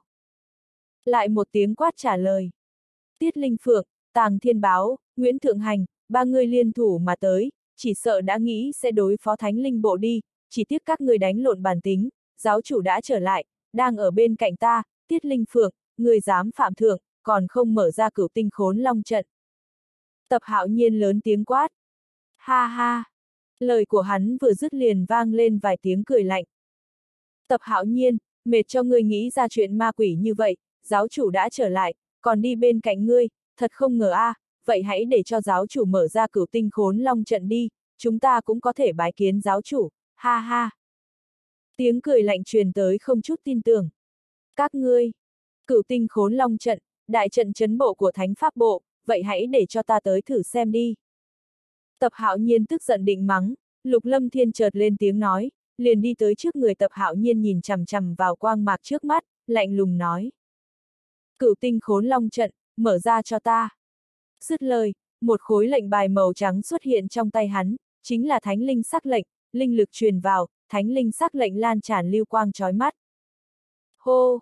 Giữa không trung, lệnh bài chấn thủ cửu tinh khốn long trận vô hình trung bị hấp xả, bắt đầu run rẩy lên. Gì? Bên ngoài trận truyền vào thanh âm kinh nghi, tựa hồ kinh ngạc vì sự biến hóa. Lục lâm thiên kết xuất thủ ấn, mỗi lệnh bài của bốn bộ đều có tác dụng khác nhau, nhưng đều bị khống chế bởi thánh linh sắc lệnh. Thu cho ta. Lục lâm thiên khẽ quát một tiếng, thủ ấn cuối cùng kết xuất, ngón trỏ cùng ngón cái kết xuất thủ ấn huyền ảo, linh lực truyền vào, thánh linh sắc lệnh bắn ra quang mang chói mắt, một cỗ khí thức bàng bạc lập tức lan tràn. Oanh long long, quang mang phóng lên cao, tốc độ nhanh như chớp phá vỡ quang mạc giữa không trung, cả quang mạc nhất thời ầm ầm rung động. Suy, đúng lúc này một màn quỷ dị xuất hiện, khi quầng sáng xuất hiện, lệnh bài màu trắng chấn giữa trung ương nháy mắt ảm đạm thất sắc, bắt đầu run lên, hào quang lập tức biến mất, bay thẳng tới trước thánh linh sắc lệnh phủ phục xuống. Tại sao lại như vậy, cửu tinh khốn long trận bắt đầu thu lại. Là ai phá trận? Bên ngoài liên tục vang lên tiếng quát. Cửu tinh khốn long trận là đại trận do giáo chủ đời thứ nhất luyện chế, trận nhãn chính là thánh pháp lệnh, nhưng trận nhãn chân chính là thánh linh sắc lệnh, thánh pháp bộ bố trí cửu tinh khốn long trận đối phó đồng môn, vậy hôm nay thu lại đi, về những tội danh khác sau này tiếp tục tính. Lục lâm thiên lạnh lùng kết xuất thủ ấn, trong thánh linh sắc lệnh bắn ra quang mang, lập tức giải khai quang mạc trên cao. Oanh long long, quang mạc sương mù dày đặc nháy mắt ầm ầm phá nát, quang mang sông lên tận trời, lực lượng bàng bạc xé mở không gian, một cỗ khí tức quỷ dị lập tức lan tràn. Hiu hiu, chân trời xa xa nháy mắt có hơn 10 đạo hào quang dựng lên, giống như cách cục cửu cung, từ xung quanh phá không bay ra, chín đạo quang mang chia làm chín tổ, tổng cộng là 81 hào quang, nháy mắt hướng quang mang của thánh linh sắc lệnh hội tụ tới. Thu. Lục lâm thiên lăng không đứng thẳng, trong tay đánh ra một đạo quang mang, thánh linh sắc lên dựng lên, mấy đạo lưu quang nháy mắt thu vào trong thánh linh sắc lệnh, kể cả 81 trận giác cửu tinh khốn long trận. Hô! Sương mù dày đặc chớp mắt tán loạn, không gian chớp động, rất nhanh liền biến mất, nhất thời khí tức trong thiên địa hạ xuống, một chân khí cường hãn tràn ngập lan tràn. Ngươi là người phương nào, sao có thể phá được cửu tinh khốn long trận của thánh pháp bộ chúng ta? Ở bên dưới xuất hiện vô số thân ảnh, trong 10 người đứng phía trước có một lão giả 60 tuổi, chân khí linh vương cửu trọng đỉnh đang kinh hãi nhìn lục lâm thiên đứng trên không trung. Ở bên dưới sơn mạch xuất hiện hơn vạn người, chân khí cực kỳ cường hãn, đang nhìn chằm chằm lên hơn trăm người thánh linh bộ. Người đứng trước nhất là hai nam một nữ già nua, nhìn qua khoảng 70 tuổi, hoặc như trăm tuổi, nhưng tuổi tác chân thật chỉ sợ đã sớm vượt xa con số này. Chân khí ba người không chút dao động, phảng phất như dung thành một thể với không gian, lão phụ nhân đứng ở giữa mái tóc lại đen nhánh, nhưng sắc mặt có chút già nua, đang nhìn chằm chằm trên không. Người bên trái thân hình không quá cao lớn, nhưng cực kỳ rắn chắc, khuôn mặt đầy nếp nhăn, nhìn qua như 90 tuổi nhưng thân hình lại như thanh niên, có vẻ cực kỳ kỳ lạ. Người cuối cùng cực kỳ già nua, lại có cỗ chân khí như muốn bùng nổ, không gian chung quanh hắn nóng cháy đáng sợ, hỏa hệ năng lượng không ngừng tụ tập. Lục Lâm Thiên nhìn ba người, một vũ tôn hai linh tôn, thực lực hẳn không hơn kém tập hạo nhiên bao nhiêu. Mà sau lưng bọn hắn còn có bốn năm thân ảnh, cũng đã tới linh tôn vũ tôn. Sau lưng ba người, bốn thân ảnh kia đều là linh tôn, đứng sau lưng lão giả kỳ lạ kia hẳn là hai linh tôn hai vũ tôn. Mà sau lưng lão giả tu luyện năng lượng hỏa hệ có năm thân ảnh, theo chân khí mà xem đều tới vũ tôn. Theo lục lâm thiên tính toán, sau lưng ba người kia có tới 13 vũ tôn linh tôn, hơn nữa thực lực ba người kia chỉ sợ là mạnh nhất, chỉ tính vũ tôn linh tôn đã có tới 16, 123 vũ vương linh vương, về phần vũ xuất linh xuất thì càng nhiều hơn không ít. Trời ạ, đây là thực lực thánh linh giáo sao? Lục Lâm Thiên chấn kinh, trong lòng vô cùng rung động, trên đại lục có thế lực nào có thể nghĩ tới trên vạn đảo nhai lại ẩn giấu một cỗ thế lực kinh khủng như vậy, loại thực lực này đủ thổi quét hết thảy. Giáo chủ, người đứng giữa là Thánh Pháp Thiên Tôn Tiết Linh Phượng, bên trái là Thánh Thú Thiên Tôn Tàng Thiên Báo, bên phải là Thánh Vũ Thiên Tôn Nguyễn Thượng Hành, Tiết Linh Phương là Tu Vi Linh Tôn Tứ Trọng, mà Tàng Thiên Báo cũng vậy, thực lực Nguyễn Thượng Hành hẳn tới ngũ trọng, ta chỉ có thể đối phó Nguyễn Thượng Hành, mà thêm hai người kia thì bất lực. Tập hạo nhiên đột nhiên truyền âm. Siêu siêu. Vào lúc này toàn bộ ánh mắt mọi người đều tập trung vào lục lâm thiên, vừa nhìn thấy thánh linh sắc lệnh, sắc mặt ba thiên tôn run rẩy biến đổi. Ngươi là ai?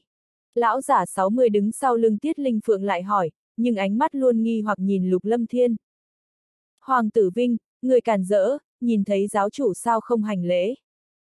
Đại trưởng lão Thánh Linh Bộ tiến lên quát một tiếng. Giáo chủ. Nghe được lời này những người đứng bên dưới đều run lên, xưng hô này đối với họ hoàn toàn có ý nghĩa khác hẳn. Giáo chủ, giáo chủ gì chứ, Thánh Linh giáo làm gì có giáo chủ. Ba thiên tôn đưa mắt nhìn nhau, Nguyễn Thượng Hành xài bước tới quát. Nguyễn Thượng Hành, Thánh Linh sắc lệnh ở đây, người còn không biết nữa sao, chẳng lẽ người muốn phản giáo? Tập hạo nhiên đi tới bên người Lục Lâm Thiên, mơ hồ bảo hộ hắn. Lục Lâm Thiên hít sâu một hơi, ánh mắt đảo qua, nói. Thánh Linh sắc lệnh ở đây, các đệ tử Thánh Vũ Bộ, Thánh Thú Bộ, Thánh Pháp Bộ nghe lệnh. Thanh âm xen lẫn linh lực quanh quẩn giữa không trung, các đệ tử tam bộ nhất thời xôn xao, nhìn lên thanh niên phía trên, lại đưa mắt nhìn nhau, cuối cùng đều rơi lên người ba thiên tôn. Trong mắt lục lâm thiên lộ lạnh ý, xem ra cố ý không nhận ra giáo chủ, lại cố tình không nhận ra thánh linh sắc lệnh nữa. Tiểu tử, người nói ngươi là giáo chủ, có gì chứng minh? Thân hình tiết linh phượng tiến lên, một cỗ uy áp dài vị vô hình trực tiếp bao phủ lục lâm thiên. Lục lâm thiên lập tức cảm giác được một cỗ cự lực vô hình ngập trời bao vây chính mình, linh hồn khí tức trực tiếp tràn vào trong đầu hắn. Trong nháy mắt linh hồn công kích tràn vào não hải, đây là chỗ khủng bố của linh giả. Suy suy, kim sắc tiểu đao chợt động, nháy mắt nhảy tới linh hồn không gian, kim mang tràn ra cắn nuốt linh hồn lực xâm nhập, thậm chí khiến cho nó phát ra thanh âm như vui sướng. Tiết Linh Phượng, người muốn làm gì, cản rỡ. Đúng lúc này tập hạo nhiên hét lớn một tiếng, quang mang khởi động đem linh hồn lực kia ngăn cách bên ngoài. Suy suy, linh hồn lực nháy mắt biến mất, kim sắc tiểu đao có chút không muốn như giận dỗi, quay trở lại sau lưng tiểu hồn anh. Dám xưng là giáo chủ, ta phải thử xem có phải hay không. Tiết Linh Phượng nhìn Lục Lâm Thiên, giấu giếm vẻ kinh ngạc, linh hồn lực bà ta muốn xâm nhập não hải tiểu tử kia tìm kiếm tin tức, ai biết nháy mắt lại biến mất vô ảnh vô tung. Thánh Pháp Thiên Tôn, vậy ngươi thử ra được điều gì sao? Trong mắt Lục Lâm Thiên bắn ra lãnh ý, nhìn thẳng lão ẩu kia, người này dám động thủ với mình, thật sự không đem thánh linh sắc lệnh cùng giáo chủ vào trong mắt. Bị ánh mắt của Lục Lâm Thiên nhìn chằm chằm, trong lòng Tiết Linh Phượng dâng lên lãnh ý, nháy mắt liền khôi phục bình thường, nhưng biến hóa thành làm trong lòng bà ta thầm biến đổi, người có thể ảnh hưởng bà ta chỉ sợ không mấy người, vì sao thanh niên kia lại có thể làm được, thật sự không bình thường.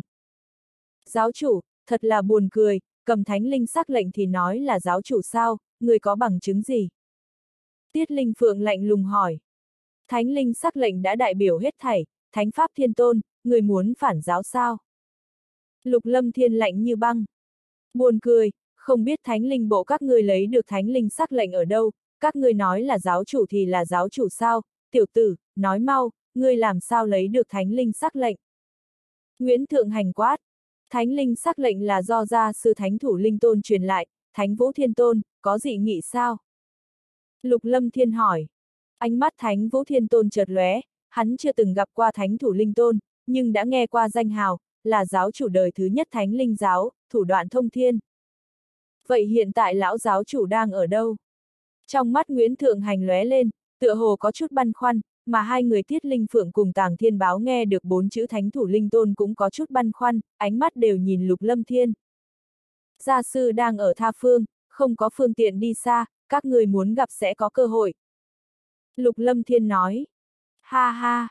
Nguyễn Thượng Hành trầm xuống, cười lạnh nói. người nghĩ rằng ta tin lời của ngươi sao, giáo chủ đời thứ nhất mất tích mấy ngàn năm, chỉ sợ đã sớm đại nạn, tiểu hoa nhi ngươi mới bao nhiêu, còn dám giả mạo đệ tử lão giáo chủ, không biết ngươi nhặt được thánh linh sắc lệnh ở đâu, cấu kết với thánh linh bộ muốn ngấp nghé trước giáo chủ. Nói tới đây ánh mắt hắn thoáng dịu đi, lập tức nói. Tiểu Hoa Nhi, đem thánh linh sắc lệnh giao cho ta, ta tha cho ngươi một mạng, nếu không ta muốn lấy mạng nhỏ của ngươi còn dễ hơn ghét chết con kiến. Nguyễn Thượng Hành, ngay cả thánh linh sắc lệnh ngươi cũng không tuân, ngươi rõ ràng muốn phản giáo. Tập hạo nhiên quát lớn. Lục lâm thiên trầm xuống, rõ ràng là Nguyễn Thượng Hành không tâm phục khẩu phục, muốn đánh chủ ý với thánh linh sắc lệnh, chỉ sợ là vì mật thất cùng vị trí giáo chủ, lợi dục huân tâm, muốn hắn thần phục mình chỉ sợ là không thể nào.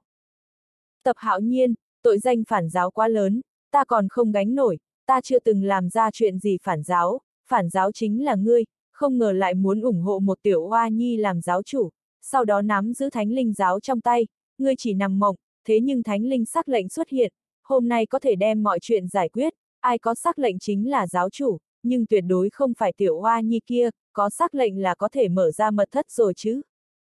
Nguyễn Thượng Hành nói, cho dù ta giao ra thánh linh sắc lệnh, ta nên giao cho ai, các người có ai muốn làm giáo chủ, nếu ai muốn cứ nói một tiếng, ta sẽ đem thánh linh sắc lệnh giao cho hắn.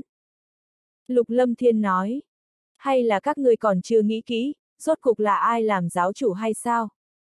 Nguyễn Thượng Hành, Tiết Linh Phượng, Tàng Thiên Báo sắc mặt biến đổi, thánh linh sắc lệnh rơi vào trong tay người khác, bọn hắn đương nhiên không muốn, lần này ba bộ liên thủ chỉ muốn vây công thánh linh bộ, muốn mở ra mật thất, miễn thánh linh bộ làm vướng chân vướng tay. Muốn châm ngòi ly rán sao? Ánh mắt Nguyễn Thượng Hành trầm xuống. Tiểu tử, người không cần quan tâm, chúng ta đã sớm thương nghị trước, vị trí giáo chủ sẽ lựa chọn trong ba bộ, người thắng trở thành giáo chủ, người muốn châm ngòi ly rán cũng không dễ dàng như vậy. Ánh mắt lục lâm thiên run lên, không nghĩ tới đám người này đã sớm có tính toán.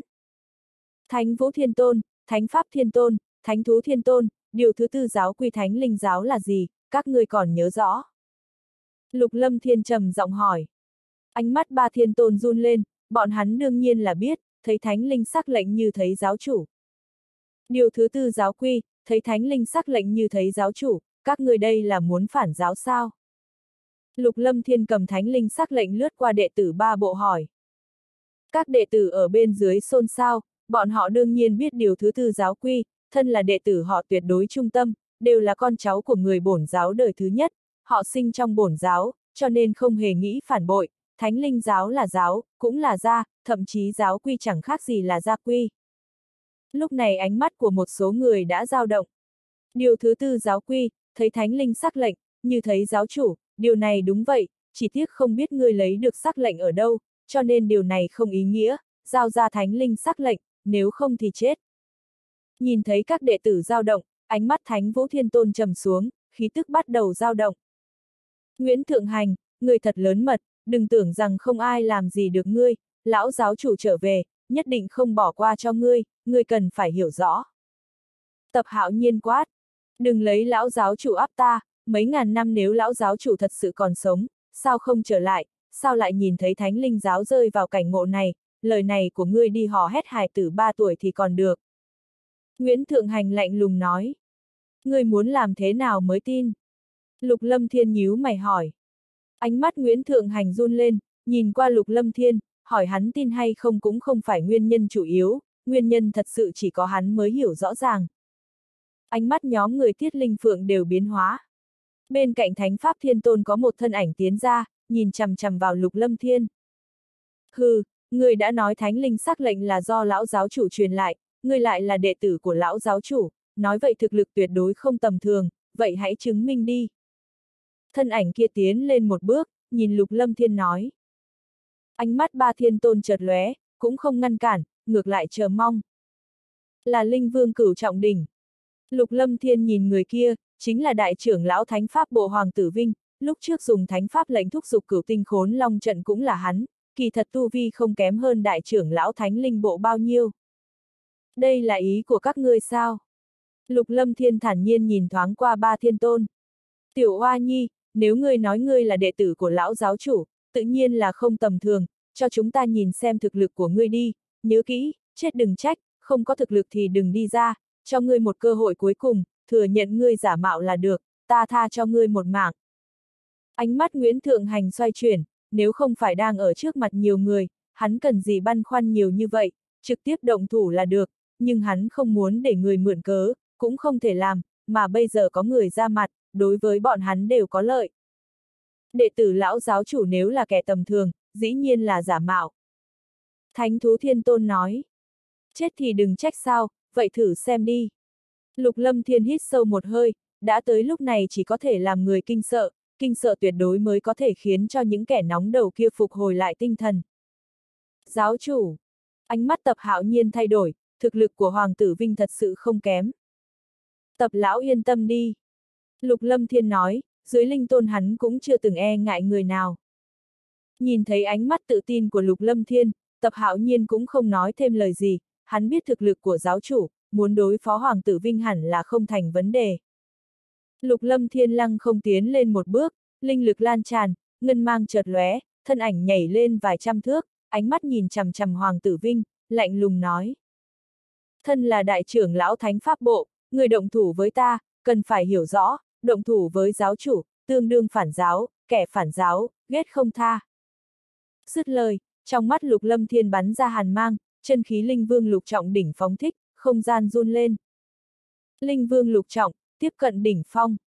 Toàn bộ linh tôn vũ tôn đều kinh ngạc, người này tuổi tác không lớn, không ngờ có thực lực như thế, thiên phú thật khủng bố, tu vi như vậy tuyệt đối xứng làm đệ tử lão giáo chủ. Linh vương lục trọng, ánh mắt hoàng tử Vinh cũng lộ vẻ kinh ngạc, tựa hồ thật không ngờ, hắn nghiêng người nhìn thoáng qua tiết linh phượng, bạch mang chợt lóe, thân ảnh nhảy lên xuất hiện trước mặt lục lâm thiên. Tiểu tử, giao thánh linh sắc lệnh cho ta, ta có thể tha cho ngươi một mạng, nếu ngươi muốn nhờ vào lực lượng linh vương lục trọng đỉnh động thủ với ta, không khỏi làm người cười rất răng hàm, chẳng khác gì người ngốc nói mê. Hoàng tử Vinh cười lạnh nói, ba bộ đã thương nghị giải quyết xong thánh linh bộ, sau đó tuyển trưởng lão làm giáo chủ, luận thực lực hắn cảm giác cơ hội của mình là lớn nhất, nếu có thêm thánh linh sắc lệnh càng thêm danh chính ngôn thuận. Vậy sao? Trên mặt lục lâm thiên lộ ý cười. Ta cũng cho ngươi một cơ hội, ngươi là đại trưởng lão thánh pháp bộ cần phải hiểu rõ, động thủ với giáo chủ, kẻ dưới phạm thượng, tương đương phản giáo, kẻ phản giáo, ghét không tha.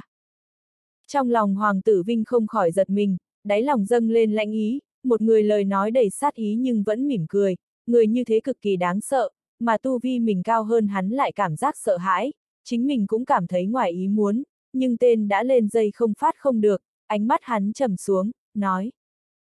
Tiểu Hoa Nhi chân cháo, chờ ngươi trở thành giáo chủ rồi nói sau, hiện tại không ai thừa nhận ngươi là giáo chủ. Dứt lời linh lực phóng thích, đem bất an trong lòng xóa bỏ, chân khí lan tràn, không gian không ngừng trao đảo lắc lư. Hô! Lục lâm thiên thở sâu một hơi, hôm nay nếu không kinh sợ những người này, thật sự khó thể trấn áp tình huống. Kẻ dưới phạm thượng, kẻ phản giáo, ghét không tha. Khóe môi lục lâm thiên hiện lên độ cong băng xương, thanh âm quanh quẩn thiên không, tiếng nói vừa dứt sát khí mênh mông tràn ngập thiên địa, thiên địa năng lượng dao động kịch liệt. Sát khí thật mạnh, mọi người kinh hô. Sắc mặt hoàng tử vinh ngưng trọng, trong lòng lại dâng lên cảm giác bất an, ánh mắt trầm xuống, linh lực xua đuổi cảm giác không yên tĩnh, linh hồn khí tức tràn ra. Để cho ta nhìn ngươi rốt cục có bao nhiêu thực lực. Dứt lời thân ảnh hoàng tử vinh phá vỡ không gian dao động, chân khí dao động khủng bố phóng lên cao, tay áo huy động, nhất thời thiên địa năng lượng tràn ngập hội tụ. Ngươi nếu muốn thử, ta thành toàn ngươi. Hừ, Linh Vương lục trọng dám can đảm cho rằng mình siêu phàm, không biết trời cao đất dày. Trong tay hắn biến hóa một giải lụa trắng thật lớn bắn thẳng về hướng lục lâm thiên, không hề lưu thủ, uy thế vô cùng kinh người. Suy! Thân ảnh lục lâm thiên biến mất ngay tại chỗ. Tốc độ của ngươi còn chưa đủ. Hoàng tử vinh quát lạnh, thân ảnh vặn vẹo không gian dao động xuất hiện ngay trước người lục lâm thiên. Không chịu nổi một kích. Những người bên ngoài không nghĩ tới thanh niên kia lại thua nhanh chóng như thế, thế nhưng không chịu nổi một kích. Ha ha, thật sự là không chịu nổi một kích. Hoàng tử Vinh cười ha ha, chảo ấn xuyên thấu không gian ầm ầm đánh về hướng lục lâm thiên. Cửu chuyển thiên linh bí pháp, đệ nhất chuyển, đệ nhị chuyển, đệ tam chuyển, đệ tứ chuyển. Thủ ấn kết xuất, thiên địa năng lượng hội tụ, chân khí trong người lục lâm thiên đột nhiên kéo lên. Linh lực bí pháp, toàn bộ đệ tử thánh linh giáo đều kinh hãi, thanh niên kia không ngờ từ linh vương lục trọng tăng lên tới linh vương cửu trọng đỉnh, điều này thật sự làm người sợ hãi. Phá cho ta! Trong mắt lục lâm thiên lướt qua hàn ý, nhìn thấy chảo ấn vỡ áp ập tới, quang mang mạnh mẽ dâng lên, năng lượng đáng sợ bạo tuôn, một đạo thú ảnh cự hổ khổng lồ nháy mắt xuất hiện. Hống! Cự hổ rít gào một tiếng, khí thế vỡ áp thiên địa, năng lượng uy áp cường hãn tràn ngập, nháy mắt va chạm cùng chảo ấn. Suy suy! Hai cỗ năng lượng đụng vào nhau, không gian run rẩy, sau đó yên lặng bất động. Ca ca! Trên thực tế hai cỗ năng lượng dây dưa cắn nuốt kịch liệt, quang mang chói mắt tóe phát, một giây sau khe không gian nhanh chóng vỡ ra, hư vô nổ tung. Công kích thật đáng sợ. Phanh! Va chạm khủng bố như vẫn thạch đụng vào nhau, trong khoảnh khắc bộc phát thanh âm nổ tung kinh thiên động địa, khe không gian nứt vỡ lan tràn. Siêu! Hư ảnh cự hổ đánh vỡ chảo ấn, lập tức hóa thành một cỗ kình khí kinh khủng ầm ầm đánh vào trên người Hoàng tử Vinh đang kinh hãi vì thực lực lục lâm thiên đột nhiên tăng vọt. Thân hình người này trực tiếp bị đẩy lùi trên không trung. Đại trưởng lão thánh pháp bộ, cũng chỉ có thế mà thôi.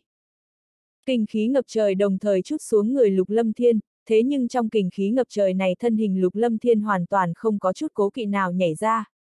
Rồi hắn giống như một mũi tên rời cung lao thẳng về phía Hoàng tử Vinh. Hắc tử Vinh đang lảo đảo lùi lại trên không trung tức thì đại biến. Bởi vì tất cả nằm ngoài dự liệu của hắn, thực lực của thanh niên áo xanh trước mặt không lại mạnh mẽ như vậy. Thân mang bí pháp linh lực từ linh vương lục trọng tăng lên tới cửu trọng đỉnh phong, hắn không còn tương xứng nữa. Mắt thấy lục lâm thiên lao thẳng tới, trong lúc hoàng tử Vinh bị đẩy lui, thân hình hắn mạnh mẽ ổn định lại, linh lực trong tay bạo phát hóa thành một đạo trưởng ấn dẫn dắt năng lượng thiên địa hùng hồn tràn ngập không trung.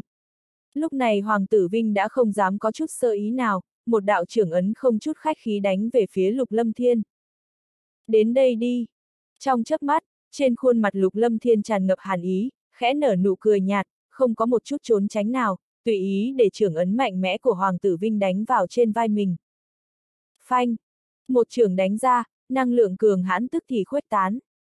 Cả không gian trở nên vặn vẹo kịch liệt, một cỗ lực lượng mạnh mẽ đánh vào trong thân thể lục lâm thiên, trong cơ thể hắn tức thì vang lên một tiếng trầm muộn. Đồng thời hàn ý trên khóe miệng lục lâm thiên ngày càng đậm, trong hàn ý mang theo sát ý lạnh lẽo. Hư linh huyện ấn. Đồng thời lục lâm thiên quát lên một tiếng, trong mắt có một đạo quang mang quỷ dị lan tràn ra, bắn thẳng vào hai mắt hoàng tử vinh, rồi bao phủ lấy người hắn. Không xong. Sắc mặt hoàng tử vinh đại biến, cũng đã không kịp thoát thân nữa. Trong nháy mắt, ánh mắt Hoàng tử Vinh tức thì ngây dại ra, công kích gần trong gang tấc này vượt quá dự liệu của hắn khiến hắn không thể tránh thoát. Nếu như Lục Lâm Thiên dùng tu vi linh vương lục trọng đỉnh phong thi triển hư linh huyền ấn có tạo thành ảnh hưởng đối với đại trưởng lão thánh pháp bộ này hay không cũng khó nói.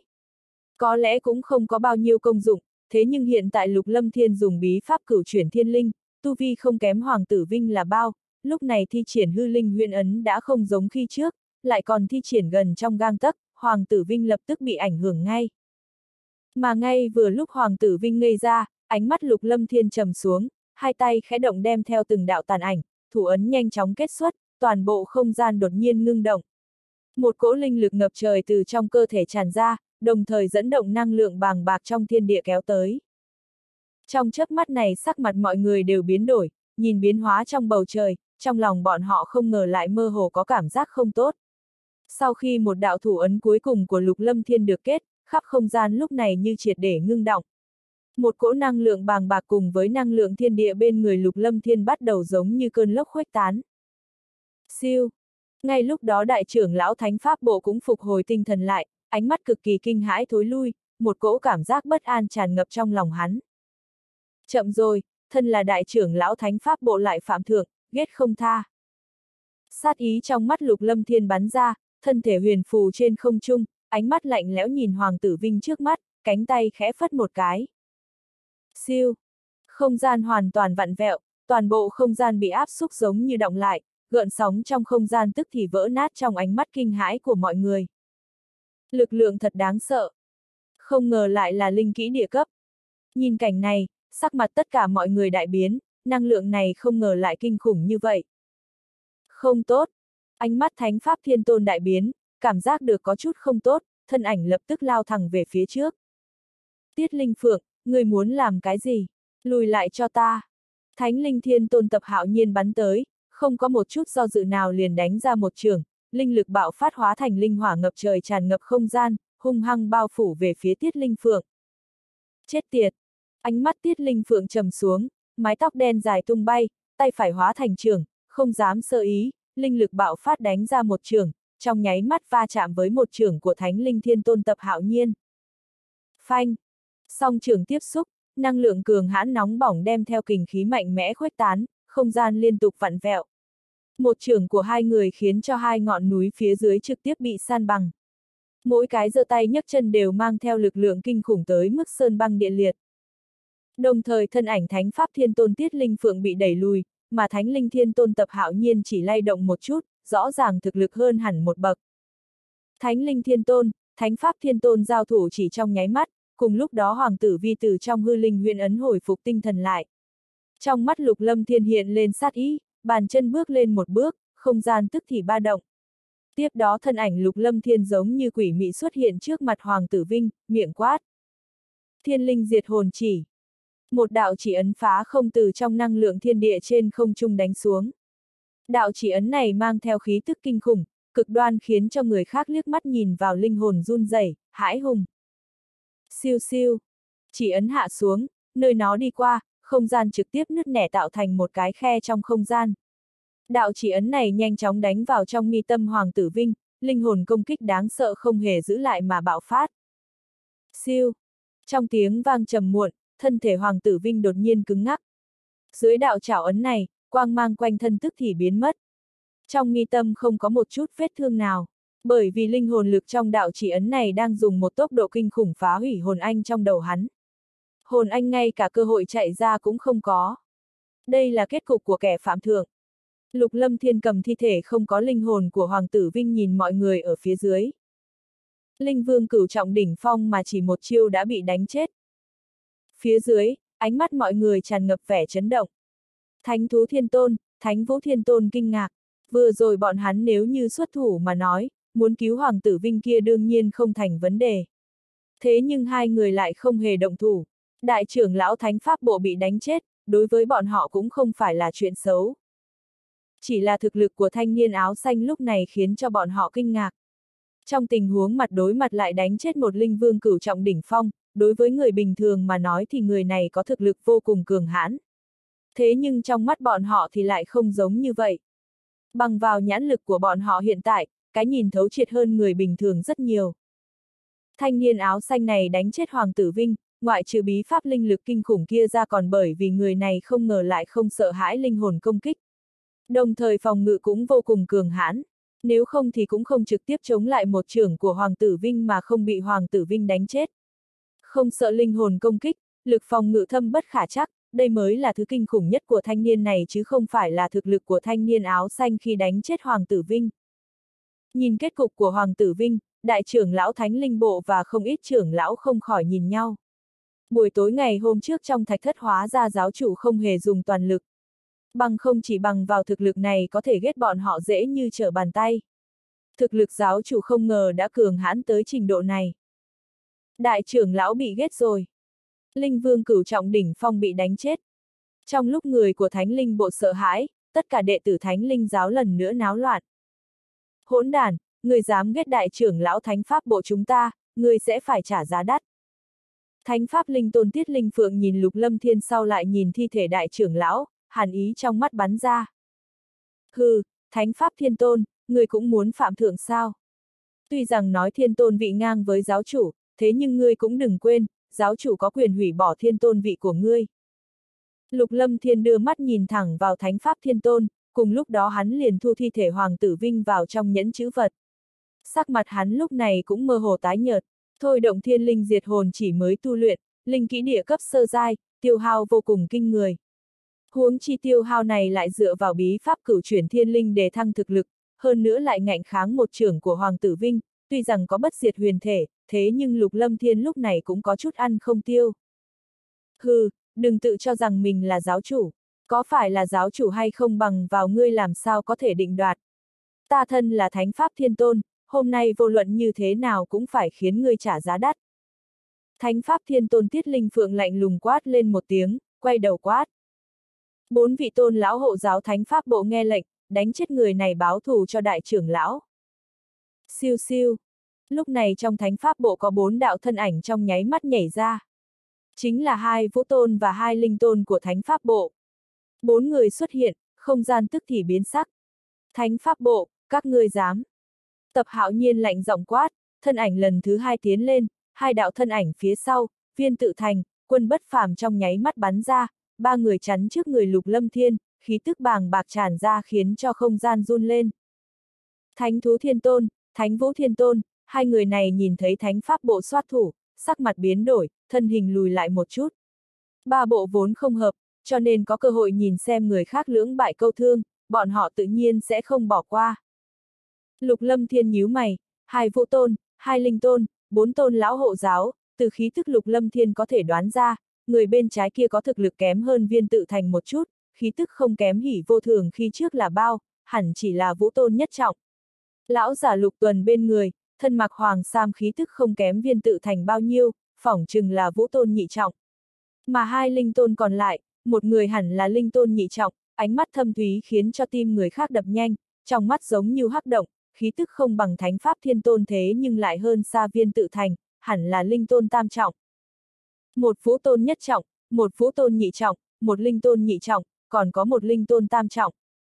Nhìn bốn tôn lão hộ giáo của thánh pháp bộ, thực lực như vậy tuyệt đối khiến cho người ta chấn động, lục lâm thiên ngẩn ra, mấy người này xuất hiện, trong không gian vô hình chung có năng lượng kéo tới, uy áp cường hãn tràn ra khiến cho hắn có chút khó chịu.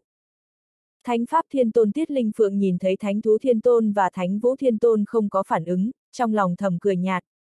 Tính toán của hai người kia đương nhiên nàng có thể hiểu được. Nhưng vì lúc này nàng có quyết định của mình, Thánh Thú Bộ và Thánh Pháp Bộ lựa chọn tọa sơn xem hổ đầu, Thánh Pháp Bộ nàng lựa chọn là không vào hang cọp sao bắt được cọp con. Nhân cơ hội đánh chết thanh niên áo xanh này, nhận được Thánh Linh sắc lệnh thì nàng sẽ có ưu thế tuyệt đối. Động thủ, tập hạo nhiên này để ta tới đối phó, các người đối phó với những người khác, tiểu tử kia đánh chết trưởng lão của chúng ta, nhất định không thể buông tha. Ánh mắt thánh pháp thiên tôn tiết linh phượng run lên, linh lực ngập trời cùng với linh hồn lực kinh khủng trong nháy mắt tràn ra. Linh giả và vũ giả, có thể nói là ai cũng có sở trường riêng của mình. Thế nhưng sau khi tới trình tự nhất định, đặc biệt là tới linh suất, ưu thế của linh giả bắt đầu hiển hiện ra rõ ràng.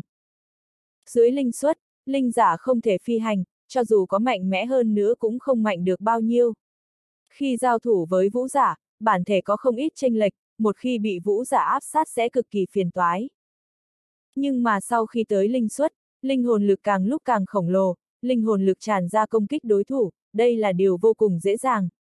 Đặc biệt sau khi đạt tới linh vương, loại ưu thế này càng thêm rõ ràng. Linh hồn lực phối hợp với linh lực, trong đồng cấp so với vũ giả chiếm chút thượng phong. Đương nhiên chỉ nói đại bộ phận mà thôi, cũng không phải là tuyệt đối. Mà tới thực lực kinh khủng như thánh pháp thiên tôn linh tôn tứ trọng như vậy, ưu thế của linh giả càng thêm mạnh. Linh hồn lực kinh khủng tràn ra khiến cho người khác phải tùy thời đề phòng và kiêng kỵ. Về phần vũ giả nếu muốn thi triển công kích gần linh giả sẽ càng lúc càng khó khăn. Thánh linh sắc lệnh ở đây, ai dám làn càn. Lục lâm thiên lạnh lùng quát lên một tiếng, giơ thánh linh sắc lệnh trong tay. Nhìn thánh linh sắc lệnh, bốn tôn lão hộ giáo của thánh pháp bộ dừng lại, trong mắt hiện lên sự do dự. Động thủ, tiểu tử này không phải là giáo chủ. Các ngươi tiến lên lấy thánh linh sắc lệnh. Tiết linh phượng đảo qua thánh linh sắc lệnh, nói xong thủ ấn lập tức kết xuất, một đạo lưu quang đột nhiên xuất hiện, một cỗ khí tức bàng bạc tức thì tràn ra. Lưu quang thu liếm, đây là một đầu khôi lỗi thân cao năm thước, thân hình giống như cự hùng, trên thân thể rắn chắn tràn ngập lưu quang quanh quẩn, dẫn dắt năng lượng thiên địa hội tụ. Tinh quang trong mắt khôi lỗi này bắn ra, một cỗ sát khí lạnh lẽo tràn ra. Năng lượng trong thiên địa giờ phút này ba động kịch liệt. Khôi lỗi cấp 8 sơ giai. Lục lâm thiên nhìn đầu khôi lỗi trước mắt, trong lòng cực kỳ khiếp sợ. Trên người thánh pháp thiên tôn này không ngờ lại có khôi lỗi bát giai, một đầu khôi lỗi bát giai như vậy tương đương với một vũ tôn. Khôi lỗi như thế này sợ rằng không có mấy sơn môn có thể lấy ra được. Càng là khôi lỗi cấp cao, càng khó có thể luyện chế ra. Tập hạo nhiên, ngươi nghĩ rằng ta không ngăn cản được ngươi sao? Tiết Linh Phượng đem khôi lỗi trên người phóng ra, trong nháy mắt đầu khôi lỗi cấp 8 có thân thể to lớn kia phóng về phía thánh linh thiên tôn tập hạo nhiên. Hừ! Tập hạo nhiên lạnh lùng hừ lên một tiếng, một đạo quang trụ bằng linh lực phóng lên cao, trong nháy mắt lao thẳng về phía tiết linh phượng. Động thủ! Tiết linh phượng xuất thủ, mấy tiếng quát nhẹ từ trong miệng bốn tôn lão hộ giáo của thánh pháp bộ vang lên. Thân hình như thiểm điện nhảy về phía trước, chân khí và linh lực đáng sợ phô thiên cái địa sông về phía chân trời. Thanh thế mênh mông như vậy khiến cho những đệ tử thực lực thấp bên dưới không khỏi run lên. Mấy vũ tôn, linh tôn xuất thủ, cảnh tượng như vậy trong bọn họ còn không có mấy người có thể nhìn thấy. Ngươi dám! Hai người viên tự thành, quân bất phàm hét lớn một tiếng, thân hình lao thẳng về phía trước, mang theo quang trụ bằng linh lực kinh khủng giống như vẫn thạch đánh tới. Viên tự thành, để ta xem thực lực của ngươi đã tới bước nào rồi. Quân bất phàm, ngươi là của ta. Hai tiếng quát lạnh vang lên, linh tôn tam trọng và linh tôn nhị trọng của thánh pháp bộ phân biệt đánh tới viên tự thành và quân bất phàm, ngăn cản hai người này lại trên không trung. Từ tiền trí, tránh ra cho ta. Khuôn mặt viên tự thành âm trầm như nước, bị linh tôn nhị trọng trước mặt ngăn cản, ba động kinh khủng từ trong cơ thể hắn tràn ra. Tức thì cả bầu trời giống như phong vân biến sắc, mỗi cái giơ tay nhấc chân đều mang theo năng lượng thiên địa bằng bạc, khí tức bắt đầu tràn ra, thiên địa biến sắc. Có bản lĩnh thì ngươi cứ xông qua. Linh tôn nhị trọng gọi là tiền tử trí nghe tiếng quát của viên tự thành, sắc mặt đột nhiên trầm xuống, từng đạo bạch quang từ trong cơ thể tuôn ra, nhanh chóng dẫn dắt năng lượng bàng bạc hội tụ trong bầu trời. Cánh tay vung lên, cuối cùng hóa thành chín đạo linh lực tinh luyện. Chín đạo linh lực tinh luyện mang theo tiếng xé gió cùng với không gian run rẩy ầm ầm chắn ở trước mặt viên tự thành, gợn sóng trong không gian chung quanh trực tiếp bị xé rách. Lùi về cho ta. Ngay khi từ tiền trí xuất thủ, viên tự thành cũng quát lên một tiếng, tức thì linh lực ngập trời tuôn ra, giống như cả phiến thiên địa giống như sắp vỡ nát. Hắn lăng không phất tay một cái, trước người nhanh chóng có một đạo quang mang cực lớn ngưng tụ, trong nháy mắt ngăn cản chín đạo linh lực tinh luyện kia. Quân bất phàm, thực lực của ngươi ở trước mặt ta còn chưa đủ. Cùng lúc đó, linh tôn tam trọng kia quát lên một tiếng lạnh lẽo, lưu quang trong tay lưu động, trực tiếp ngưng tụ thành một đạo quang trụ khổng lồ không gì sánh được, sau đó bắn về phía quân bất phàm phía trước. Phanh phanh phanh. Giữa không trung, mấy đại siêu cấp cường giả đánh ra công kích trong nháy mắt bạo phát, dưới công kích kinh khủng như vậy, kinh khí ngập trời khuếch tán, trực tiếp khiến cho không ít ngọn núi phía dưới bị san bằng. Giữa không trung, gợn sóng trực tiếp bị chấn nát bấy. Hít! Uy thế như vậy khiến cho vô số người phía dưới hít sâu một hơi, ngay cả mấy người lục tâm đồng, dương quá, thiên sĩ tuyết sư cũng không ngoại lệ, ánh mắt tràn ngập vẻ kinh hãi. Phía xa, thánh thú thiên tôn, thánh vũ thiên tôn hững hờ nhìn công kích phô thiên cái địa trước mặt, trên khuôn mặt không có một chút ba động nào. ầm ầm, tập hạo nhiên nhìn thấy công kích của tiết linh phượng đánh tới tức thì đáp trả. Thiên địa kịch liệt rung động, nơi hai người giao thủ, chỗ lực lượng đánh vào không gian trực tiếp nứt nẻ tạo thành một cái khe lớn. Giống. Thực lực của Tiết Linh Phượng dù sao cũng kém hơn, thân hình vừa mới bị đẩy lùi thì đầu khôi lỗi cấp 8 sơ giai kinh khủng kia trong nháy mắt đánh ra một đạo quyền ấn, năng lượng thiên địa bàng bạc lập tức hội tụ. Phanh! Viên tự thành cũng đánh ra một trưởng nghênh tiếp, tiếng nổ kinh thiên vang lên, khôi lỗi to lớn trực tiếp bị đánh bay. Viên tự thành cũng lảo đảo lui về phía sau một bước. Bởi vậy có thể thấy được đầu khôi lỗi cấp 8 sơ giai này cũng không phải bình thường. Sợ rằng đã tới sơ giai hậu kỳ. Siêu siêu. Trước người lục lâm thiên có hai đạo thân ảnh hạ xuống, chính là vũ tôn nhất trọng và vũ tôn nhị trọng còn lại. Khi thân ảnh hai người hạ xuống, trong đầu lục lâm thiên vang lên thanh âm của tiểu long. Lão đại, có cần đệ hỗ trợ hay không? Trước tiên không cần, lão đại của đệ còn có thể trụ được. Lục lâm thiên trả lời, ánh mắt đồng thời nhìn về phía hai người. Vũ tôn nhất trọng hắn còn có thể chống lại, nhưng vũ tôn nhị trọng lại vô cùng phiền phức, vũ tôn nhị trọng tuy rằng chỉ hơn vũ tôn nhất trọng một trọng, thế nhưng tranh lệch lại gấp mấy gần. Giống như là thánh pháp thiên tôn vậy, linh tôn tứ trọng, tự biết kém tập hạo nhiên ngũ trọng, cho nên vừa mới ra tay lập tức móc ra khôi lỗi cấp 8. Tới cấp bậc như linh tôn, vũ tôn, cách nhau một trọng đều vô cùng kinh người. Lục lâm thiên nhíu mày, đánh chết một vũ vương cửu trọng đỉnh phong xem ra còn chưa đủ để khiến cho mấy lão gia hỏa này kinh sợ, chẳng lẽ còn phải tiếp tục làm kinh sợ sao?